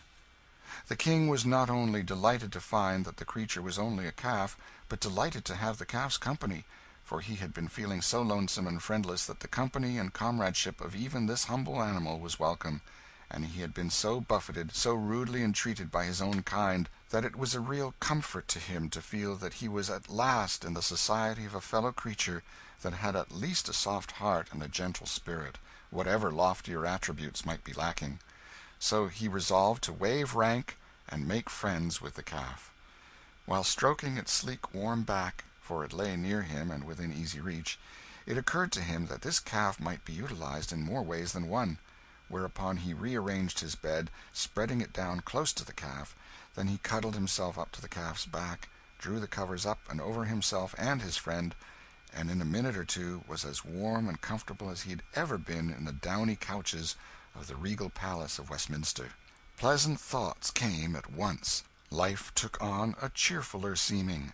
He was free of the bonds of servitude and crime, free of the companionship of base and brutal outlaws; he was warm, he was sheltered in a word, he was happy. The night wind was rising; it swept by in fitful gusts that made the old barn quake and rattle; then its forces died down at intervals, and went moaning and wailing around corners and projections. But it was all music to the King now that he was snug and comfortable. Let it blow and rage, let it batter and bang, let it moan and wail, he minded it not, he only enjoyed it. He merely snuggled closer to his friend, in a luxury of warm contentment, and drifted blissfully out of consciousness into a deep and dreamless sleep that was full of serenity and peace. The distant dogs howled, the melancholy kine complained, and the winds went on raging, whilst furious sheets of rain drove along the roof. But the majesty of England slept on, undisturbed, and the calf did the same, it being a simple creature, and not easily troubled by storms or embarrassed by sleeping with a King. End of chapter 18 CHAPTER 19 The Prince with the Peasants WHEN the King awoke in the early morning, he found that a wet but thoughtful rat had crept into the place during the night, and made a cosy bed for itself in his bosom. Being disturbed now, it scampered away. The boy smiled, and said, "Poor fool, why so fearful? I am as forlorn as thou. 'Twould be shame in me to hurt the helpless, who am myself so helpless. Moreover, I owe you thanks for a good omen. When a king has fallen so low that the very rats do make a bed of him, it surely meaneth that his fortunes be upon the turn, since it is plain he can no lower go." He got up and stepped out of the stall, and just then he heard the sound of children's voices. The barn door opened and a couple of little girls came in. As soon as they saw him, their talking and laughter ceased, and they stopped and stood still, gazing at him with strong curiosity. They presently began to whisper together. Then they approached nearer, and stopped again to gaze and whisper. By and by they gathered courage, and began to discuss him aloud. One said, "He hath a comely face." The other added, "And pretty hair, but is ill clothed enow, and how starved he looketh!" They came still nearer, sidling shyly around and about him, examining him minutely from all points, as if he were some strange new kind of animal but warily and watchfully the while, as if they half feared he might be a sort of animal that would bite, upon occasion. Finally they halted before him, holding each other's hands for protection, and took a good satisfying stare with their innocent eyes. Then one of them plucked up all her courage and inquired with honest directness "Who art thou, boy?" "I am the King," was the grave answer. The children gave a little start, and their eyes spread themselves wide open and remained so, during a speechless half minute. Then curiosity broke the silence.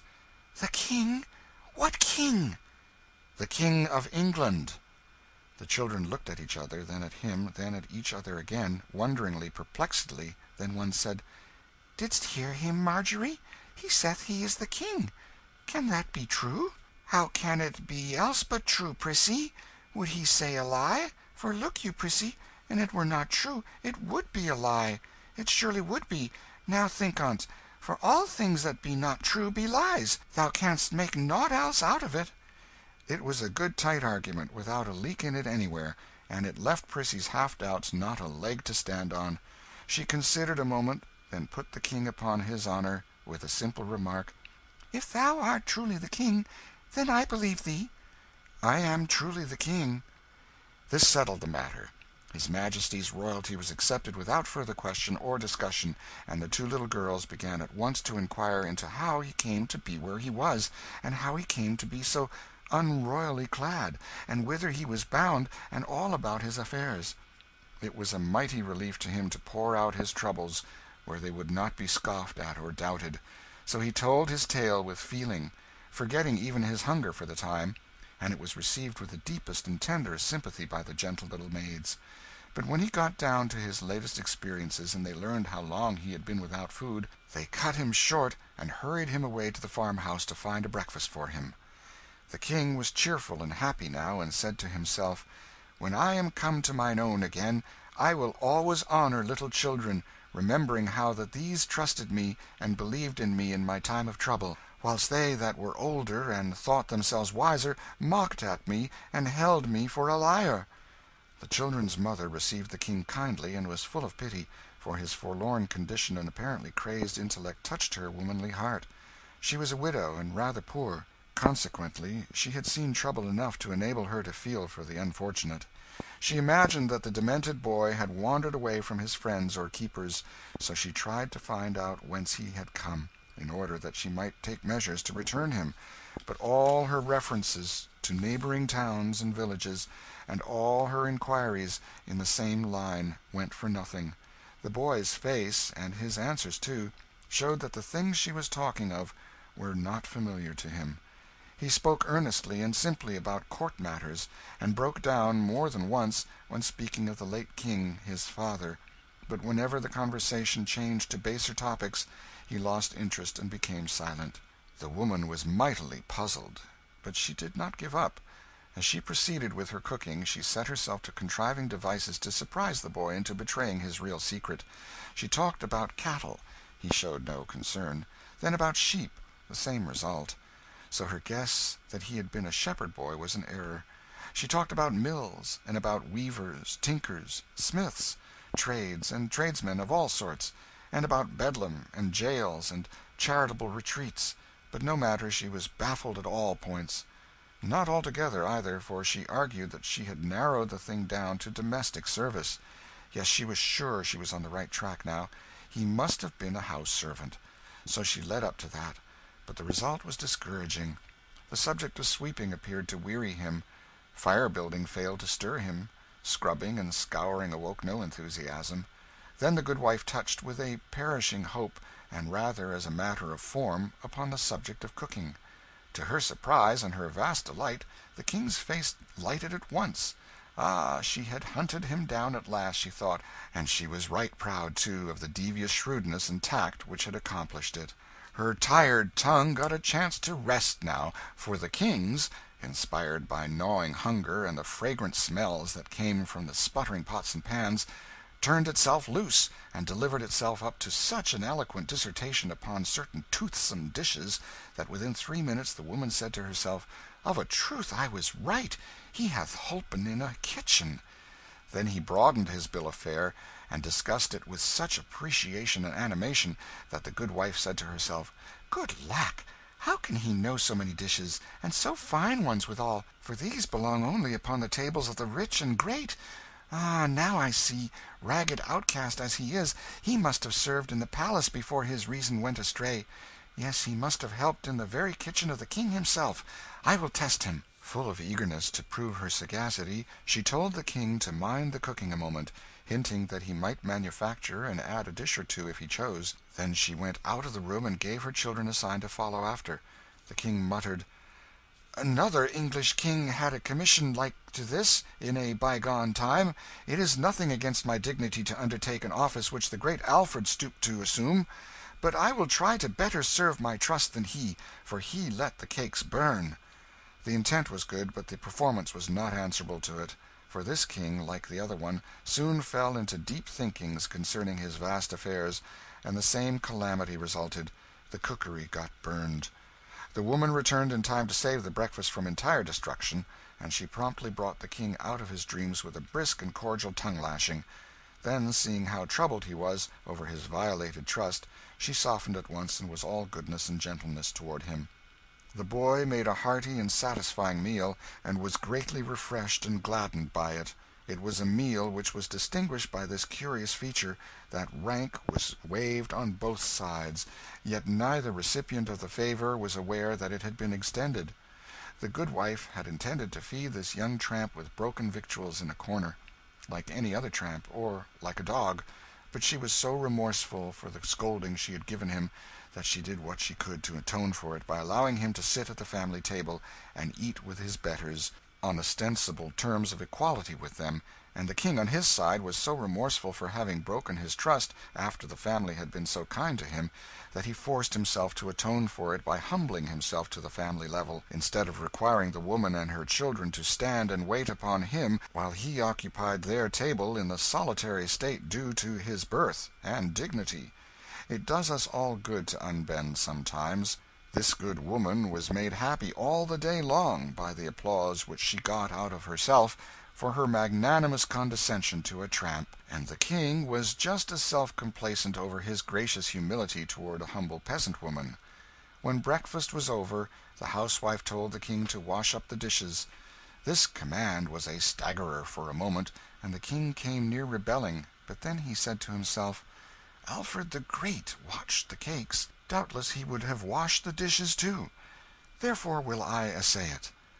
He made a sufficiently poor job of it, and to his surprise, too, for the cleaning of wooden spoons and trenchers had seemed an easy thing to do. It was a tedious and troublesome piece of work, but he finished it at last. He was becoming impatient to get away on his journey now. However, he was not to lose this thrifty dame's society so easily. She furnished him some little odds and ends of employment, which he got through with after a fair fashion and with some credit. Then she set him and the little girls to paring some winter apples; but he was so awkward at this service that she retired him from it and gave him a butcher knife to grind. Afterward she kept him carding wool until he began to think he had laid the good King Alfred about far enough in the shade for the present in the matter of showy menial heroisms that would read picturesquely in story books and histories, and so he was half minded to resign. And when, just after the noonday dinner, the goodwife gave him a basket of kittens to drown, he did resign at least, he was just going to resign, for he felt that he must draw the line somewhere, and it seemed to him that to draw it at kitten drowning was about the right thing. when there was an interruption. The interruption was John Canty, with a pedlar's pack on his back, and Hugo. The King discovered these rascals approaching the front gate before they had had a chance to see him, so he said nothing about drawing the line, but took up his basket of kittens and stepped quietly out the back way without a word. He left the creatures in an outhouse, and hurried on into a narrow lane at the rear. In Chapter 20 The high hedge hid him from the house, now, and so, under the impulse of a deadly fright, he let out all his forces and sped toward a wood in the distance. He never looked back until he had almost gained the shelter of the forest; then he turned and descried two figures in the distance. That was sufficient. He did not wait to scan them critically, but hurried on, and never abated his pace till he was far within the twilight depths of the wood. Then he stopped, being persuaded that he was now tolerably safe. He listened intently but the stillness was profound and solemn awful, even, and depressing to the spirits. At wide intervals his straining ear did detect sounds, but they were so remote, and hollow, and mysterious, that they seemed not to be real sounds, but only the moaning and complaining ghosts of departed ones. So the sounds were yet more dreary than the silence which they interrupted. It was his purpose, in the beginning, to stay where he was the rest of the day; but a chill soon invaded his perspiring body, and he was at last obliged to resume movement in order to get warm. He struck straight through the forest, hoping to pierce to a road presently, but he was disappointed in this.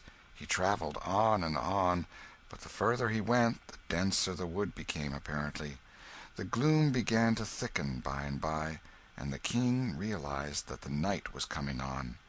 It made him shudder to think of spending it in such an uncanny place, so he tried to hurry faster; but he only made the less speed, for he could not now see well enough to choose his steps judiciously; consequently he kept tripping over roots, and tangling himself in vines and briers.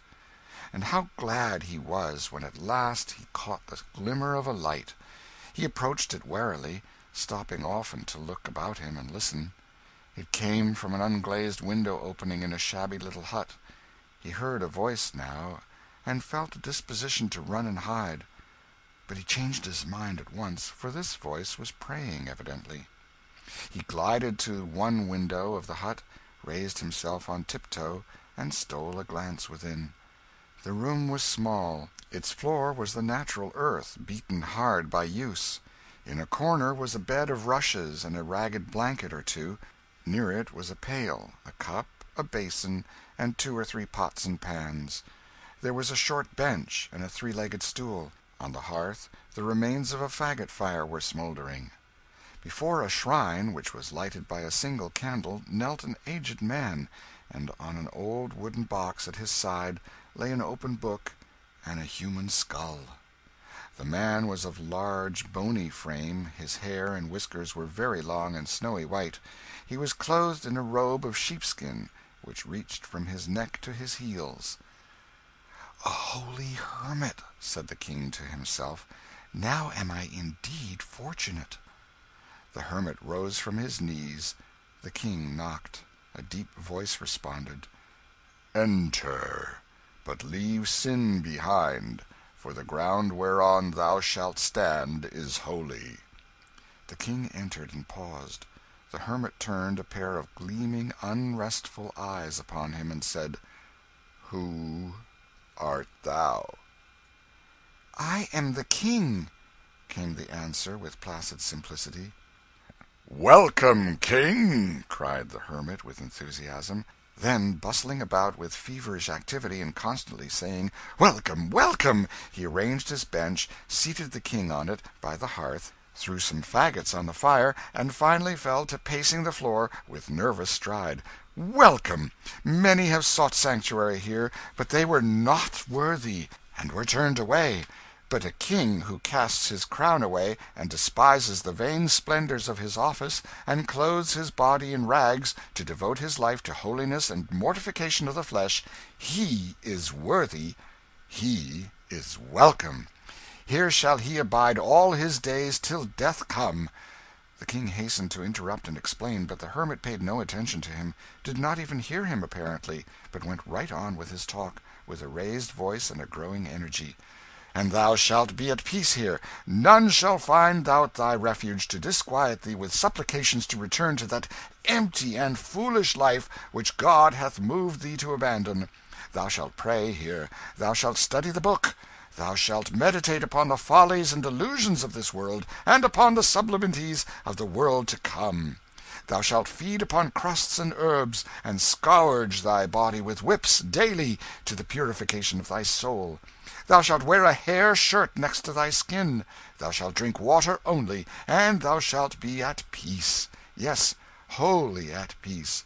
For whoso comes to seek thee shall go his way again baffled; he shall not find thee, he shall not molest thee."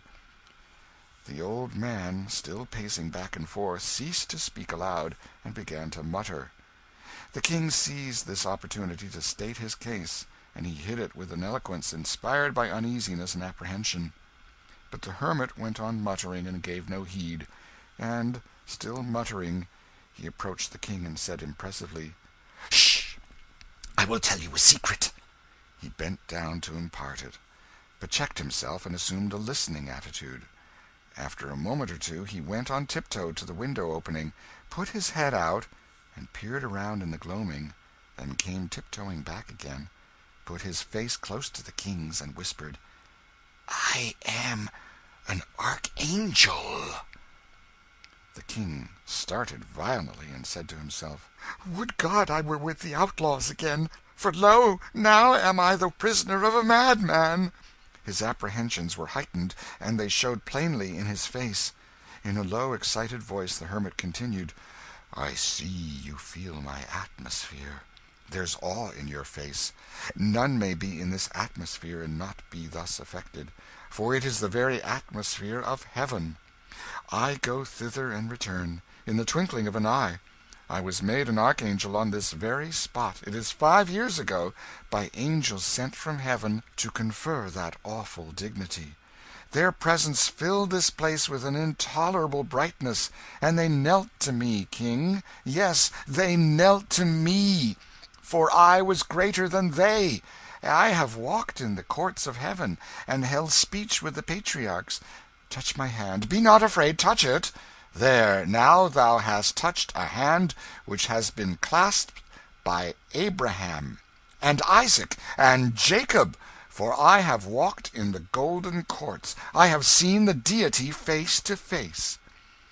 He paused to give this speech effect; then his face suddenly changed and he started to his feet again, saying with angry energy "Yes, I am an archangel a mere archangel I that might have been pope. It is verily true. I was told it from heaven in a dream, twenty years ago. Ah, yes, I was to be pope! And I should have been pope, for heaven had said it and the King dissolved my religious house, and I, poor obscure unfriended monk, was cast homeless upon the world, robbed of my mighty destiny."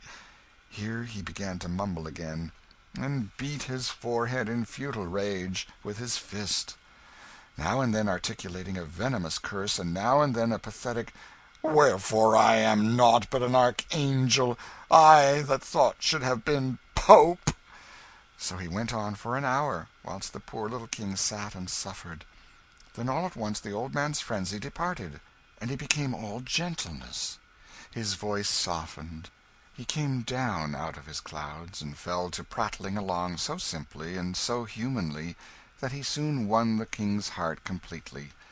The old devotee moved the boy nearer to the fire and made him comfortable, doctored his small bruises and abrasions with a deft and tender hand and then set about preparing and cooking a supper, chatting pleasantly all the time, and occasionally stroking the lad's cheek or patting his head in such a gently caressing way that in a little while all the fear and repulsion inspired by the archangel were changed to reverence and affection for the man.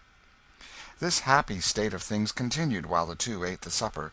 Then, after a prayer before the shrine, the hermit put the boy to bed in a small adjoining room, tucking him in as snugly and lovingly as a mother might, and so, with a parting caress, left him and sat down by the fire, and began to poke the brands about in an absent and aimless way.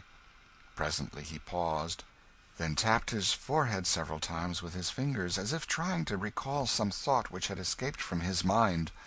Apparently he was unsuccessful. Now he started quickly up and entered his guest's room, and said "Thou art King?" "Yes," was the response, drowsily uttered.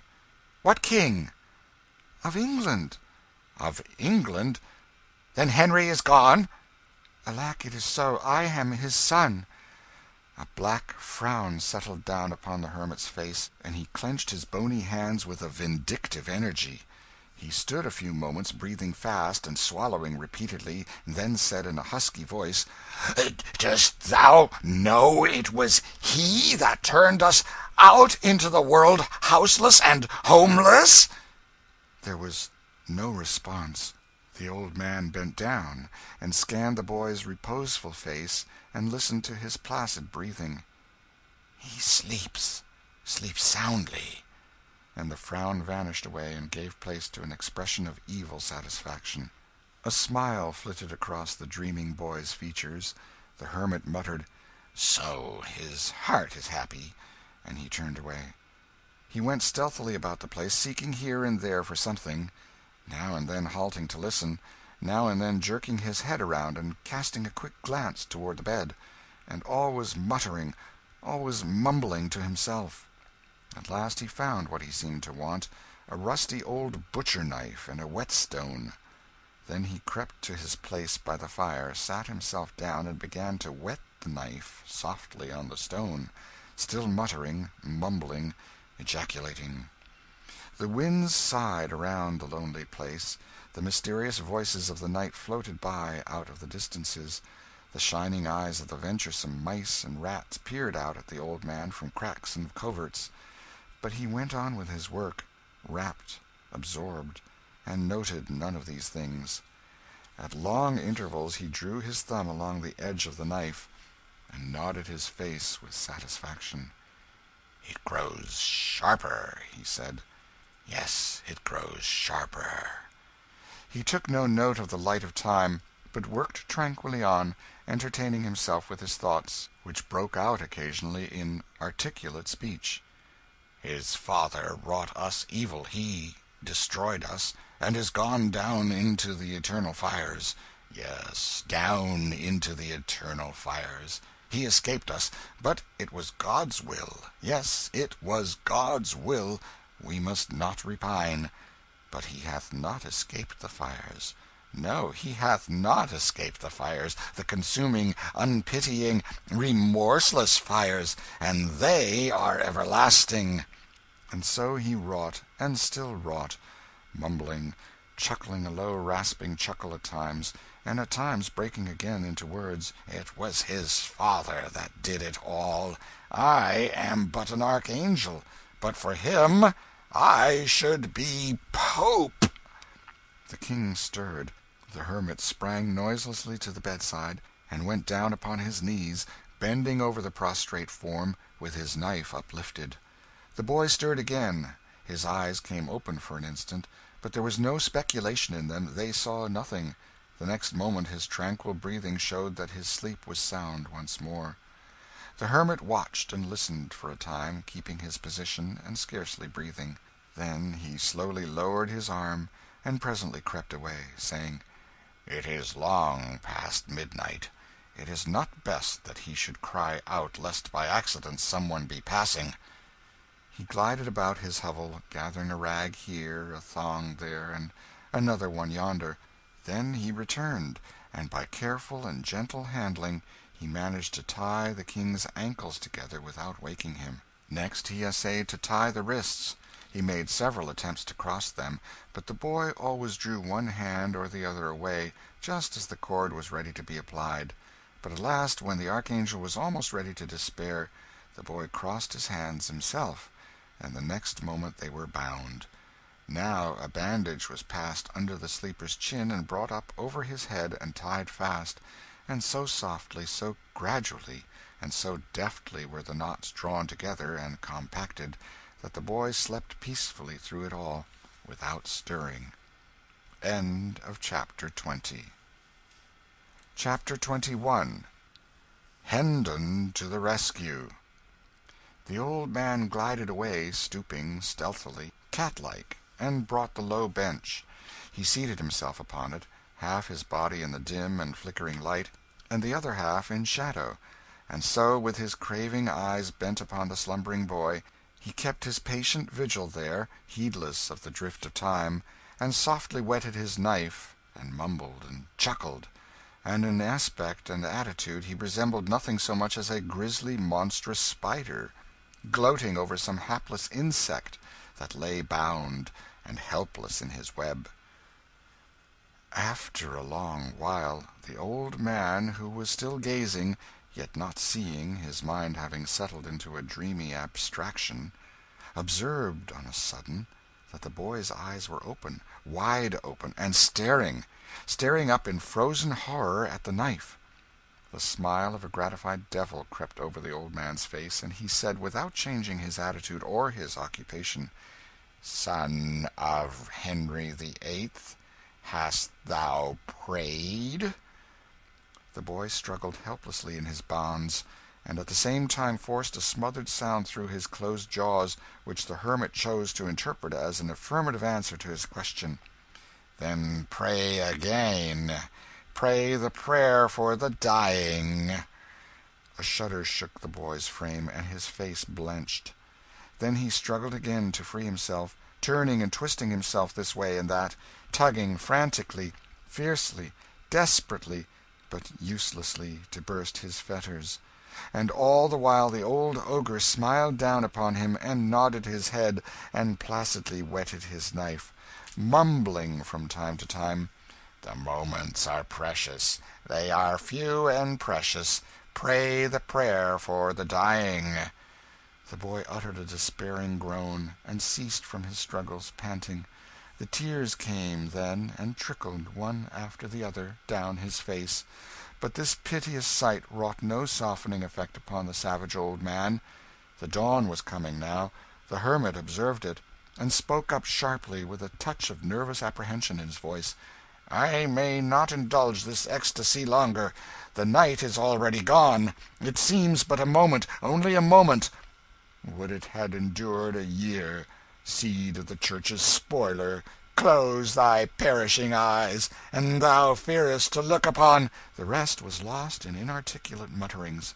The old man sunk upon his knees, his knife in his hand, and bent himself over the moaning boy. Hark! There was a sound of voices near the cabin. The knife dropped from the hermit's hand. He cast a sheepskin over the boy, and started up trembling. The sounds increased, and presently the voices became rough and angry. Then came blows, and cries for help; then a clatter of swift footsteps, retreating. Immediately came a succession of thundering knocks upon the cabin door, followed by "Ho! Open, and despatch in the name of all the devils!" Oh, this was the blessedest sound that had ever made music in the King's ears, for it was Miles Hendon's voice! The hermit, grinding his teeth in impotent rage, moved swiftly out of the bedchamber, closing the door behind him and straightway the King heard a talk, to this effect, proceeding from the chapel "Homage and greeting, reverend sir! Where is the boy my boy?" "What boy, friend? What boy? Lie me no lies, sir priest play me no deceptions I am not in the humour for it. Near to this place I caught the scoundrels who I judge did steal him from me, and I made them confess. They said he was at large again, and they had tracked him to your door. They showed me his very footprints. Now palter no more, for look you, holy sir, an thou produce him not Where is the boy?" "Oh, good sir, peradventure you mean the ragged regal vagrant that tarried here the night. If such as you take interest in such as he, know then that I have sent him of an errand. He will be back anon." "How soon? how soon? Come, waste not the time. Cannot I overtake him? How soon will he be back?" "Thou needst not stir he will return quickly." "So be it, then. I will try to wait. But stop! You sent him of an errand? You?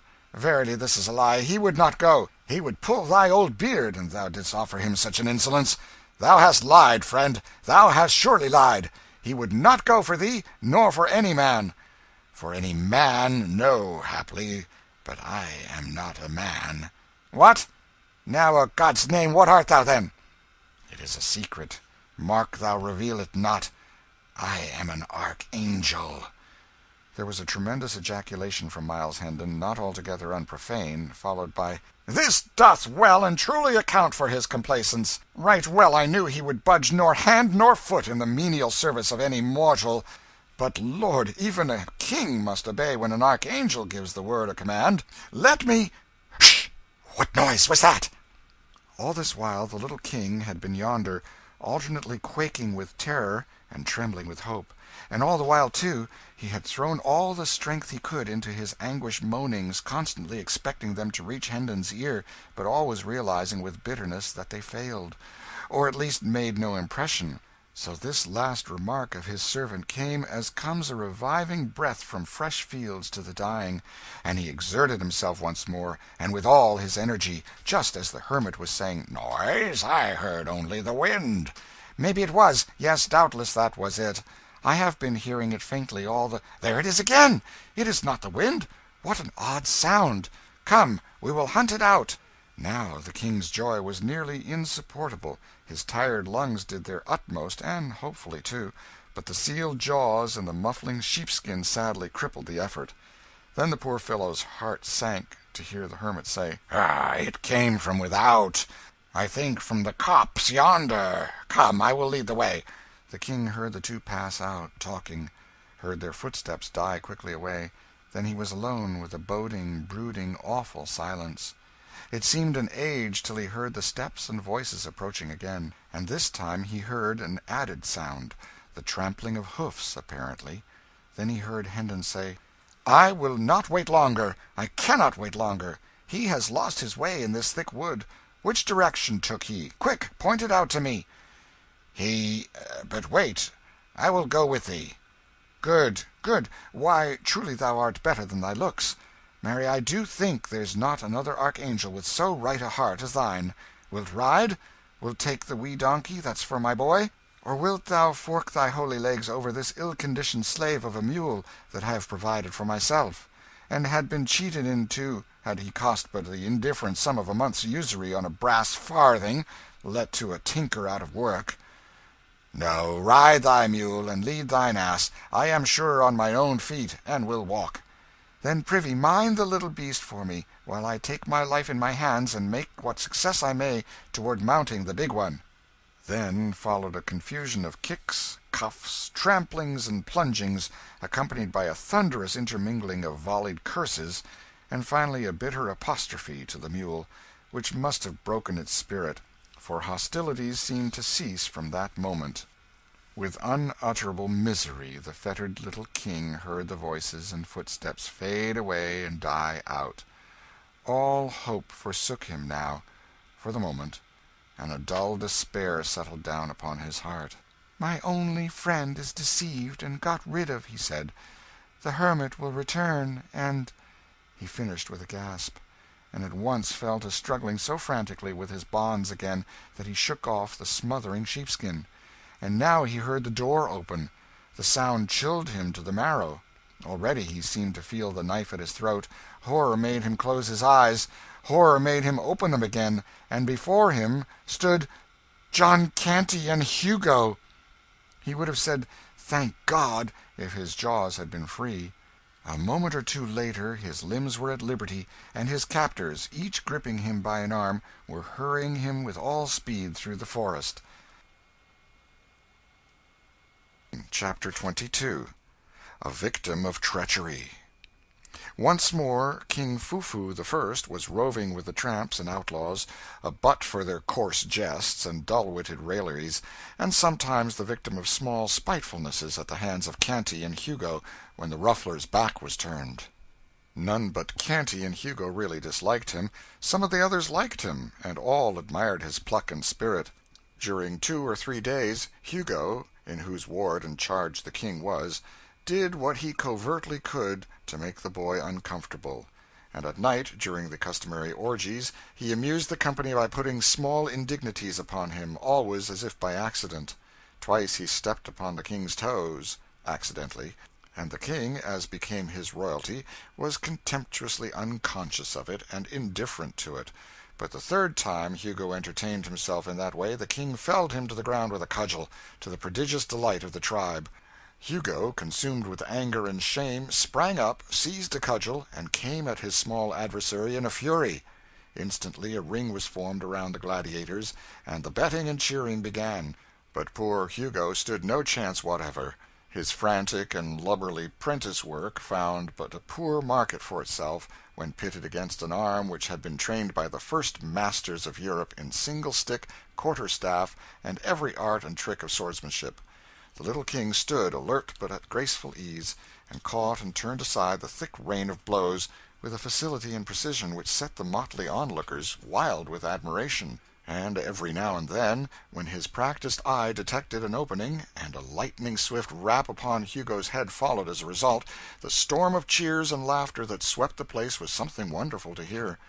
At the end of fifteen minutes, Hugo, all battered, bruised, and the target for a pitiless bombardment of ridicule slunk from the field, and the unscathed hero of the fight was seized and borne aloft upon the shoulders of the joyous rabble to the place of honor beside the Ruffler, where with vast ceremony he was crowned King of the Gamecocks, his meaner title being at the same time solemnly cancelled and annulled, and a decree of banishment from the gang pronounced against any who should thenceforth utter it. All attempts to make the King serviceable to the troop had failed. He had stubbornly refused to act. Moreover, he was always trying to escape. He had been thrust into an unwatched kitchen, the first day of his return. He not only came forth empty handed, but tried to rouse the housemates. He was sent out with a tinker, to help him at his work. He would not work. Moreover, he threatened the tinker with his own soldering iron. And finally both Hugo and the tinker found their hands full with the mere matter of keeping him from getting away. He delivered the thunders of his royalty upon the heads of all who hampered his liberties or tried to force him to service. He was sent out, in Hugo's charge, in company with a slatternly woman and a diseased baby, to beg, but the result was not encouraging. He declined to plead for the mendicants, or be a party to their cause in any way. Thus several days went by, and the miseries of this tramping life, and the weariness and sordidness and meanness and vulgarity of it became gradually and steadily so intolerable to the captive that he began at last to feel that his release from the hermit's knife must prove only a temporary respite from death at best. But at night, in his dreams, these things were forgotten, and he was on his throne and master again. This, of course, intensified the sufferings of the awakening, so the mortifications of each succeeding morning of the few that passed between his return to bondage and the combat with Hugo grew bitterer and bitterer, and harder and harder to bear. The morning after that combat, Hugo got up with a heart filled with vengeful purposes against the King. He had two plans, in particular. One was to inflict upon the lad what would be to his proud spirit and imagined royalty a peculiar humiliation; and if he failed to accomplish this, his other plan was to put a crime of some kind upon the King and then betray him into implacable clutches of the law. In pursuance of the first plan, he proposed to put a clime upon the King's leg, rightly judging that that would mortify him to the last and perfect degree; and as soon as the clime should operate, he meant to get Canty's help, and force the King to expose his leg in the highway and beg for alms. Clime was the cant term for a sore, artificially created.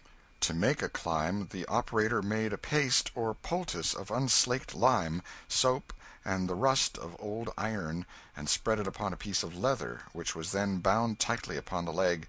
This would presently fret off the skin, and make the flesh raw and angry looking. Blood was then rubbed upon the limb, which, being fully dried, took on a dark and repulsive color. Then a bandage of soiled rags was put on in a cleverly careless way which would allow the hideous ulcer to be seen and move the compassion of the passer by. Footnote from the English Rogue, London, 1665.] [footnote: Hugo got the help of the tinker, whom the King had cowed with the soldering iron.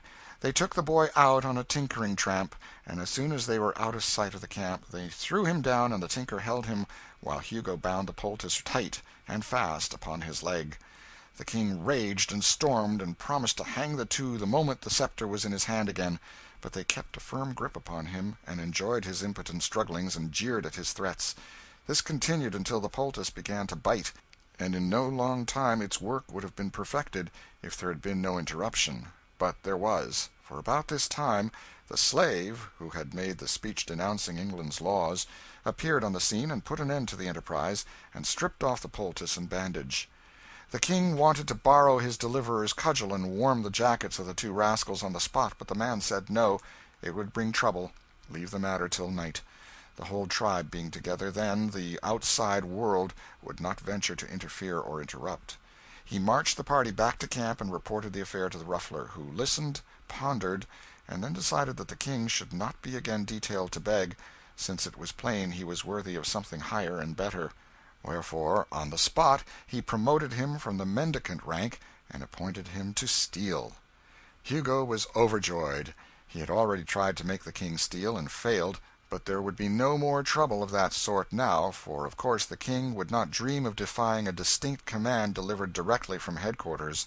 So he planned a raid for that very afternoon, proposing to get the King in the law's grip in the course of it; and to do it, too, with such ingenious strategy that it should seem to be accidental and unintentional; for the king of the gamecocks was popular now, and the gang might not deal over gently with an unpopular member who played so serious a treachery upon him as the delivering him over to the common enemy, the law. Very well, all in good time Hugo strolled off to a neighboring village with his prey, and the two drifted slowly up and down one street after another, the one watching sharply for a sure chance to achieve his evil purpose and the other watching as sharply for a chance to dart away and get free of his infamous captivity forever. Both threw away some tolerably fair looking opportunities, for both, in their secret hearts, were resolved to make absolutely sure work this time, and neither meant to allow his fevered desires to seduce him into any venture that had much uncertainty about it. Hugo's chance came first for at last a woman approached, who carried a fat package of some sort in a basket. Hugo's eyes sparkled with sinful pleasure as he said to himself, "Breath o' my life, an' I can but put that upon him, 'tis good den, and God keep thee king of the gamecocks." He waited and watched, outwardly patient, but inwardly consuming with excitement, till the woman had passed by and the time was ripe, and then said in a low voice, "Tarry here till I come again," and darted stealthily after the prey. The King's heart was filled with joy he could make his escape, now, if Hugo's quest only carried him far enough away.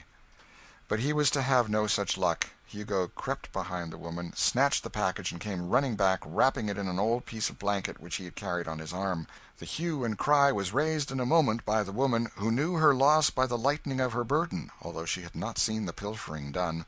Hugo thrust the bundle into the King's hands without halting, saying now speed ye after me with the rest, and cry, Stop thief! but mind ye lead them astray." The next moment Hugo turned a corner and darted down a crooked alley; and in another moment or two he lounged into view again, looking innocent and indifferent, and took up a position behind a post to watch results. The insulted King threw the bundle on the ground, and the blanket fell away from it just as the woman arrived, with an augmenting crowd at her heels. She seized the King's wrists with one hand, snatched up her bundle with the other, and began to pour out a tirade of abuse upon the boy while he struggled, without success, to free himself from her grip. Hugo had seen enough. His enemy was captured, and the law would get him now, so he slipped away, jubilant and chuckling, and wended campwards framing a judicious version of the matter to give to the Ruffler's crew as he strode along. The King continued to struggle in the woman's strong grasp, and now and then cried out in vexation, "Unhand me, thou foolish creature! It was not I that bereaved thee of thy paltry goods." The crowd closed around, threatening the King and calling him names. A brawny blacksmith, in leather apron and sleeves rolled to his elbows, made a reach for him, saying he would trounce him well for a lesson. But just then a long sword flashed in the air and fell with convincing force upon the man's arm, flat side down, the fantastic owner of it remarking pleasantly at the same time "Marry, good souls, let us proceed gently, not with ill blood and uncharitable words. This is matter for the law's consideration, not private and unofficial handling. Loose thy hold from the boy, good wife. The blacksmith averaged the stalwart soldier with a glance, then went muttering away, rubbing his arm. The woman released the boy's wrist reluctantly. The crowd eyed the stranger unlovingly, but prudently closed their mouths. The King sprang to his deliverer's side with flushed cheeks and sparkling eyes, exclaiming Thou hast lagged sorely, but thou comest in good season now, Sir Miles. Carve me this rabble to rags." End of chapter 22 CHAPTER 23 The Prince a Prisoner Hendon forced back a smile, and bent down and whispered in the King's ear "Softly, softly, my prince! Wag thy tongue warily nay, suffer it not to wag at all. Trust in me, all shall go well in the end." Then he added to himself, "Sir Miles, bless me, I had totally forgot I was a knight. Lord, how marvellous a thing it is, the grip his memory doth take upon his quaint and crazy fancies. An empty and foolish title is mine, and yet it is something to have deserved it. For I think it is more honour to be held worthy to be a spectre knight in his kingdom of dreams and shadows than to be held base enough to be an earl in some of the real kingdoms of this world." The crowd fell apart to admit a constable, who approached and was about to lay his hand upon the King's shoulder, when Hendon said "Gently, good friend, withhold your hand. He shall go peaceably. I am responsible for that. Lead on we will follow." The officer led, with the woman and her bundle. Miles and the King followed after, with the crowd at their heels. The King was inclined to rebel, but Hendon said to him in a low voice. Reflect, sire. Your laws are the wholesome breath of your own royalty. Shall their source resist them, yet require the branches to respect them? Apparently one of these laws has been broken. When the King is on his throne again, can it ever grieve him to remember that when he was seemingly a private person, he loyally sunk the King in a citizen and submitted to its authority? "Thou art right say no more. Thou shalt see that whatsoever the King of England requires a subject to suffer under the law, he will himself suffer while he holdeth the station of a subject."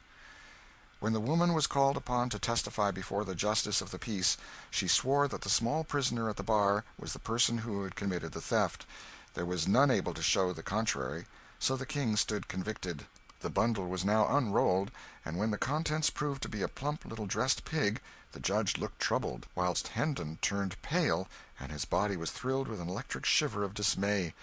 But the King remained unmoved, protected by his ignorance. The Judge meditated, during an ominous pause, then turned to the woman with a question "What dost thou hold this property to be worth?" The woman courtesied and replied "Three shillings and eightpence, your worship. I could not abate a penny and set forth the value honestly. The justice glanced around uncomfortably upon the crowd, then nodded to the constable and said "Clear the court and close the doors." It was done. None remained but the two officials, the accused, the accuser, and Miles Hendon. This latter was rigid and colourless, and on his forehead big drops of cold sweat gathered, broke, and blended together, and trickled down his face. The Judge turned to the woman again, and said, in a compassionate voice. "'Tis a poor ignorant lad, and mayhap was driven hard by hunger, for these be grievous times for the unfortunate. Mark you, he hath not an evil face, but when hunger driveth Good woman, dost know that when one steals a thing above the value of thirteen pence halfpenny, the law saith he shall hang for it?" The little King started, wide eyed with consternation, but controlled himself and held his peace.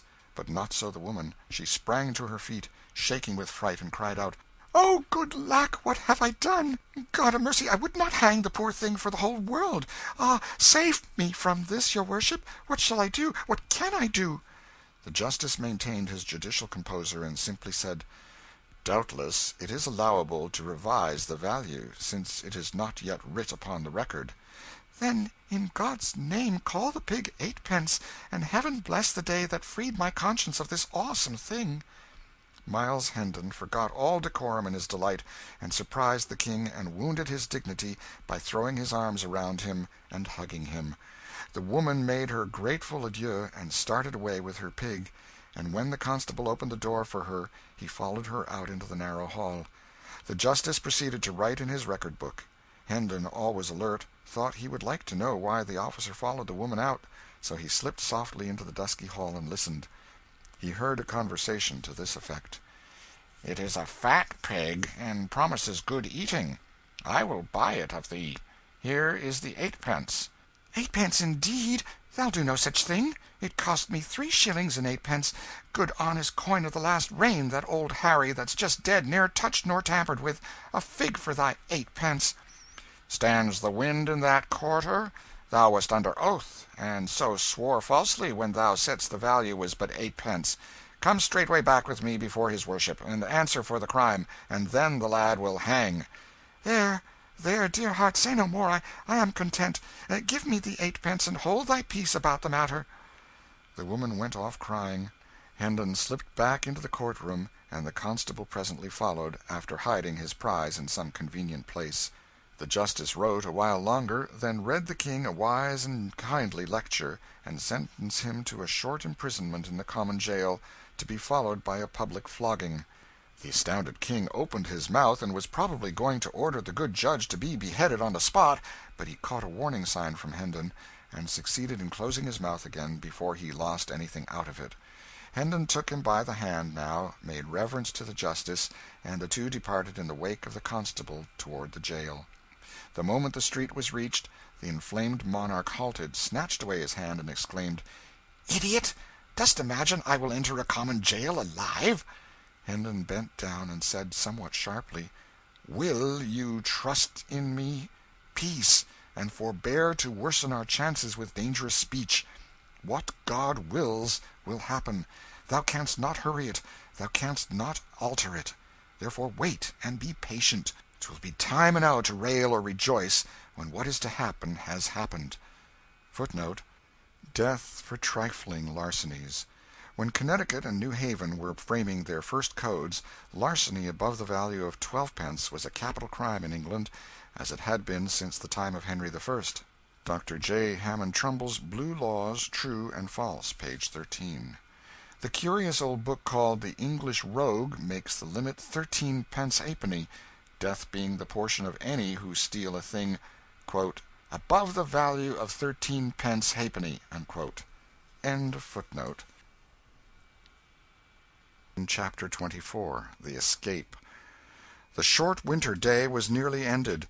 The streets were deserted save for a few random stragglers, and these hurried straight along, with the intent look of people who were only anxious to accomplish their errands as quickly as possible and then snugly housed themselves from the rising wind and the gathering twilight. They looked neither to the right nor the left. They paid no attention to our party, they did not even seem to see them. Edward the Sixth wondered if the spectacle of a king on his way to jail had ever encountered such marvellous indifference before. By and by the constable arrived at a deserted market square, and proceeded to cross it. When he had reached the middle of it, Hendon laid his hand upon his arm, and said in a low voice "Bide a moment, good sir there is none in hearing, and I would say a word to thee." "My duty forbids it, sir. Prithee hinder me not. The night comes on." "Stay, nevertheless, for the matter concerns thee nearly. Turn thy back a moment, and seem not to see. Let this poor lad escape." "This to me, sir? I arrest thee in "Nay, be not too hasty. See thou be careful, and commit no foolish error." Then he shut his voice down to a whisper, and said in the man's ear. The pig thou hast purchased for eightpence may cost thee thy neck, man." The poor constable, taken by surprise, was speechless at first, then found his tongue and fell to blustering and threatening; but Hendon was tranquil, and waited with patience till his breath was spent, then said "I have a liking to thee, friend, and would not willingly see thee come to harm. Observe, I heard it all, every word. I will prove it to thee. Then he repeated the conversation which the officer and the woman had had together in the hall, word for word, and ended with "There, have I set it forth correctly? Should not I be able to set it forth correctly before the judge, if occasion required?" The man was dumb with fear and distress for a moment; then he rallied, and said with forced lightness "'Tis making a mighty matter indeed out of a jest. I but plagued the woman for mine amusement. "Kept you the woman's pig for amusement?" The man answered sharply "Naught else, good sir, I tell thee 'twas but a jest." "I do begin to believe thee," said Hendon, with a perplexing mixture of mockery and half conviction in his tone. But tarry thou here a moment, whilst I run and ask his worship; for nathless he being a man experienced in law, in jests, in " He was moving away, still talking; the constable hesitated, fidgeted, spat out an oath or two, then cried out "Hold, hold, good sir! Uh, prithee uh, wait a little. Uh, the Judge why, man, he hath no more sympathy with a jest than hath a dead corpse. Come, and we will speak further.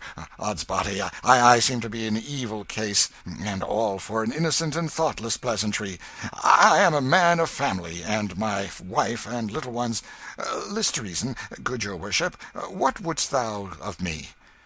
"Only that thou be blind and dumb and paralytic whilst one may count a hundred thousand, counting slowly," said Hendon, with the expression of a man who asks but a reasonable favour, and that a very little one. "It is my destruction," said the constable, despairingly. "Ah, be reasonable, good sir. Only look at this matter, on all its sides, and see how mere a jest it is how manifestly and how plainly it is so; and even if one granted it were not a jest, it is a fault so small that e'en the grimmest penalty it could call forth would be but a rebuke and warning from the judge's lips. Hendon replied with a solemnity which chilled the air about him "This jest of thine hath a name in law. Wot you what it is?" "I knew it not. Peradventure I have been unwise. I never dreamed it a name. Ah, sweet heaven, I thought it was original." "Yes, it hath a name. In the law this crime is called Non compos mentis lex talionis, sic transit gloria mundi." "Ah, my God!" "And the penalty is death." "God be merciful to me, a sinner!" By advantage taken of one in fault, in dire peril, and at thy mercy, thou hast seized goods worth above thirteen pence halfpenny, paying but a trifle for the same; and this, in the eye of the law, is constructive barratry, misprision of treason, malfeasance in office, ad hominem expurgatis in statu quo and the penalty is death by the halter, without ransom, commutation, or benefit of clergy. Bear me up, bear me up, sweet sir, my legs do fail me. Be thou merciful, spare me this doom, and I will turn my back and see naught that shall happen." "Good. Now thou'rt wise and reasonable. And thou'lt restore the pig?" "I will, I will indeed nor ever touch another, though heaven send it and an archangel fetch it. Go I am blind, for thy sake I see nothing. I will say thou didst break in and wrest the prisoner from my hands by force. It is but a crazy ancient door. I will batter it down myself 'twixt midnight and the morning." "Do it, good soul no harm will come of it. The judge hath a loving charity for this poor lad, and will shed no tears and break no jailer's bones for his escape." End of CHAPTER 24 CHAPTER 25 Hendon Hall. As soon as Hendon and the King were out of sight of the constable, his Majesty was instructed to hurry to a certain place outside the town and wait there, whilst Hendon should go to the inn and settle his account. Half an hour later the two friends were blithely jogging eastward on Hendon's sorry steeds. The King was warm and comfortable now, for he had cast his rags and clothed himself in the second hand suit which Hendon had bought on London Bridge. Hendon wished to guard against over fatiguing the boy. He judged that hard journeys, irregular meals, and illiberal measures of sleep would be bad for his crazed mind; whilst rest, regularity, and moderate exercise would be pretty sure to hasten its cure. He longed to see the stricken intellect made well again, and its diseased visions driven out of the tormented little head; therefore he resolved to move by easy stages toward the home whence he had so long been banished instead of obeying the impulse of his impatience and hurrying along night and day. When he and the King had journeyed about ten miles, they reached a considerable village, and halted there for the night, at a good inn. The former relations were resumed. Hendon stood behind the King's chair while he dined, and waited upon him; undressed him when he was ready for bed; then took the floor for his own quarters, and slept athwart the door, rolled up in a blanket. The next day, and the day after, they jogged lazily along, talking over the adventures they had met since their separation, and mightily enjoying each other's narratives. Hendon detailed all his wide wanderings in search of the King, and described how the archangel had led him a fool's journey all over the forest, and taken him back to the hut, finally, when he found he could not get rid of him. Then, he said, the old man went into the bedchamber and came staggering back, looking broken hearted, and saying he had expected to find that the boy had returned and lain down in there to rest, but it was not so. Hendon had waited at the hut all day. Hope of the King's return died out then, and he departed upon the quest again. "And old Sanctum Sanctorum was truly sorry your highness came not back," said Hendon. "I saw it in his face." "Marry, I will never doubt that," said the King and then told his own story, after which Hendon was sorry he had not destroyed the archangel. During the last day of the trip, Hendon's spirits were soaring. His tongue ran constantly. He talked about his old father and his brother Arthur, and told of many things which illustrated their high and generous characters. He went into loving frenzies over his Edith, and was so glad hearted that he was even able to say some gentle and brotherly things about Hugh. He dwelt a deal on the coming meeting at Hendon Hall. What a surprise it would be to everybody, and what an outburst of thanksgiving and delight there would be! It was a fair region, dotted with cottages and orchards, and the road led through broad pasture lands whose receding expanses, marked with gentle elevations and depressions, suggested the swelling and subsiding undulations of the sea. In the afternoon the returning prodigal made constant deflections from his course to see if by ascending some hillock he might not pierce the distance and catch a glimpse of his home. At last he was successful, and cried out excitedly "There is the village, my prince, and there is the Hall close by! You may see the towers from here, and that wood there, that is my father's park. Ah, now thou'lt know what state and grandeur be! A house with seventy rooms think of that! and seven and twenty servants. A brave lodging for such as we, is it not so? Come, let us speed my impatience will not brook further delay."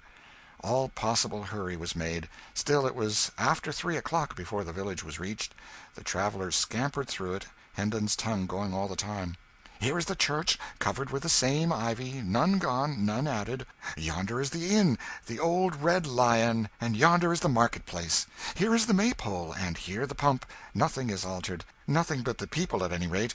Ten years make a change in people. Some of these I seem to know, but none know me." So his chat ran on. The end of the village was soon reached, then the travellers struck into a crooked narrow road, walled in with tall hedges, and hurried briskly along it for a half mile, then passed into a vast flower garden through an imposing gateway whose huge stone pillars bore sculptured armorial devices. A noble mansion was before them. "Welcome to Hendon Hall, my King!" exclaimed Miles. "Ah, 'tis a great day! My father and my brother, and the Lady Edith, will be so mad with joy that they will have eyes and tongues for none but me in the first transports of the meeting, and so thou'lt seem but coldly welcomed. But mind it not, 'twill soon seem otherwise; for when I say thou art my ward, and tell them how costly is my love for thee, thou'lt see them take thee to their breasts for Miles Hendon's sake, and make their house and hearts thy home for ever after. The next moment Hendon sprang to the ground before the great door, helped the King down, then took him by the hand and rushed within. A few steps brought him to a spacious apartment. He entered, seated the King with more hurry than ceremony, then ran toward a young man who sat at a writing table in front of a generous fire of logs. "Embrace me, Hugh," he cried, "and say thou'rt glad I am come again. And call our father, for home is not home till I shall touch his hand, and see his face, and hear his voice once more." But Hugh only drew back, after betraying a momentary surprise, and bent a grave stare upon the intruder a stare which indicated somewhat of offended dignity, at first, then changed, in response to some inward thought or purpose, to an expression of marvelling curiosity, mixed with a real or assumed compassion. Presently he said, in a mild voice "Thy wits seem touched, poor stranger. Doubtless thou hast suffered privations and rude buffetings at the world's hands. Thy looks and dress betoken it. Whom dost thou take me to be?" "Take thee? Prithee, for whom else than whom thou art? I take thee to be Hugh Hendon," said Miles sharply.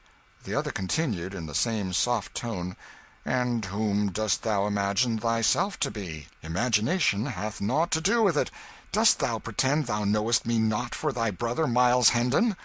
An expression of pleased surprise flitted across Hugh's face, and he exclaimed "What! Thou art not jesting? Can the dead come to life? God be praised if it be so! Our poor lost boy restored to our arms after all these cruel years! Ah, it seems too good to be true it is too good to be true. I charge thee, have pity do not trifle with me. Quick, come to the light let me scan thee well." He seized Miles by the arm, dragged him to the window, and began to devour him from head to foot with his eyes, turning him this way and that, and stepping briskly around him and about him to prove him from all points of view whilst the returned prodigal, all aglow with gladness, smiled, laughed, and kept nodding his head and saying, "Go on, brother, go on, and fear not thou'lt find nor limb nor feature that cannot bide the test. Scour and scan me to thy content, my good old Hugh. I am indeed thy old Miles, thy same old Miles, thy lost brother. Is't not so? Ah, 'tis a great day I said 'twas a great day. Give me thy hand, give me thy cheek Lord, I am like to die of very joy." He was about to throw himself upon his brother, but Hugh put up his hand in dissent, then dropped his chin mournfully upon his breast, saying with emotion "Ah, God of his mercy, give me strength to bear this grievous disappointment!" Miles, amazed, could not speak for a moment. Then he found his tongue and cried out "What disappointment? Am I not thy brother?" Hugh shook his head sadly, and said "I pray Heaven it may prove so and that other eyes may find the resemblances that are hid from mine. Alack, I fear me the letter spoke but too truly." "What letter?" "One that came from over sea, some six or seven years ago. It said my brother died in battle." "It was a lie. Call thy father he will know me." "One may not call the dead." "Dead?" Miles's voice was subdued and his lips trembled. "My father dead? Oh, this is heavy news. Half my new joy is withered now. Prithee let me see my brother Arthur he will know me he will know me and console me." "He also is dead." "God be merciful to me, a stricken man! Gone both gone the worthy taken and the worthless spared, in me. Ah, I crave your mercy do not say Lady Edith is dead?" "No, she lives. "Then God be praised my joy is whole again. Speed thee, brother let her come to me, and she say I am not myself but she will not no, no, she will know me. I were a fool to doubt it. Bring her bring the old servants they too will know me." "All are gone but five Peter, Halsey, David, Bernard, and Margaret." So saying, Hugh left the room. Miles stood musing a while, then began to walk the floor, muttering. The five arch villains have survived the two and twenty leal, and, honest, 'tis an odd thing He continued walking back and forth, muttering to himself. He had forgotten the King entirely. By and by his Majesty said gravely, and with a touch of genuine compassion, though the words themselves were capable of being interpreted ironically "Mind not thy mischance, good man. There be others in the world whose identity is denied, and whose claims are derided. Thou hast company. "Ah, my King," cried Hendon, colouring slightly, "do not thou condemn me. Wait, and thou shalt see. I am no impostor she will say it you shall hear it from the sweetest lips in England. I an impostor? Why, I know this old hall, these pictures of my ancestors, and all these things that are about us, as a child knoweth its own nursery. Here was I born and bred, my lord. I speak the truth I would not deceive thee and should none else believe, I pray thee do not thou doubt me. I could not bear it." "I do not doubt thee," said the King, with a childlike simplicity and faith. "I thank thee out of my heart," exclaimed Hendon, with a fervency which showed that he was touched. The King added, with the same gentle simplicity, "Dost thou doubt me?" A guilty confusion seized upon Hendon, and he was grateful that the door opened to admit Hugh, at that moment, and saved him the necessity of replying. A beautiful lady, richly clothed, followed Hugh, and after her came several liveried servants. The lady walked slowly, with her head bowed and her eyes fixed upon the floor. The face was unspeakably sad. Miles Hendon sprang forward, crying, "Oh, my Edith, my darling!" But Hugh waved him back gravely, and said to the lady, "Look upon him. Do you know him?" At the sound of Miles's voice the woman had started, slightly, and her cheeks had flushed. She was trembling now. She stood still during an impressive pause of several moments, then slowly lifted up her head and looked into Hendon's eyes with a stony and frightened gaze. The blood sank out of her face, drop by drop, till nothing remained but the gray pallor of death. Then she said in a voice as dead as the face, "I know him not," and turned with a moan and a stifled sob and tottered out of the room. Miles Hendon sank into a chair and covered his face with his hands. After a pause his brother said to the servants, "You have observed him. Do you know him?" They shook their heads. Then the master said, "The servants know you not, sir. I fear there is some mistake. You have seen that my wife knew you not." "Thy wife!" In an instant Hugh was pinned to the wall with an iron grip about his throat. "Oh, thou fox hearted slave, I see it all! Thou'st writ the lying letter thyself, and my stolen bride and goods are its fruit.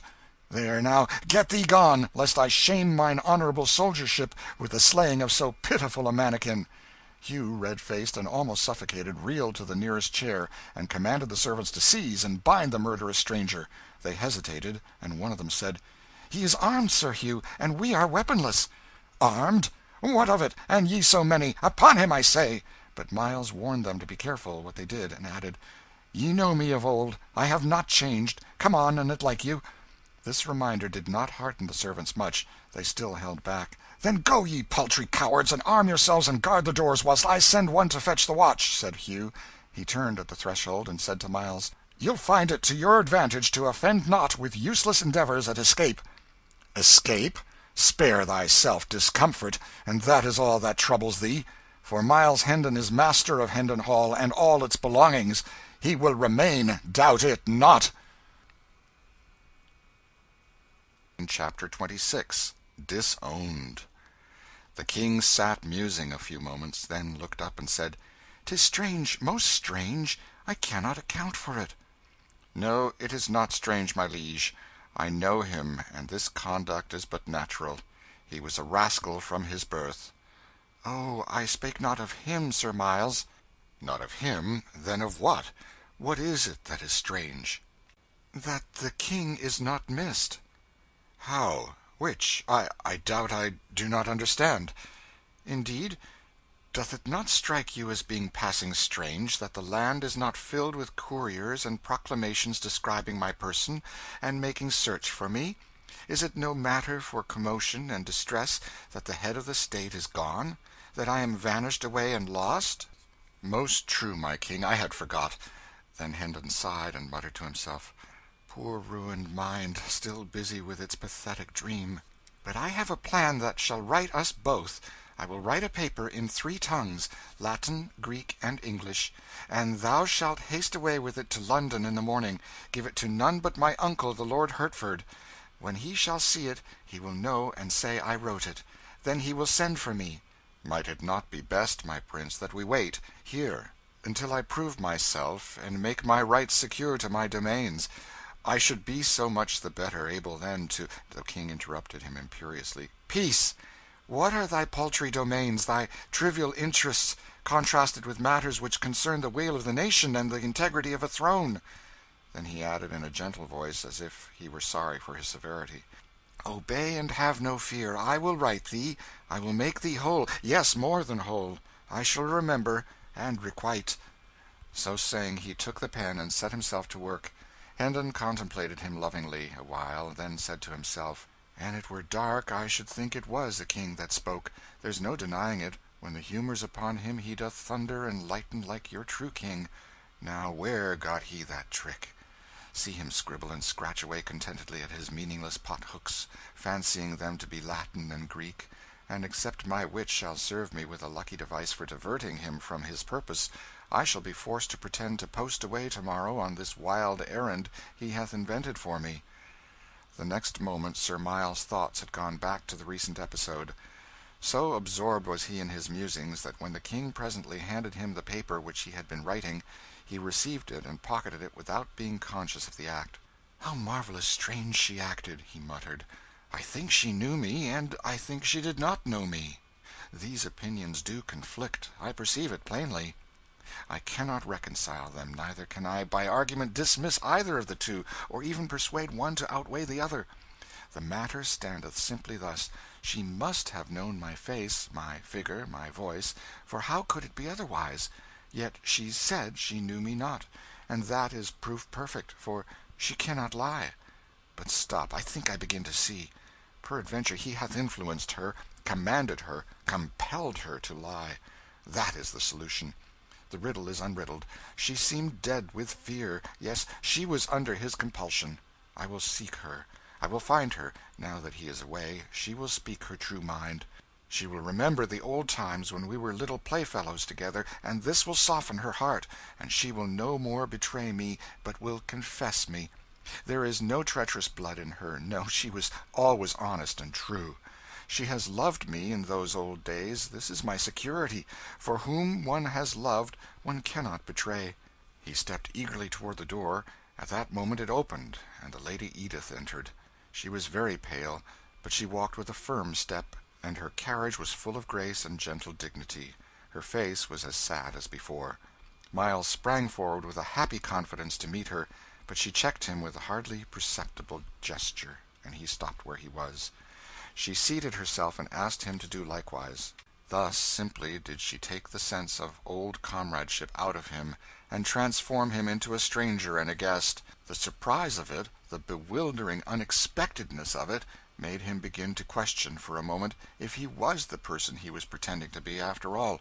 The Lady Edith said "Sir, I have come to warn you.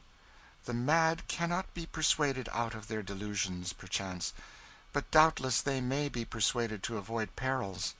I think this dream of yours hath the seeming of honest truth to you, and therefore is not criminal.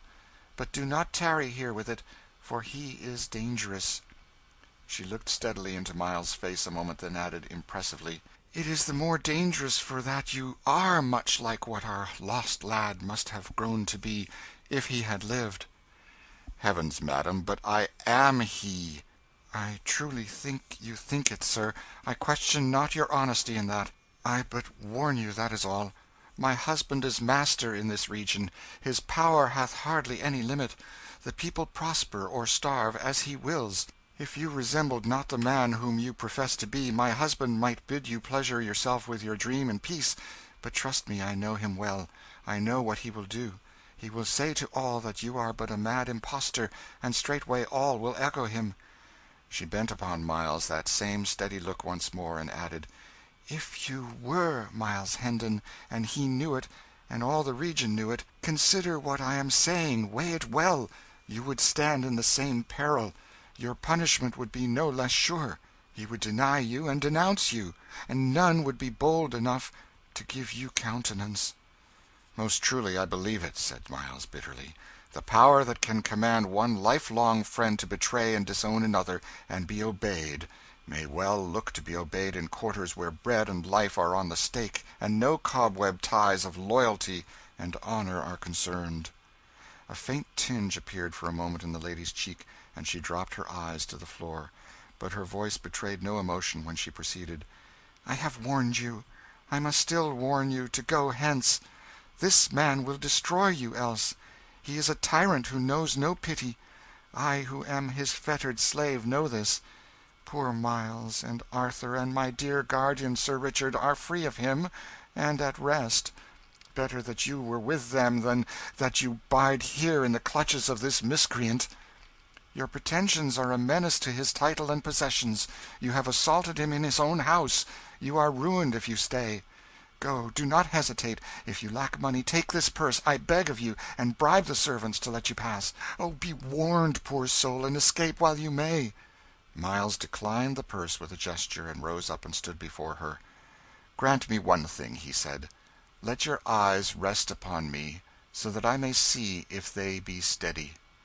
There now answer me. Am I Miles Hendon?" "No, I know you not." "Swear it." The answer was low, but distinct. I swear." "Oh, this passes belief!" "Fly! Why will you waste the precious time? Fly, and save yourself!" At that moment the officers burst into the room and a violent struggle began; but Hendon was soon overpowered and dragged away. The King was taken also, and both were bound and led to prison. End of chapter 26 CHAPTER 27 In Prison. The cells were all crowded, so the two friends were chained in a large room where persons charged with trifling offences were commonly kept. They had company, for there were some twenty manacled and fettered prisoners here, of both sexes, and of varying ages an obscene and noisy gang. The King chafed bitterly over the stupendous indignity thus put upon his royalty, but Hendon was moody and taciturn. He was pretty thoroughly bewildered. He had come home, a jubilant prodigal, expecting to find everybody wild with joy over his return, and instead had got the cold shoulder and a jail. The promise and the fulfilment differed so widely that the effect was stunning. He could not decide whether it was most tragic or most grotesque. He felt much as a man might who had danced blithely out to enjoy a rainbow, and got struck by lightning. But gradually his confused and tormenting thoughts settled down into some sort of order, and then his mind centred itself upon Edith. He turned her conduct over, and examined it in all lights, but he could not make anything satisfactory out of it. Did she know him, or didn't she know him? It was a perplexing puzzle, and occupied him a long time; but he ended finally with the conviction that she did know him, and had repudiated him for interested reasons. He wanted to load her name with curses now, but this name had so long been sacred to him that he found he could not bring his tongue to profane it. Wrapped in prison blankets of a soiled and tattered condition, Hendon and the King passed a troubled night. For a bribe, the jailer had furnished liquor to some of the prisoners. Singing of ribald songs, fighting, shouting, and carousing was the natural consequence. At last, a while after midnight, a man attacked a woman and nearly killed her by beating her over the head with his manacles before the jailer could come to the rescue.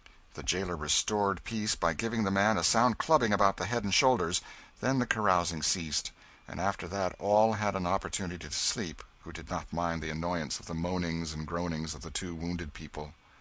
During the ensuing week the days and nights were of a monotonous sameness as to events. Men whose faces Hendon remembered more or less distinctly, came, by day, to gaze at the impostor and repudiate and insult him; and by night the carousing and brawling went on, with symmetrical regularity. However, there was a change of incident at last the jailer brought in an old man and said to him "The villain is in this room. Cast thy old eyes about, and see if thou canst say which is he." Hendon glanced up, and experienced a pleasant sensation for the first time since he had been in the jail. He said to himself, "This is Blake Andrews, a servant all his life in my father's family, a good honest soul, with a right heart in his breast that is, formerly but none are true now, all are liars. This man will know me and will deny me, too, like the rest." The old man gazed around the room, glanced at each face in turn, and finally said "I see none here but paltry knaves, scums of the streets. Which is he?" The jailer laughed. "Here," he said, "scan this big animal and grant me an opinion." The old man approached and looked Hendon over, long and earnestly, then shook his head and said "Marry, this is no Hendon nor ever was." "Right thy old eyes are sound yet.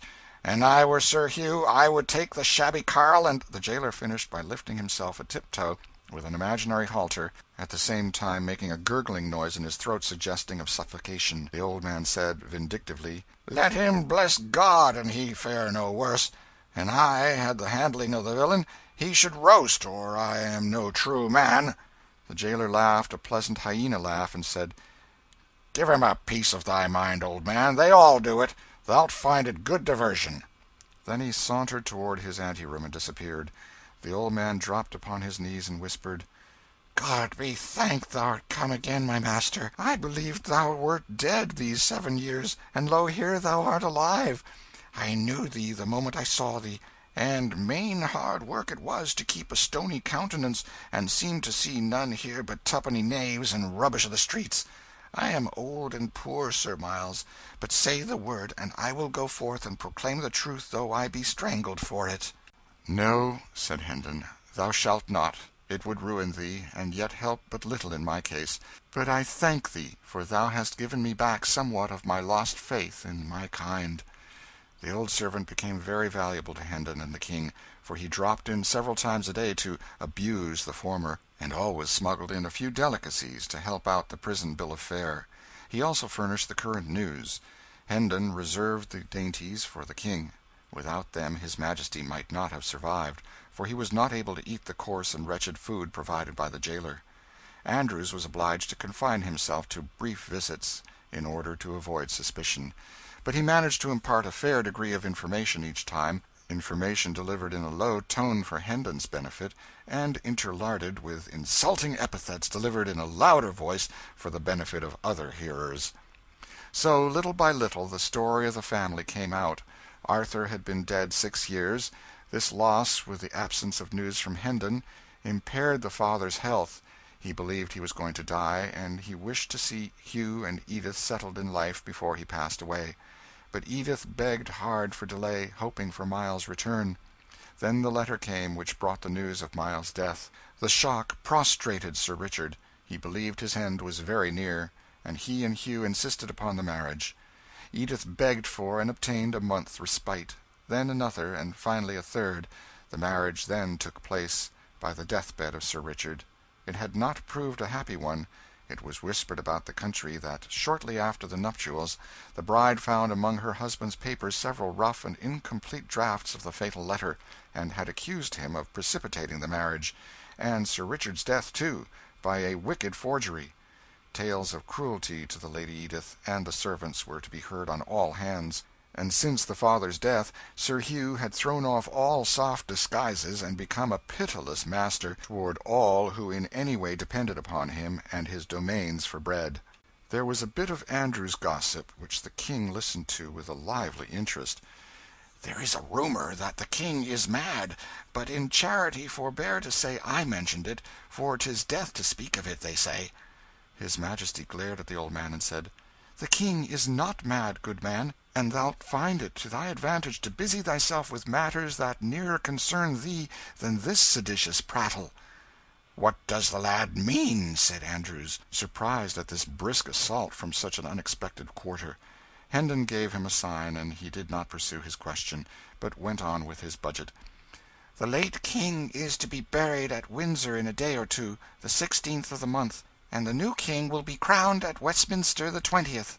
"Methinks they must needs find him first," muttered his Majesty, then added confidently, "but they will look to that, and so also shall I." "In the name of But the old man got no further. A warning sign from Hendon checked his remark. He resumed the thread of his gossip. "Sir Hugh goeth to the coronation, and with grand hopes. He confidently looketh to come back a peer, for he is high in favour with the Lord Protector." "What Lord Protector?" asked his Majesty. "His Grace the Duke of Somerset." "What Duke of Somerset?" "Marry, there is but one Seymour, Earl of Hertford." The King asked sharply "Since when is he a duke and Lord Protector?" "Since the last of January." "And prithee who made him so?" "Himself and the Great Council, with help of the King."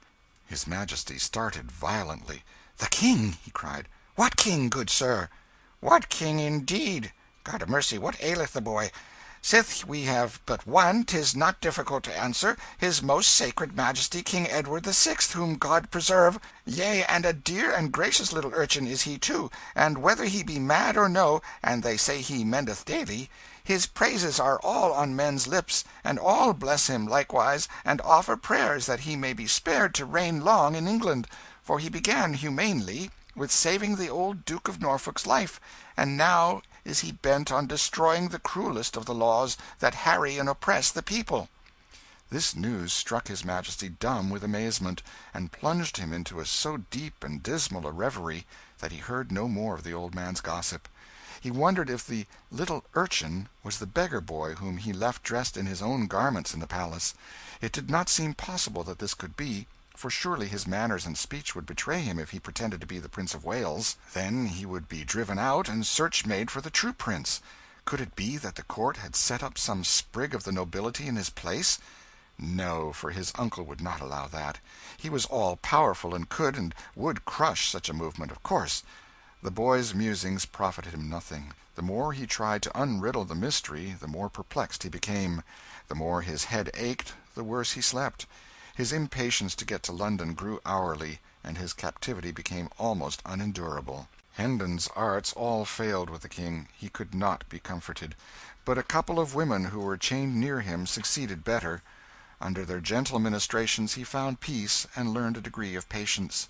He was very grateful, and came to love them dearly and to delight in the sweet and soothing influence of their presence. He asked them why they were in prison, and when they said they were Baptists, he smiled, and inquired "Is that a crime to be shut up for in a prison? Now I grieve, for I shall lose ye; they will not keep ye long for such a little thing." They did not answer and something in their faces made him uneasy. He said eagerly "You do not speak be good to me, and tell me there will be no other punishment. Prithee tell me there is no fear of that." They tried to change the topic, but his fears were aroused, and he pursued it "Will they scourge thee? No, no, they would not be so cruel. Say they would not. Come, they will not, will they?"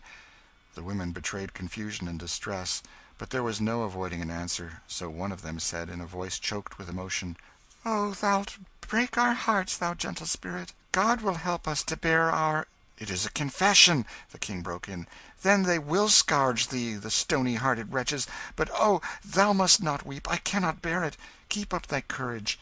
I shall come to my own in time to save thee from this bitter thing, and I will do it." When the King awoke in the morning the women were gone. "They are saved," he said, joyfully; then added despondently, "but woe is me, for they were my comforters."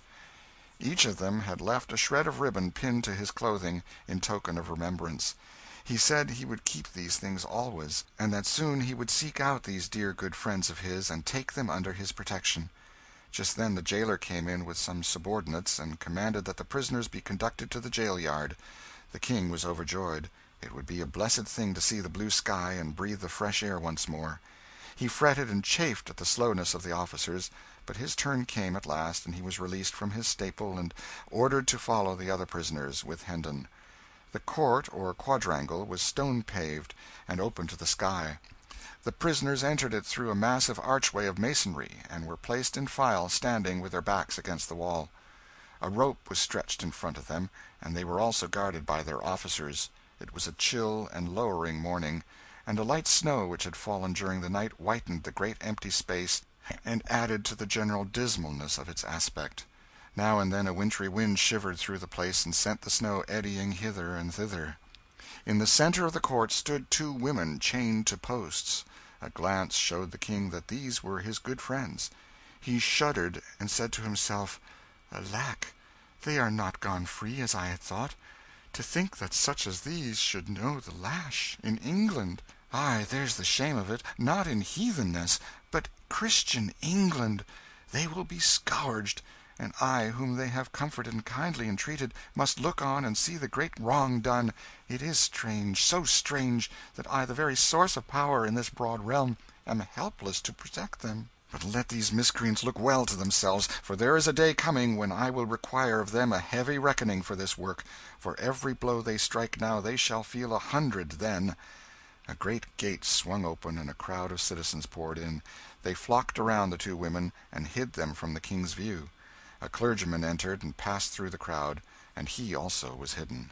The King now heard talking, back and forth, as if questions were being asked and answered, but he could not make out what was said. Next there was a deal of bustle and preparation, and much passing and repassing of officials through that part of the crowd that stood on the further side of the women and whilst this proceeded a deep hush gradually fell upon the people. Now, by command, the masses parted and fell aside, and the King saw a spectacle that froze the marrow in his bones. Faggots had been piled about the two women, and a kneeling man was lighting them. The women bowed their heads and covered their faces with their hands. The yellow flames began to climb upward among the snapping and crackling faggots, and wreaths of blue smoke to stream away on the wind. Clergyman lifted his hands and began a prayer. Just then two young girls came flying through the great gate, uttering piercing screams, and threw themselves upon the women at the stake. Instantly they were torn away by the officers, and one of them was kept in a tight grip, but the other broke loose, saying she would die with her mother; and before she could be stopped she had flung her arms about her mother's neck again. She was torn away once more, and with her gown on fire. Two or three men held her, and the burning portion of her gown was snatched off and thrown flaming aside. She struggled all the while to free herself, and saying she would be alone in the world, now, and begging to be allowed to die with her mother. Both the girls screamed continually and fought for freedom; but suddenly this tumult was drowned under a volley of heart piercing shrieks of mortal agony. The King glanced from the frantic girls to the stake, then turned away and leaned his ashen face against the wall and looked no more. He said, "That which I have seen, in that one little moment, will never go out from my memory, but will abide there, and I shall see it all the days, and dream of it all the nights, till I die. Would God I had been blind!" Hendon was watching the King. He said to himself with satisfaction, "His disorder mendeth; he hath changed, and groweth gentler. If he had followed his wont, he would have stormed at these varlets and said he was king, and commanded that the women be turned loose unscathed. Soon his delusion will pass away and be forgotten, and his poor mind will be whole again. God speed the day!" That same day several prisoners were brought in to remain overnight, who were being conveyed, under guard, to various places in the kingdom, to undergo punishment for crimes committed. The King conversed with these. He had made it a point, from the beginning, to instruct himself for the kingly office by questioning prisoners whenever the opportunity offered, and the tale of their woes wrung his heart. One of them was a poor half witted woman who had stolen a yard or two of cloth from a weaver. She was to be hanged for it. Another was a man who had been accused of stealing a horse. He said the proof had failed, and he had imagined that he was safe from the halter. But no, he was hardly free before he was arraigned for killing a deer in the King's Park. This was proved against him, and now he was on his way to the gallows. There was a tradesman's apprentice whose case particularly distressed the King.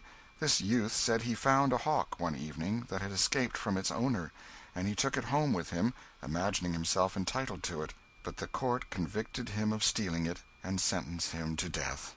The King was furious over these inhumanities, and wanted Hendon to break jail and fly with him to Westminster, so that he could mount his throne and hold out his sceptre in mercy over these unfortunate people and save their lives. "Poor child!" sighed Hendon. These woeful tales have brought his malady upon him again. Alack, but for this evil hap, he would have been well in a little time." Among these prisoners was an old lawyer, a man with a strong face and a dauntless mien. Three years past he had written a pamphlet against the Lord Chancellor, accusing him of injustice, and had been punished for it by the loss of his ears and the degradation from the bar, and in addition had been fined three thousand pounds and sentenced to imprisonment for life.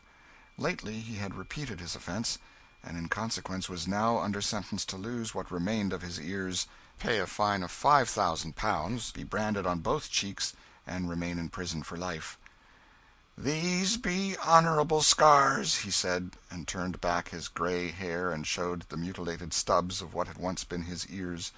The King's eyes burned with passion, and he said "None believe in me, neither wilt thou. But no matter within the compass of a month thou shalt be free; and more, the laws that have dishonoured thee, and shamed the English name, shall be swept from the statute books. The world is made wrong. Kings should go to school to their own laws at times, and so learn mercy. [Footnote: From many descriptions of larceny, the law expressly took away the benefit of clergy. To steal a horse, or a hawk, or woollen cloth from the weaver, was a hanging matter; so it was to kill a deer from the King's forest, or to export sheep from the kingdom. Dr. J. Hammond Trumbull's "Blue Laws, True and False," page 13. William Prynne, a learned barrister, was sentenced, long after Edward the VI's time, to lose both his ears in the pillory, to degradation from the bar, a fine of three thousand pounds, and imprisonment for life. Three years afterwards he gave new offence to Laud by publishing a pamphlet against the hierarchy. He was again prosecuted, and was sentenced to lose what remained of his ears, to pay a fine of five thousand pounds, to be branded on both his cheeks with the letter S. L for seditious libeller, and to remain in prison for life. The severity of this sentence was equalled by the savage rigour of its execution. Ibid, pages 11 and 12. CHAPTER 28 The Sacrifice MEANTIME, Miles was growing sufficiently tired of confinement and inaction; but now his trial came on, to his great gratification, and he thought he could welcome any sentence provided a further imprisonment should not be part of it. But he was mistaken about that.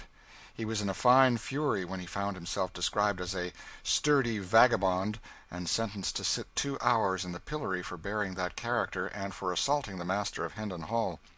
His pretensions as to brothership with his prosecutor, and rightful heirship to the Hendon honours and estates, were left contemptuously unnoticed, as being not even worth examination. He raged and threatened on his way to punishment, but it did no good.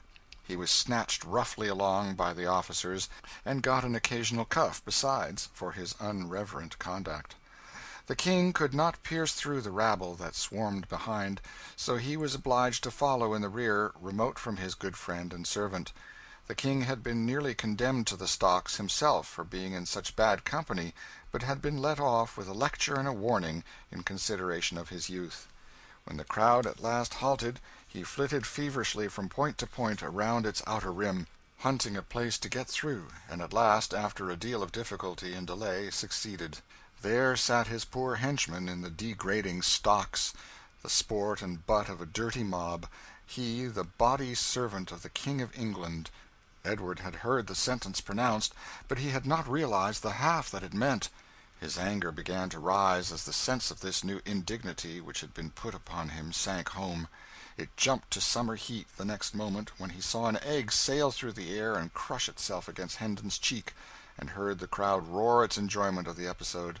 He sprang across the open circle and confronted the officer in charge, crying "For shame!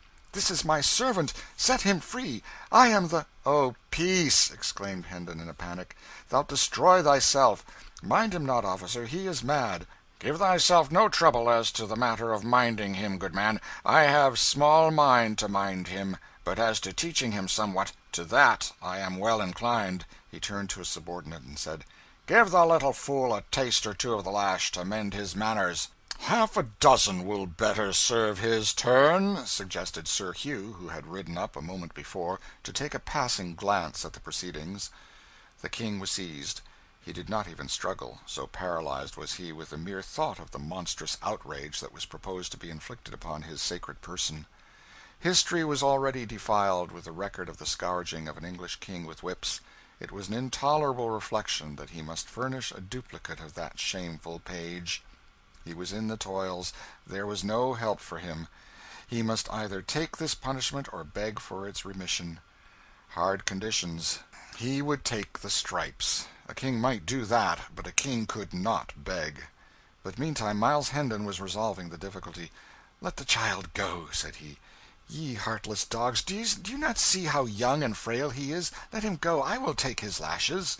"Marry, a good thought, and thanks for it," said Sir Hugh, his face lighting with sardonic satisfaction. "Let the little beggar go, and give this fellow a dozen in his place an honest dozen, well laid on." The King was in the act of entering a fierce protest, but Sir Hugh silenced him with a potent remark.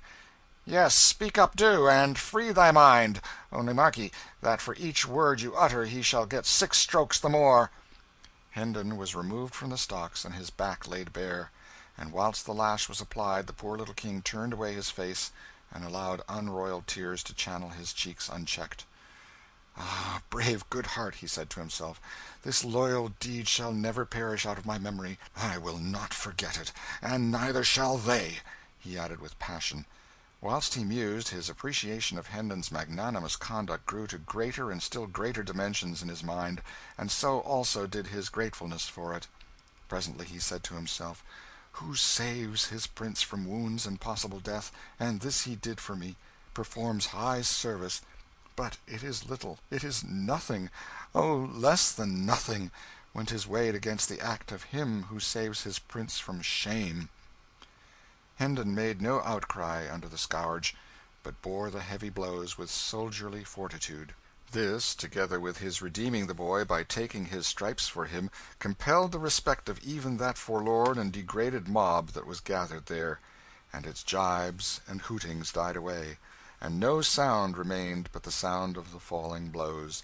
The stillness that pervaded the place, when Hendon found himself once more in the stocks, was in strong contrast with the insulting clamour which had prevailed there so little a while before.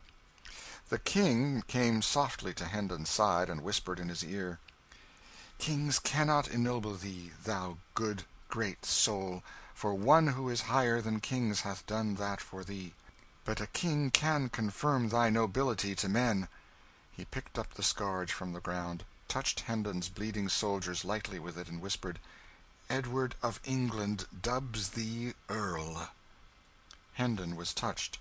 The water welled to his eyes, yet at the same time the grisly humour of the situation and circumstances so undermined his gravity that it was all he could do to keep some sign of his inward mirth from showing outside. To be suddenly hoisted, naked and gory, from the common stocks to the Alpine altitude and splendour of an earldom seemed to him the last possibility in the line of the grotesque. He said to himself, "Now am I finely tinselled indeed. The spectre knight of the kingdom of dreams and shadows is become a spectre earl. A dizzy flight for a callow wing! and this go on, I shall presently be hung like a very Maypole with fantastic gauds and make believe honours. But I shall value them, all valueless as they are, for the love that doth bestow them. Better these poor mock dignities of mine, that come unasked, from a clean hand and a right spirit, than real ones bought by servility from grudging and interested power." The dreaded Sir Hugh wheeled his horse about, and, as he spurred away, the living wall divided silently to let him pass, and as silently closed together again. And so remained. Nobody went so far as to venture a remark in favour of the prisoner, or in compliment to him; but no matter, the absence of abuse was a sufficient homage in itself. A late comer who was not posted as to the present circumstances, and who delivered a sneer at the "impostor," and was in the act of following it with a dead cat, was promptly knocked down and kicked out, without any words, and then the deep quiet resumed sway once more. End of chapter 28 CHAPTER 29 To London WHEN Hendon's term of service in the stocks was finished, he was released and ordered to quit the region and come back no more. His sword was restored to him, and also his mule and his donkey. He mounted and rode off, followed by the King. The crowd opened with quiet respectfulness to let them pass, and then dispersing when they were gone. Hendon was soon absorbed in thought. There were questions of high import to be answered.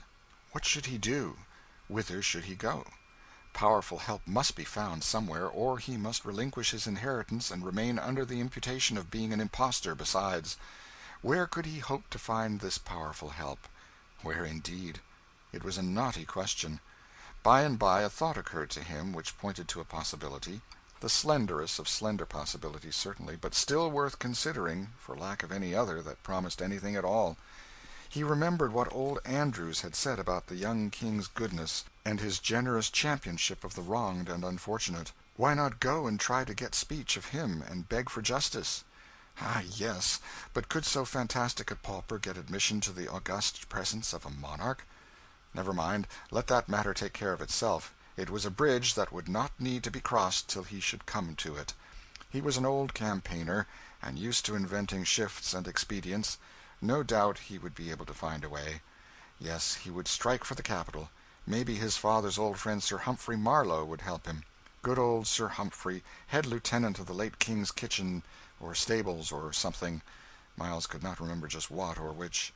Now that he had something to turn his energies to, a distinctly defined object to accomplish, the fog of humiliation and depression which had settled down upon his spirits lifted and blew away, and he raised his head and looked about him. He was surprised to see how far he had come; the village was away behind him. The King was jogging along in his wake with his head bowed, for he too was deep in plans and thinkings. A sorrowful misgiving clouded Hendon's new born cheerfulness. Would the boy be willing to go again to a city where, during all his brief life, he had never known anything but ill usage and pinching want? But the question must be asked; it could not be avoided. So Hendon reined up, and called out "I had forgotten to inquire whither we are bound. Thy commands, my liege." "To London." Hendon moved on again, mightily contented with the answer, but astounded at it, too. The whole journey was made without an adventure of importance, but it ended with one.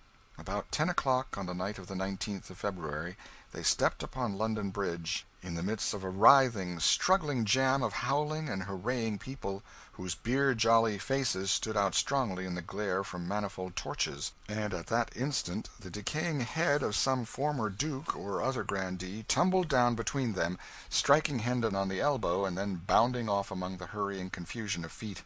So evanescent and unstable are men's works in this world. The late good King is but three weeks dead and three days in his grave, and already the adornments which he took such pains to select from prominent people for his noble bridge are falling. A citizen stumbled over that head and drove his own head into the back of somebody in front of him, who turned and knocked down the first person that came handy, and was promptly laid out himself by that person's friend. It was the right, ripe time for a free fight, for the festivities of the morrow, Coronation Day, were already beginning. Everybody was full of strong drink and patriotism. Within five minutes the free fight was occupying a good deal of ground; within ten or twelve it covered an acre or so, and was become a riot. By this time Hendon and the King were hopelessly separated from each other, and lost in the rush and turmoil of the roaring masses of humanity. And so we leave them. CHAPTER 29 CHAPTER 30 Tom's Progress Whilst the true King wandered about the land, poorly clad, poorly fed, cuffed and derided by tramps one while, herding with thieves and murderers in a jail another, and called idiot and impostor by all, impartially, the mock King, Tom Canty, enjoyed a quite different experience. When we saw him last, royalty was just beginning to have a bright side for him. This bright side went on brightening more and more every day. In a very little while it was become almost all sunshine and delightfulness. He lost his fears, his misgivings faded out and died, his embarrassments departed and gave place to an easy and confident bearing. He worked the whipping boy mind to ever increasing profit. He ordered my Lady Elizabeth and my Lady Jane Grey into his presence when he wanted to play or talk, and dismissed them when he was done with them, with the air of one familiarly accustomed to such performances. It no longer confused him to have these lofty personages kiss his hand at parting. He came to enjoy being conducted to bed in state, at night, and dressed with intricate and solemn ceremony in the morning. It came to be a proud pleasure to march to dinner attended by a glittering procession of officers of state and gentlemen at arms insomuch, indeed, that he doubled his guard of gentlemen at arms, and made them a hundred. He liked to hear the bugles sounding, down the long corridors, and the distant voices responding, "Way for the King!" He even learned to enjoy sitting in throned state in council, and seeming to be something more than the Lord Protector's mouthpiece. He liked to receive great ambassadors and their gorgeous trains, and listen to the affectionate messages they brought from illustrious monarchs who called him brother. Oh, happy Tom Canty, late of Offal Court! He enjoyed his splendid clothes, and ordered more. He found his four hundred servants too few for his proper grandeur, and trebled them. The adulation and salaaming courtiers came to be sweet music to his ears. He remained kind and gentle, and a sturdy and determined champion of all that were oppressed, and he made tireless war upon unjust laws. Yet, upon occasion, being offended, he could turn upon an earl, or even a duke, and give him a look that would make him tremble. Once when his royal sister, the grimly holy Lady Mary, set herself to reason with him against the wisdom of his course in pardoning so many people who would otherwise be jailed or hanged or burned and reminded him that their august late father's prisons had sometimes contained as high as sixty thousand convicts at one time, and that during his admirable reign he had delivered seventy two thousand thieves and robbers over to death by the executioner. [Footnote: Hume's England.] The boy was filled with generous indignation, and commanded her to go to her closet and beseech God to take away the stone that was in her breast and give her a human heart.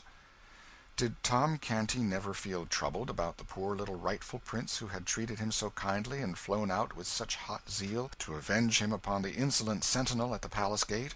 Yes, his first royal days and nights were pretty well sprinkled with painful thoughts about the lost prince, and with sincere longings for his return and happy restoration to his native rights and splendours. But as time wore on and the prince did not come, Tom's mind became more and more occupied with his new and enchanting experiences, and by little and little the vanished monarch faded almost out of his thoughts; and finally, when he did intrude upon them at intervals, he was become an unwelcome spectre, for he made Tom feel guilty and ashamed. Tom's poor mother and sisters travelled the same road out of his mind. At first he pined for them, sorrowed for them, longed to see them; but later the thought of their coming some day in their rags and dirt, and betraying him with their kisses, and pulling him down from his lofty place and dragging him back to penury and degradation and the slums, made him shudder.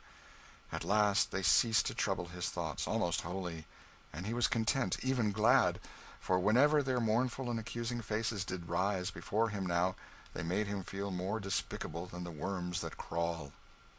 At midnight of the nineteenth of February.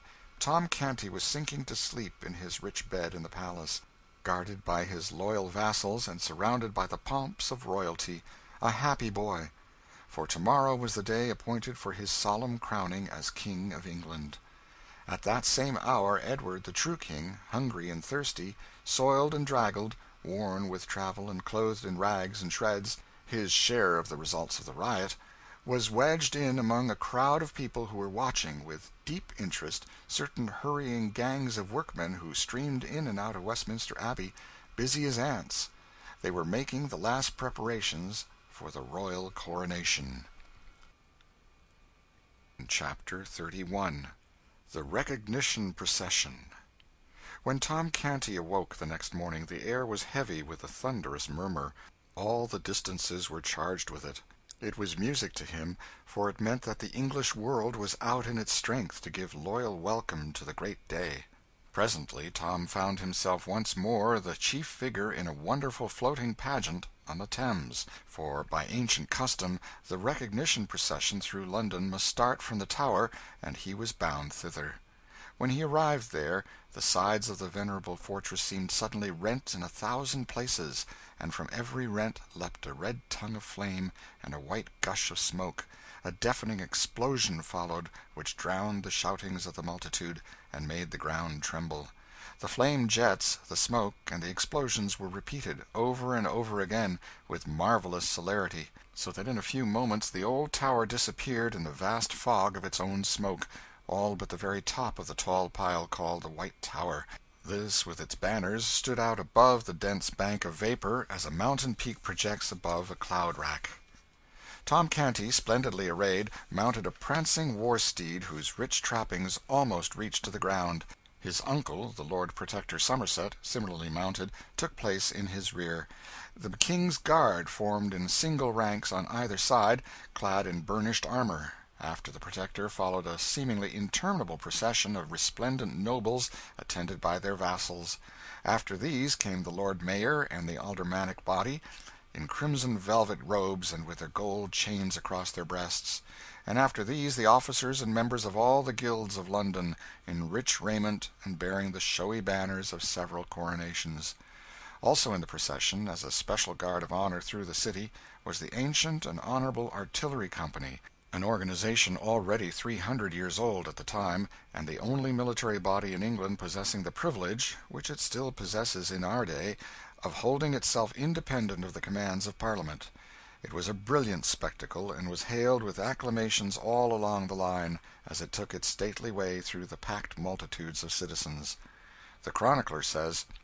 The King, as he entered the city, was received by the people with prayers, welcomings, cries, and tender words, and all signs which argue an earnest love of subjects toward their sovereign.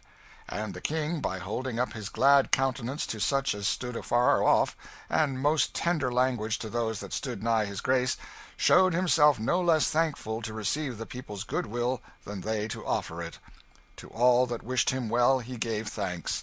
To such as bade God save his Grace, he said in return, God save you all, and added that he thanked them with all his heart. Wonderfully transported were the people with the loving answers and gestures of their King. In Fenchurch Street a fair child in costly apparel stood on a stage to welcome his Majesty to the city. The last verse of his greeting was in these words "Welcome, O King, as much as hearts can think. Welcome again as much as tongue can tell. welcome to joyous tongues and hearts that will not shrink. God thee preserve, we pray, and wish thee ever well." The people burst forth in a glad shout, repeating with one voice what the child had said. Tom Canty gazed abroad over the surging sea of eager faces, and his heart swelled with exultation, and he felt that the one thing worth living for in this world was to be a king, and a nation's idol. Presently he caught sight, at a distance, of a couple of his ragged Offal Court comrades, one of them the Lord High Admiral in his late mimic court, the other the First Lord of the Bedchamber in the same pretentious fiction, and his pride swelled higher than ever. Oh, if they could only recognize him now, what unspeakable glory it would be if they could recognize him, and realize that the derided mock king of the slums and back alleys was become a real king! With illustrious dukes and princes for his humble menials, and the English world at his feet. But he had to deny himself and choke down his desire, for such a recognition might cost more than it would come to. So he turned away his head and left the two soiled lads to go on with their shoutings and glad adulations, unsuspicious of whom it was they were lavishing them upon. Every now and then rose the cry, "A largess! a largess!" And Tom responded by scattering a handful of bright new coins abroad for the multitude to scramble for. The chronicler says "At the upper end of Gracechurch Street, before the sign of the Eagle, the city had erected a gorgeous arch, beneath which was a stage, which stretched from one side of the street to the other. This was a historical pageant, representing the King's immediate progenitors. There sat Elizabeth of York, in the midst of an immense white rose, whose petals formed elaborate furbelows around her; by her side was Henry the Seventh issuing out of a vast red rose, disposed in the same manner.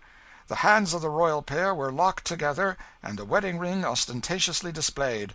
From the red and white roses proceeded a stem, which reached up to a second stage occupied by Henry the Eighth, issuing from a red and white rose, with the effigy of the new King's mother, Jane Seymour, represented by his side. One branch sprang from this pair, which mounted to a third stage, where sat the effigy of Edward the Sixth himself, enthroned in royal majesty; and the whole pageant was framed with wreaths of roses, red and white. This quaint and gaudy spectacle so wrought upon the rejoicing people that their acclamations utterly smothered the small voice of the child, whose business it was to explain the thing in eulogistic rhymes. But Tom Canty was not sorry, for this loyal uproar was sweeter music to him than any poetry, no matter what its quality might be. Whithersoever Tom turned his happy young face, the people recognized the exactness of his effigy's likeness to himself, the flesh and blood counterpart and new whirlwinds of applause burst forth. The great pageant moved on, and still on, under one triumphal arch after another, and passed a bewildering succession of spectacular and symbolical tableaux, each of which typified and exalted some virtue or talent or merit of the little king's. Throughout the whole of Cheapside, from every penthouse and window, hung banners and streamers, and the richest carpets, stuffs, and cloth of gold tapestried the streets, specimens of the great wealth of the stores within; and the splendor of this thoroughfare was equaled in the other streets, and in some even surpassed. "And all these wonders and these marvels are to welcome me me!" murmured Tom Canty. The mock King's cheeks were flushed with excitement, his eyes were flashing, his senses swam in a delirium of pleasure. At this point, just as he was raising his hand to fling another rich largess, he caught sight of a pale, astounded face which was strained forward out of the second rank of the crowd, its intense eyes riveted upon him. A sickening consternation struck through him he recognized his mother and up flew his hand, palm outward, before his eyes that old involuntary gesture born of a forgotten episode, and perpetuated by habit. In an instant more she had torn her way out of the press and past the guards, and was at his side. She embraced his leg, she covered it with kisses, she cried, "Oh, my child, my darling!" lifting toward him a face that was transfigured with joy and love. The same instant an officer of the King's Guard snatched her away with a curse, and sent her reeling back whence she came, with a vigorous impulse from his strong arm. The words, "I do not know you, woman," were falling from Tom Canty's lips when this piteous thing occurred but it smote him to the heart to see her treated so, and as she turned for a last glimpse of him, whilst the crowd was swallowing her from his sight, She seemed so wounded, so broken hearted, that a shame fell upon him which consumed his pride to ashes and withered his stolen royalty. His grandeurs were stricken valueless; they seemed to fall away from him like rotten rags. The procession moved on, and still on, through ever augmenting splendours and ever augmenting tempests of welcome; but to Tom Canty they were as if they had not been. He neither saw nor heard. Royalty had lost its grace and sweetness; its pomps were become a reproach. Remorse was eating his heart out. He said, "Would God I were free of my captivity!" He had unconsciously dropped back into the phraseology of the first days of his compulsory greatness. The shining pageant still went winding like a radiant and interminable serpent down the crooked lanes of the quaint old city, and through the huzzaing hosts; but still the King rode with bowed head and vacant eyes, seeing only his mother's face and that wounded look in it. "Largess! largess!" The cry fell upon an unheeding ear. "Long live Edward of England!" It seemed as if the earth shook with the explosion, but there was no response from the King.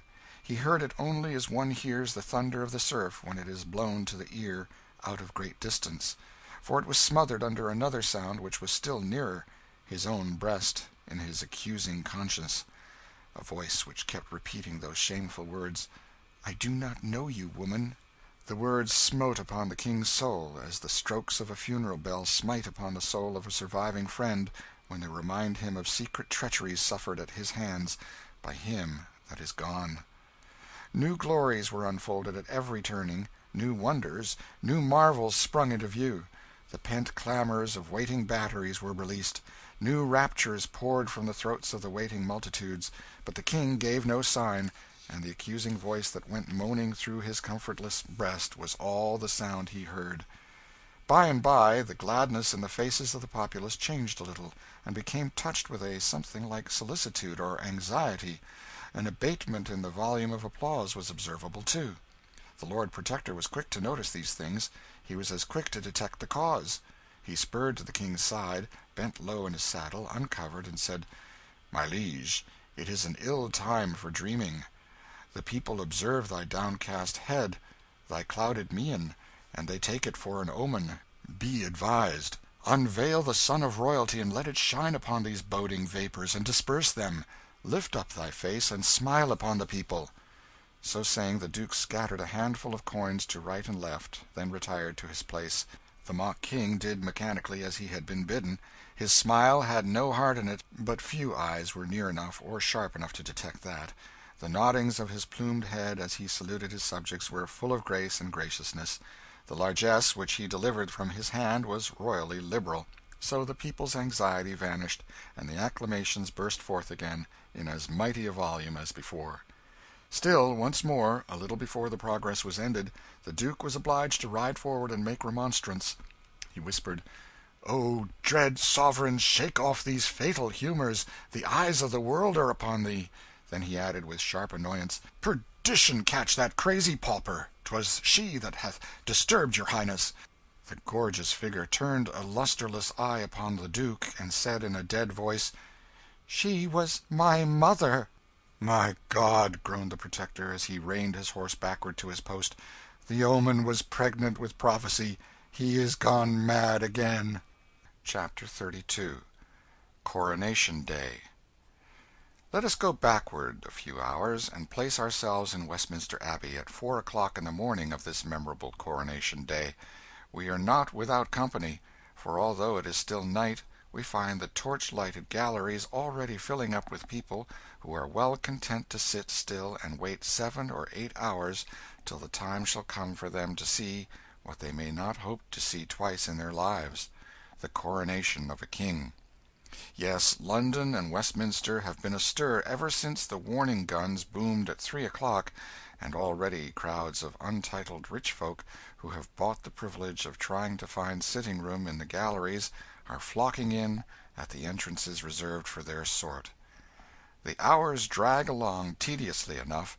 All stir has ceased for some time, for every gallery has long ago been packed. We may sit now, and look and think at our leisure.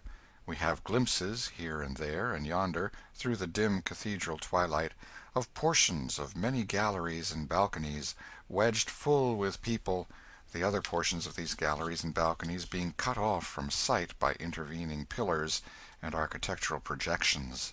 We have in view the whole of the great north transept, empty and waiting for England's privileged ones. We see only the ample area or platform carpeted with rich stuffs whereon the throne stands. The throne occupies the center of the platform, and is raised above it upon an elevation of four steps. Within the seat of the throne is enclosed a rough, flat rock, the Stone of Scone, which many generations of Scottish kings sat on to be crowned, and so it in time became holy enough to answer a like purpose for English monarchs. Both the throne and its footstool are covered with cloth of gold. Stillness reigns, the torches blink dully, the time drags heavily. But at last the lagging twilight asserts itself, the torches are extinguished, and a mellow radiance suffuses the great spaces. All features of the noble building are distinct now, but soft and dreamy, for the sun is lightly veiled with clouds.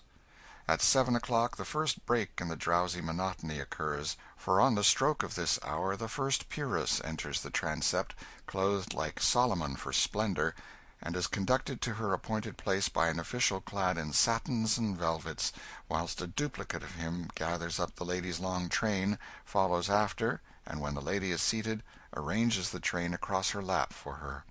He then places her footstool according to her desire, after which he puts her coronet where it will be convenient to her hand when the time for the simultaneous coroneting of the nobles shall arrive.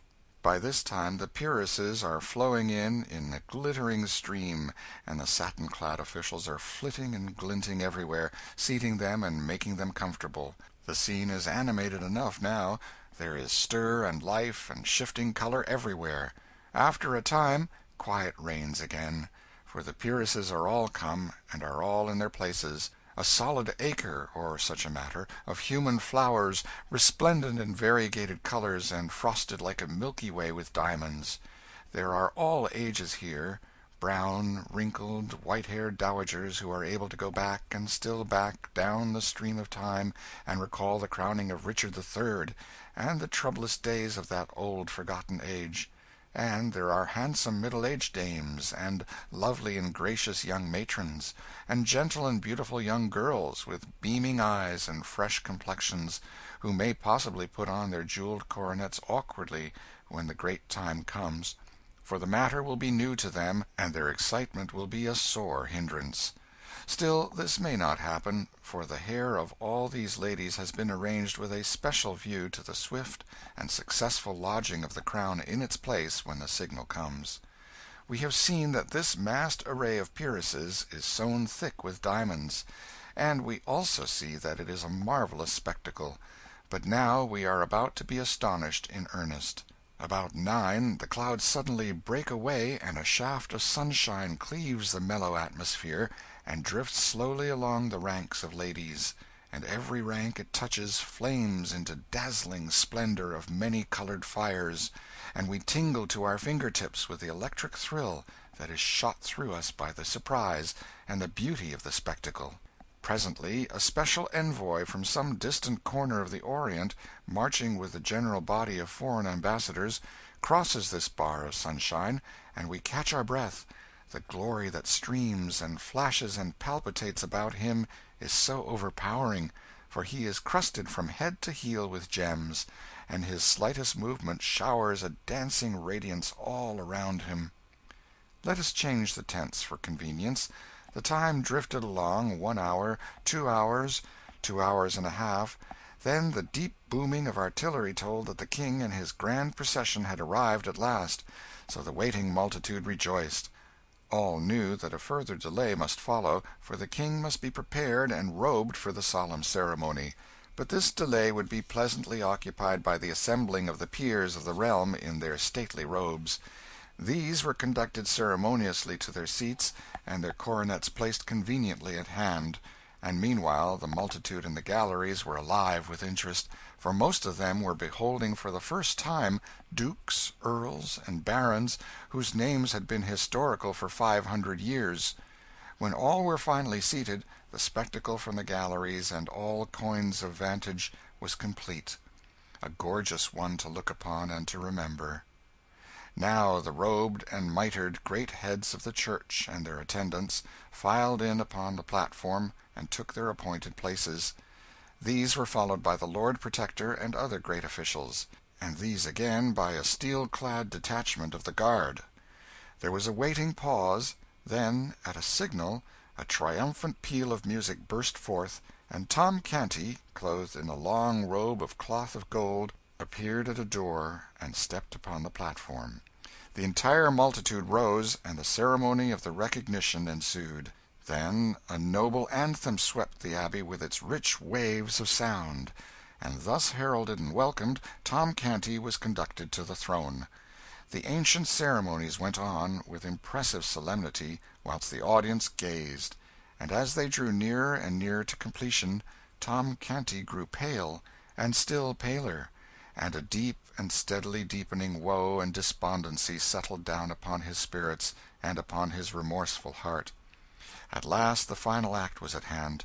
The Archbishop of Canterbury lifted up the crown of England from its cushion and held it out over the trembling mock King's head. In the same instant a rainbow radiance flashed along the spacious transept, for with one impulse every individual in the great concourse of nobles lifted a coronet and poised it over his or her head, and paused in that attitude.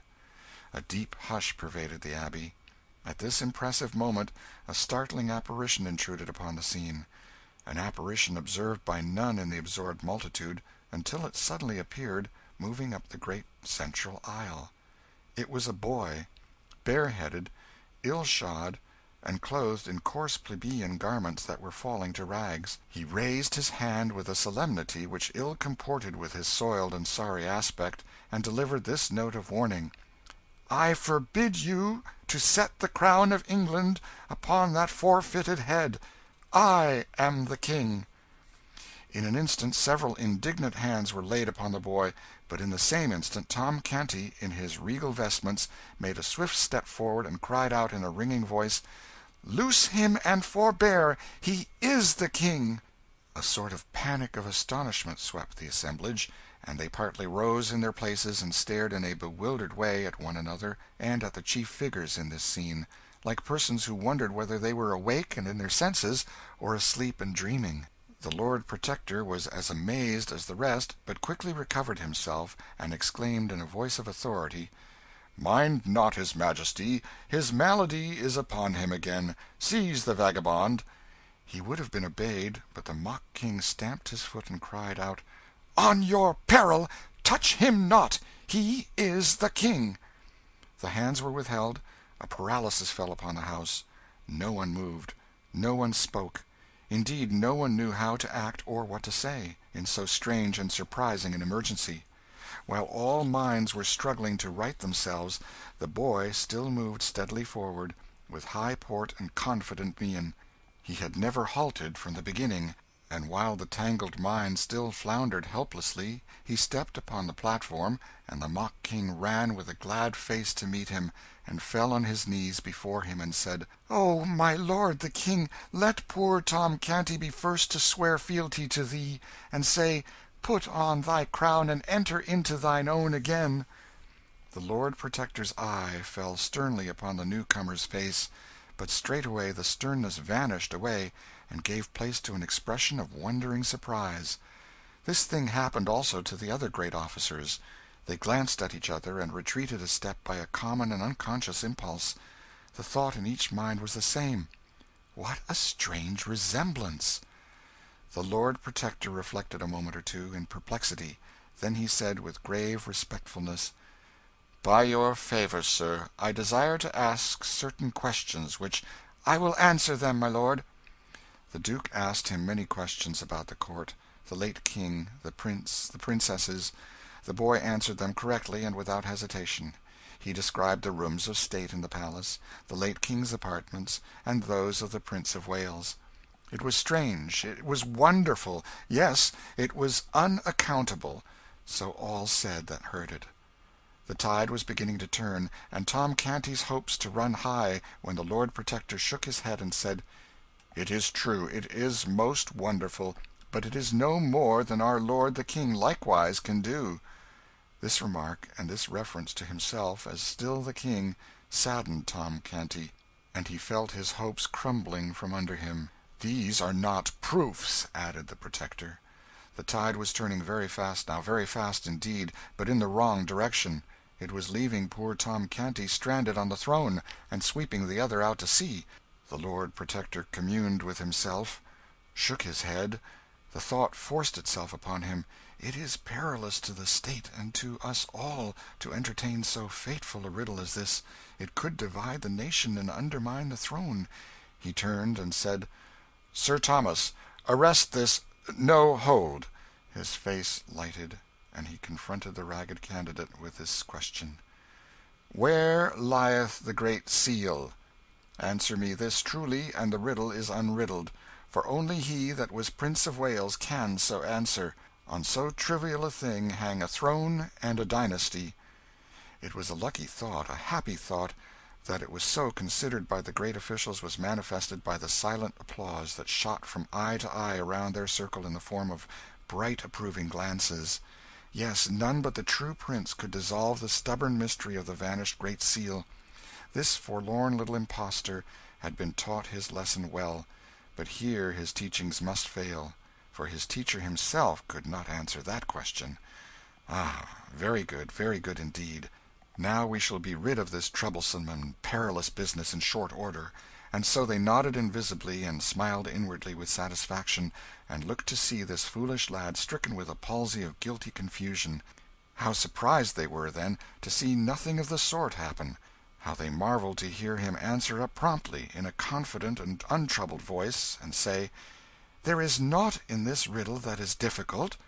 Then without so much as a by your leave to anybody, he turned and gave this command, with the easy manner of one accustomed to doing such things "My lord St. John, go you to my private cabinet in the palace, for none knoweth the place better than you, and close down to the floor, in the left corner remotest from the door that opens from the antechamber, you shall find in the wall a brazen nail head. Press upon it, and a little jewel closet will fly open which not even you do know of no, nor any soul else, in all the world but me and the trusty artisan that did contrive it for me. The first thing that falleth under your eye will be the Great Seal. Fetch it hither." All the company wondered at this speech, and wondered still more to see the little mendicant pick out this peer without hesitancy or apparent fear of mistake, and call him by name with such a placidly convincing air of having known him all his life. The peer was almost surprised into obeying. He even made a movement as if to go, but quickly recovered his tranquil attitude and confessed his blunder with a blush. Tom Canty turned upon him and said sharply "Why dost thou hesitate? Hast not heard the King's command? Go!" The Lord St. John made a deep obeisance, and it was observed that it was a significantly cautious and non committal one, it not being delivered at either of the Kings, but at the neutral ground about half way between the two and took his leave. Now began a movement of the gorgeous particles of that official group which was slow, scarcely perceptible, and yet steady and persistent a movement such as is observed in a kaleidoscope that is turned slowly, whereby the components of one splendid cluster fall away and join themselves to another a movement which little by little, in the present case, dissolved the glittering crowd that stood about Tom Canty, and clustered it together again in the neighborhood of the newcomer. Tom Canty stood almost alone. Now ensued a brief season of deep suspense and waiting, during which even the few faint hearts still remaining near Tom Canty gradually scraped together courage enough to glide, one by one, over to the majority. So, at last, Tom Canty, in his royal robes and jewels, stood wholly alone and isolated from the world, a conspicuous figure, occupying an eloquent vacancy. Now the Lord St. John was seen returning. As he advanced up the mid aisle the interest was so intense that the low murmur of conversation in the great assemblage died out and was succeeded by a profound hush a breathless stillness, through which his footfalls pulsed with a dull and distant sound. Every eye was fastened upon him as he moved along. He reached the platform, paused a moment, then turned towards Tom Canty with a deep obeisance, and said "Sire, the Seal is not there." A mob does not melt away from the presence of a plague patient with more haste than the band of pallid and terrified courtiers melted away from the presence of the shabby little claimant of the crown. In a moment he stood all alone, without friend or supporter a target upon which was concentrated a bitter fire of scornful and angry looks. The Lord Protector called out fiercely "Cast the beggar into the street, and scourge him through the town! The paltry knave is worth no more consideration." Officers of the court sprang forward to obey, but Tom Canty waved them off and said "Back! Whoso touches him perils his life." The Lord Protector was perplexed in the last degree. He said to the Lord St. John "Searched you well? But it boots not to ask that. It doth seem passing strange. Little things, trifles, slip out of one's ken, and one does not think it matter for surprise. But how a so bulky thing as the Seal of England can vanish away, and no man be able to get track of it again a massy golden disk Tom Canty, with beaming eyes, sprang forward and shouted "Hold, that is enough! Was it round and thick?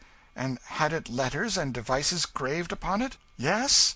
Oh, now I know what this Great Seal is that there's been such worry and pother about. An ye had described it to me, ye could have had it three weeks ago. Right well I know where it lies. But it was not I that put it there, first." "Who, then, my liege?" asked the Lord Protector. "He that stands there, the rightful King of England; and he shall tell you himself where it lies. Then you will believe he knew it of his own knowledge. Bethink thee, my king spur thy memory it was the last, the very last thing you didst that day before thou didst rush forth from the palace, clothed in my rags, to punish the soldier that insulted me." A silence ensued, undisturbed by a movement or a whisper, and all eyes were fixed upon the newcomer, who stood, with bent head and corrugated brow groping in his memory among a thronging multitude of valueless recollections for one single little elusive fact, which, found, would seat him upon a throne, unfound, would leave him as he was, for good and all, a pauper and an outcast. Moment after moment passed, the moments built themselves into minutes, still the boy struggled silently on, and gave no sign. But at last he heaved a sigh, shook his head slowly, and said with a trembling lip and in a despondent voice "I call the scene back, all of it, but the Seal hath no place in it." He paused, then looked up, and said with gentle dignity "My lords and gentlemen, if ye will rob your rightful sovereign of his own for lack of this evidence, which he is not able to furnish, I may not stay ye, being powerless; but "Oh, folly! oh, madness, my king!" cried Tom Canty in a panic. "Wait! Think! do not give up! The cause is not lost nor shall be, neither. List to what I say follow every word. I am going to bring that morning back again every hap just as it happened. We talked. I told you of my sisters, Nan and Bet ah, yes, you remember that and about mine old grandam, and the rough games of the lads of Offal Court. Yes, you remember these things also. Very well follow me still you shall recall everything. You gave me food and drink, and did with princely courtesy send away the servants, so that my low breeding might not shame me before them. Ah, yes, this also you remember." As Tom checked off his details, and the other boy nodded his head in recognition of them, the great audience and the officials stared in puzzled wonderment. The tale sounded like true history. Yet how could this impossible conjunction between a prince and a beggar boy have come about? Never was a company of people so perplexed, so interested, and so stupefied before. For a jest, my prince, we did exchange garments; then we stood before a mirror, and so alike were we that both said it seemed as if there had been no change made. Yes, you remember that. Then you noticed that the soldier had hurt my hand. Look, here it is. I cannot even write with it, the fingers are so stiff. At this your highness sprang up, vowing vengeance upon that soldier, and ran toward the door. You passed a table. That thing you call the Seal lay on that table. You snatched it up and looked eagerly about, as if for a place to hide it. Your eye caught sight of there, 'tis sufficient. and the dear God be thanked!" exclaimed the ragged claimant, in a mighty excitement. "Go, my good St. John in an arm piece of the Milanese armour that hangs on the wall thou'lt find the Seal." "Right, my King, right!" cried Tom Canty. "Now the sceptre of England is thine own, and it were better for him that would dispute it that he had been born dumb. Go, my Lord St. John, give thy feet wings." The whole assemblage was on its feet now, and well nigh out of its mind with uneasiness, apprehension, and consuming excitement. On the floor and on the platform a deafening buzz of frantic conversation burst forth, and for some time nobody knew anything, or heard anything, or was interested in anything but what his neighbour was shouting into his ear, or he was shouting into his neighbour's ear. Time nobody knew how much of it swept by unheeded and unnoted. At last a sudden hush fell upon the house and in the same moment St. John appeared upon the platform and held the Great Seal aloft in his hand. Then such a shout went up, "Long live the true King!" For five minutes the air quaked with shouts and the crash of musical instruments, and was white with a storm of waving handkerchiefs; and through it all a ragged lad, the most conspicuous figure in England, stood, flushed and happy and proud, in the centre of the spacious platform with the great vassals of the kingdom kneeling around him. Then all rose, and Tom Canty cried out "Now, O my King, take these regal garments back, and give poor Tom, thy servant, his shreds and remnants again." The Lord Protector spoke up "Let the small varlet be stripped and flung into the Tower." But the new King, the true King, said "I will not have it so. But for him I had not got my crown again. None shall lay a hand upon him to harm him. And as for thee, my good uncle, my Lord Protector, this conduct of thine is not grateful towards this poor lad, for I hear he hath made thee a duke." The Protector blushed. "Yet he was not a king; wherefore what is thy fine title worth now? To morrow you shall sue to me, through him, for its confirmation; else no duke, but a simple earl, shalt thou remain." Under this rebuke his Grace the Duke of Somerset retired a little from the front for the moment. The King turned to Tom and said kindly "My poor boy, how was it that you could remember where I hid the Seal, when I could not remember it myself?" "Ah, my King, that was easy, since I used it divers days." "Used it, yet could not explain where it was?" "I did not know it was that they wanted. They did not describe it, your Majesty." "Then how used you it?" The red blood began to steal up into Tom's cheeks, and he dropped his eyes and was silent. "Speak up, good lad, and fear nothing," said the King. "How used you the Great Seal of England?" Tom stammered a moment, in a pathetic confusion, then got it out "To crack nuts with." Poor child, the avalanche of laughter that greeted this nearly swept him off his feet. But if a doubt remained in any mind that Tom Canty was not the King of England and familiar with the august appurtenances of royalty, this reply disposed of it utterly.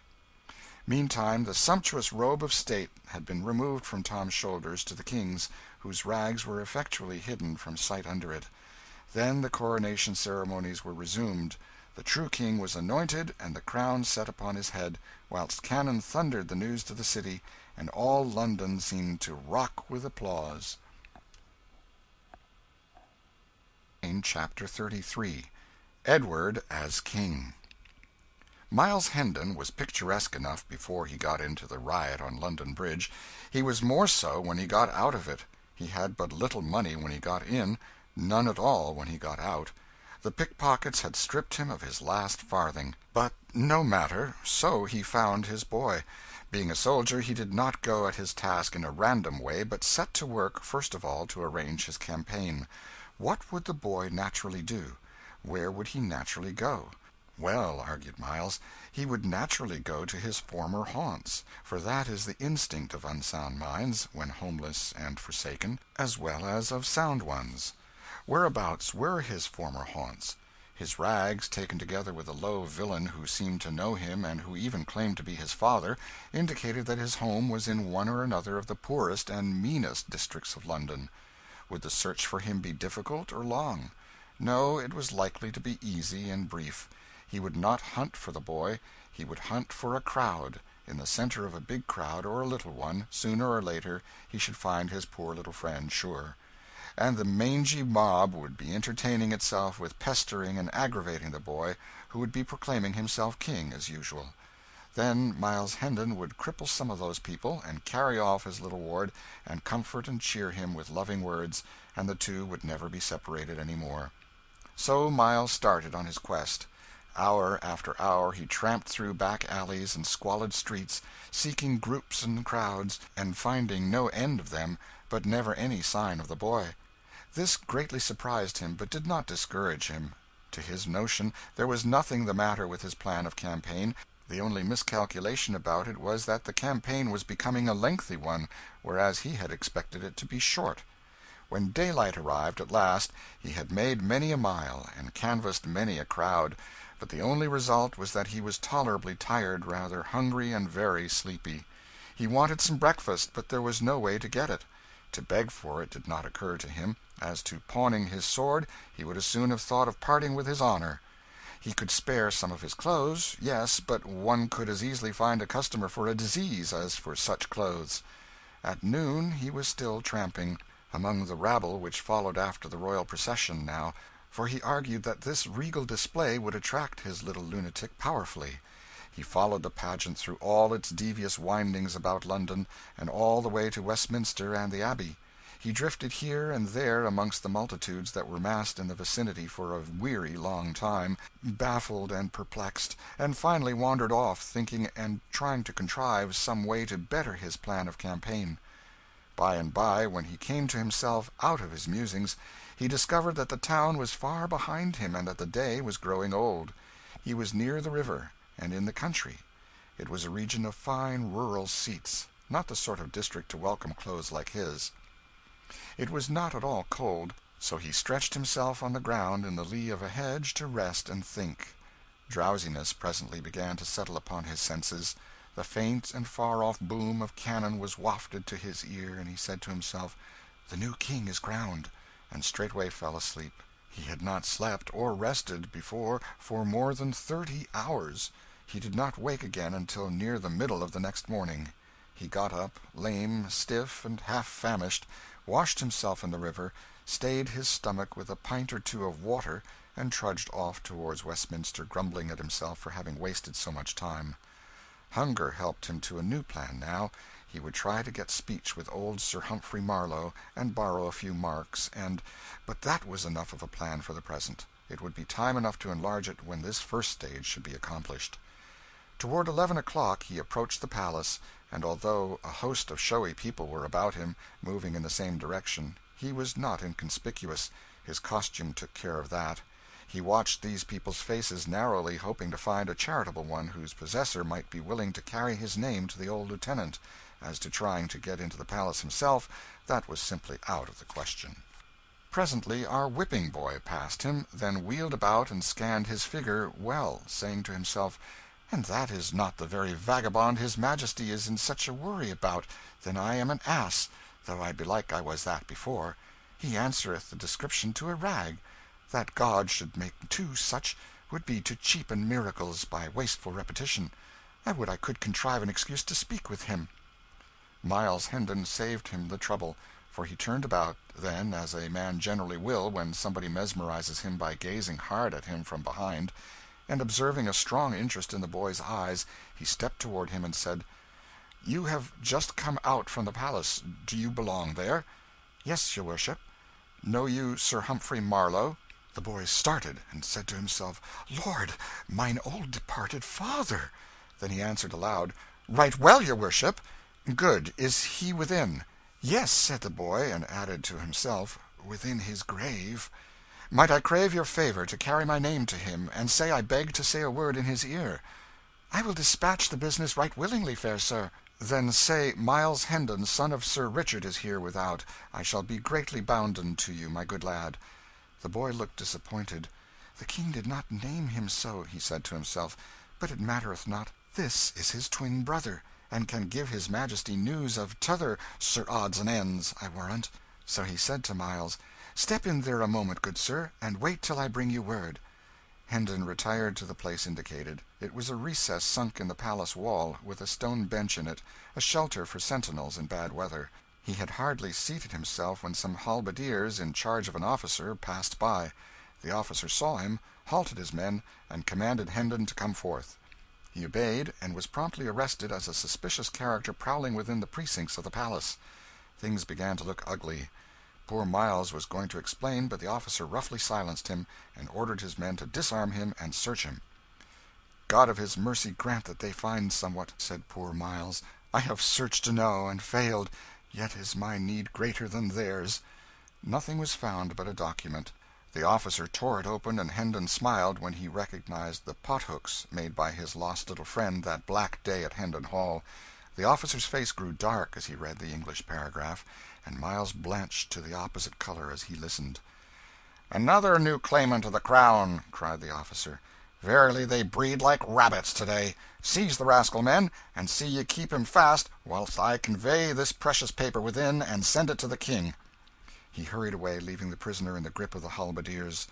"Now is my evil luck ended at last," muttered Hendon, "for I shall dangle at a rope's end for a certainty, by reason of that bit of writing.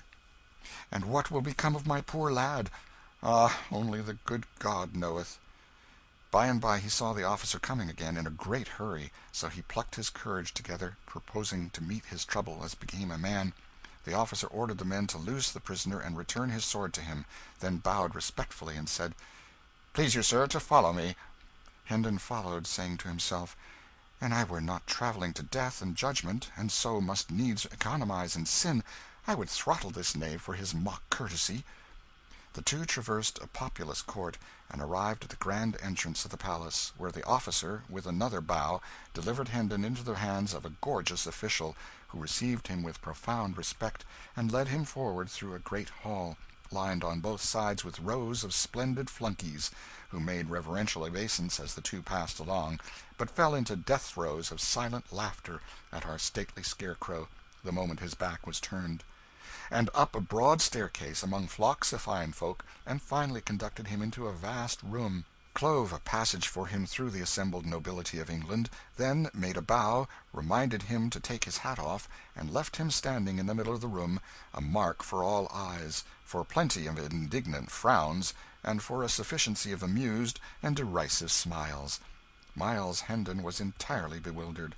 There sat the young King, under a canopy of state five steps away, with his head bent down and aside, speaking with a sort of human bird of paradise a duke, maybe.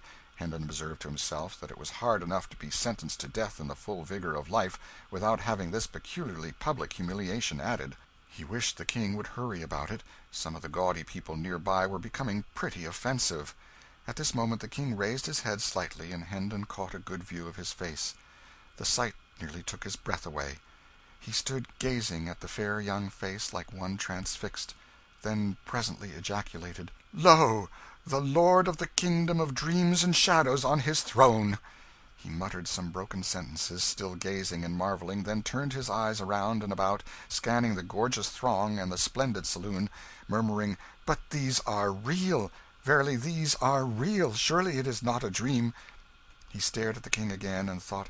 Is it a dream? Or is he the veritable sovereign of England, and not the friendless poor Tom o' Bedlam I took him for? Who shall solve me this riddle? A sudden idea flashed in his eye as he strode to the wall, gathered up a chair, brought it back, planted it on the floor, and sat down in it. A buzz of indignation broke out, a rough hand was laid upon him, and a voice exclaimed "Up, thou mannerless clown! Wouldst sit in the presence of the King? The disturbance attracted his Majesty's attention, who stretched forth his hand and cried out, "Touch him not! It is his right!" The throng fell back, stupefied. The King went on "Learn ye all, ladies, lords, and gentlemen, that this is my trusty and well beloved servant, Miles Hendon, who interposed his good sword and saved his prince from bodily harm and possible death, and for this he is a knight by the King's voice. Also learned that for a higher service, in that he saved his sovereign stripes and shame, taking these upon himself, he is a peer of England, Earl of Kent, and shall have gold and lands meet for the dignity. More, the privilege which he hath just exercised is his by royal grant; for we have ordained that the chiefs of his line shall have and hold the right to sit in the presence of the majesty of England henceforth, age after age, so long as the crown shall endure. Molest him not." Two persons who, through delay, had only arrived from the country during this morning, and had now been in this room only five minutes, stood listening to these words and looking at the King, then at the Scarecrow, then at the King again, in a sort of torpid bewilderment. These were Sir Hugh and the Lady Edith, but the new Earl did not see them. He was still staring at the monarch, in a dazed way, and muttering, "Oh, body o' me, this my pauper, this my lunatic! This is he whom I would show what grandeur was, in my house of seventy rooms and seven and twenty servants. This is he who had never known aught but rags for raiment, kicks for comfort, and offal for diet. This is he whom I adopted and would make respectable. Would God I had a bag to hide my head in!" Then his manners suddenly came back to him, and he dropped upon his knees, with his hands between the King's, and swore allegiance, and did homage for his lands and titles. Then he rose and stood respectfully aside, a mark still for all eyes, and much envy too. Now the King discovered Sir Hugh, and spoke out with wrathful voice and kindling eye "Strip this robber of his false show and stolen estates, and put him under lock and key till I have need of him." The late Sir Hugh was led away. There was a stir at the other end of the room now. The assemblage fell apart, and Tom Canty, quaintly but richly clothed, marched down between these living walls, preceded by an usher. He knelt before the King, who said, "I have learned the story of these past few weeks, and am well pleased with thee. Thou hast governed the realm with right royal gentleness and mercy. Thou hast found thy mother and thy sisters again? Good, they shall be cared for; and thy father shall hang, if thou desire it and the law consent. Know, all ye that hear my voice, that from this day they that abide in the shelter of Christ's Hospital and share the King's bounty shall have their minds and hearts fed, as well as their baser parts; and this boy shall dwell there, and hold the chief place in its honourable body of governors during life; and for that he hath been a king, it is meet that other than common observance shall be his due.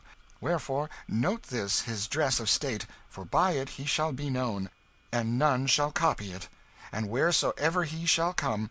It shall remind the people that he hath been royal in his time, and none shall deny him his due of reverence or fail to give him salutation. He hath the throne's protection, he hath the crown's support. He shall be known and called by the honourable title of the King's Ward." The proud and happy Tom Canty rose and kissed the King's hand, and was conducted from the presence. He did not waste any time, but flew to his mother, to tell her and Nan and Bet all about it and get them to help him enjoy the great news. [Footnote: Christ's Hospital, or Blue Coat School, the noblest institution in the world. The ground on which the priory of the Great Friars stood was conferred by Henry VIII. on the Corporation of London, who caused the institution there of a home for poor boys and girls. Subsequently, Edward VI. caused the old priory to be properly repaired, and founded within it that noble establishment called the Blue Coat School, or Christ's Hospital, for the education and maintenance of orphans and the children of indigent persons. Edward would not let him, Bishop Ridley, depart till the letter was written to the Lord Mayor, and then charged him to deliver it himself, and signify his special request and commandment that no time might be lost in proposing what was convenient, and apprising him of the proceedings. The work was zealously undertaken, Ridley himself engaging in it, and the result was the founding of Christ's Hospital for the education of poor children. The King endowed several other charities at the same time. "Lord God," said he, "I yield thee most hearty thanks that thou hast given me life thus long, to finish this work to the glory of thy name." That innocent and most exemplary life was drawing rapidly to its close, and in a few days he rendered up his spirit to his Creator, praying God to defend the realm from papistry. J. Heneage Jesse's "London: its Celebrated Characters and Places." In the great hall hangs a large picture of King Edward VI. seated on his throne, in a scarlet and ermined robe, holding the sceptre in his left hand, and presenting with the other the charter to the kneeling Lord Mayor. By his side stands the Chancellor, holding the seals, and next to him are other officers of state. Bishop Ridley kneels before him with uplifted hands, as if supplicating a blessing on the event, whilst the aldermen, etc., with the Lord Mayor, kneel on both sides, occupying the middle ground of the picture; and lastly, in front are a double row of boys on one side and girls on the other, from the master and matron down to the boy and girl who have stepped forward from their respective rows and kneel with raised hands before the King. Timbs' Curiosities of London, page 98. Christ's Hospital was ancient custom possesses the privilege of addressing the sovereign on the occasion of his or her coming into the city to partake of the hospitality of the Corporation of London. Ibid. The dining hall, with its lobby and organ gallery, occupies the entire story, which is 187 feet long, 51 feet wide, and 47 feet high. It is lit by nine large windows, filled with stained glass on the south side, and is, next to Westminster Hall, the noblest room in the metropolis. Here the boys, now about eight hundred in number, dine, and here are held the suppings in public, to which visitors are admitted by tickets issued by the treasurer and by the governors of Christ's Hospital. The tables are laid with cheese in wooden bowls, beer in wooden piggins poured from leathern jacks, and bread brought in large baskets.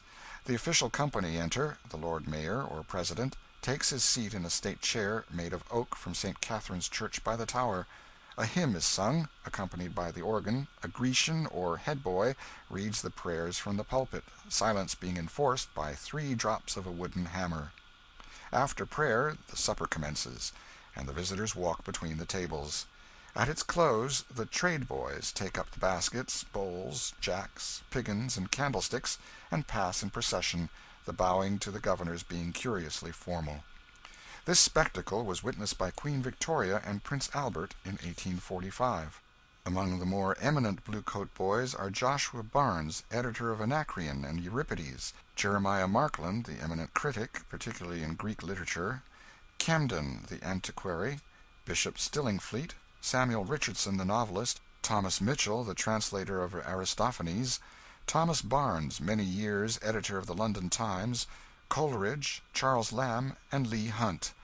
No boy is admitted before he is seven years old, or after he is nine, and no boy can remain in the school after he is fifteen King's boys and Grecians alone excepted. There are about five hundred governors, at the head of whom are the sovereign and the Prince of Wales.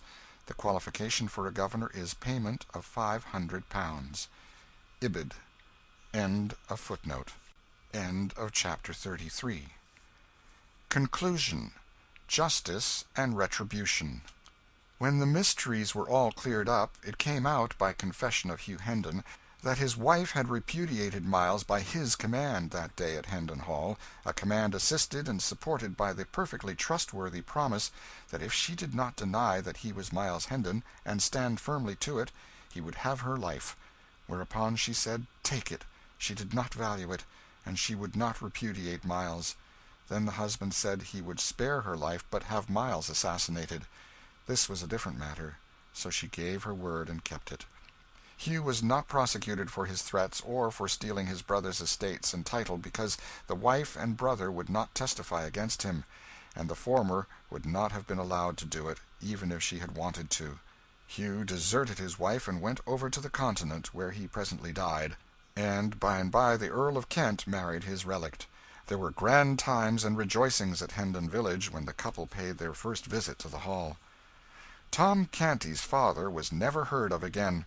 The King sought out the farmer who had been branded and sold as a slave, and reclaimed him from his evil life with the Ruffler's gang, and put him in the way of a comfortable livelihood. He also took that old lawyer out of prison and remitted his fine. He provided good homes for the daughters of the two Baptist women whom he saw burned at the stake and roundly punished the official who laid the undeserved stripes upon Miles Hendon's back. He saved from the gallows the boy who had captured the stray falcon, and also the woman who had stolen a remnant of cloth from a weaver. But he was too late to save the man who had been convicted of killing a deer in the royal forest.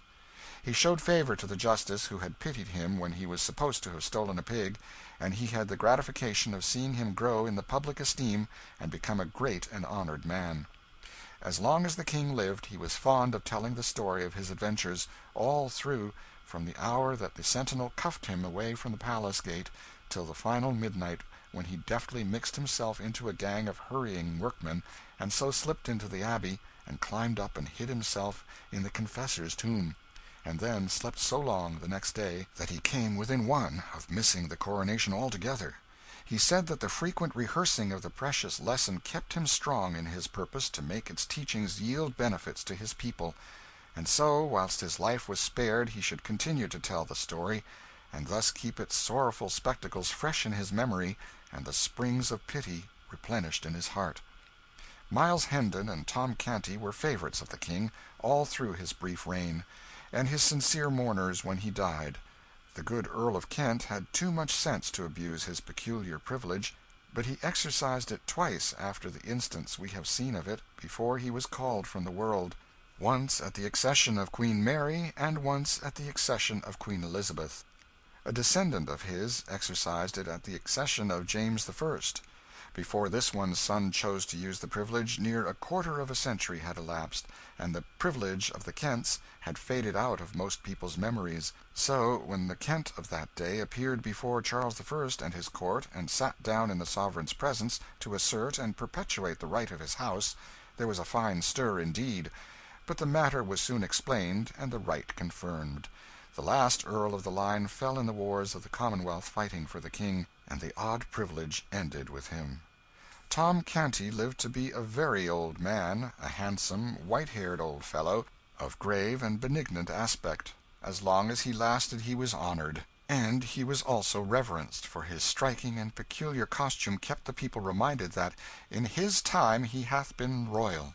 So wherever he appeared the crowd fell apart, making way for him, and whispering one to another, "Doff thy hat, it is the King's ward." And so they saluted, and got his kindly smile in return; and they valued it, too, for his was an honourable history. Yes, King Edward the Sixth lived only a few years, poor boy, but he lived them worthily. More than once, when some great dignitary, some gilded vassal of the crown, made argument against his leniency, and urged that some law which he was bent upon amending was gentle enough for its purpose, and wrought no suffering or oppression which any one need mightily mind, the young King turned the mournful eloquence of his great compassionate eyes upon him, and answered "What dost thou know of suffering and oppression? I and my people know but not thou." The reign of Edward the Sixth was a singularly merciful one for those harsh times. Now that we are taking leave of him, let us try to keep this in our minds, to his credit. End of conclusion. General note One hears much about the hideous blue laws of Connecticut, and is accustomed to shudder piously when they are mentioned. There are people in America, and even in England who imagine that they were a very monument of malignity, pitilessness, and inhumanity, whereas in reality they were about the first sweeping departure from judicial atrocity which the civilized world had seen. This humane and kindly "Blue Law" code of two hundred and forty years ago stands all by itself, with ages of bloody law on the further side of it, and a century and three quarters of bloody English law on this side of it. There has never been a time, under the Blue Laws or any other, when above fourteen crimes were punishable by death in Connecticut; but in England, within the memory of men who are still hale in body and mind, two hundred and twenty three crimes were punishable by death. See Dr. J. Hammond Trumbull's "Blue Laws, True and False," page 11. These facts are worth knowing, and worth thinking about, too.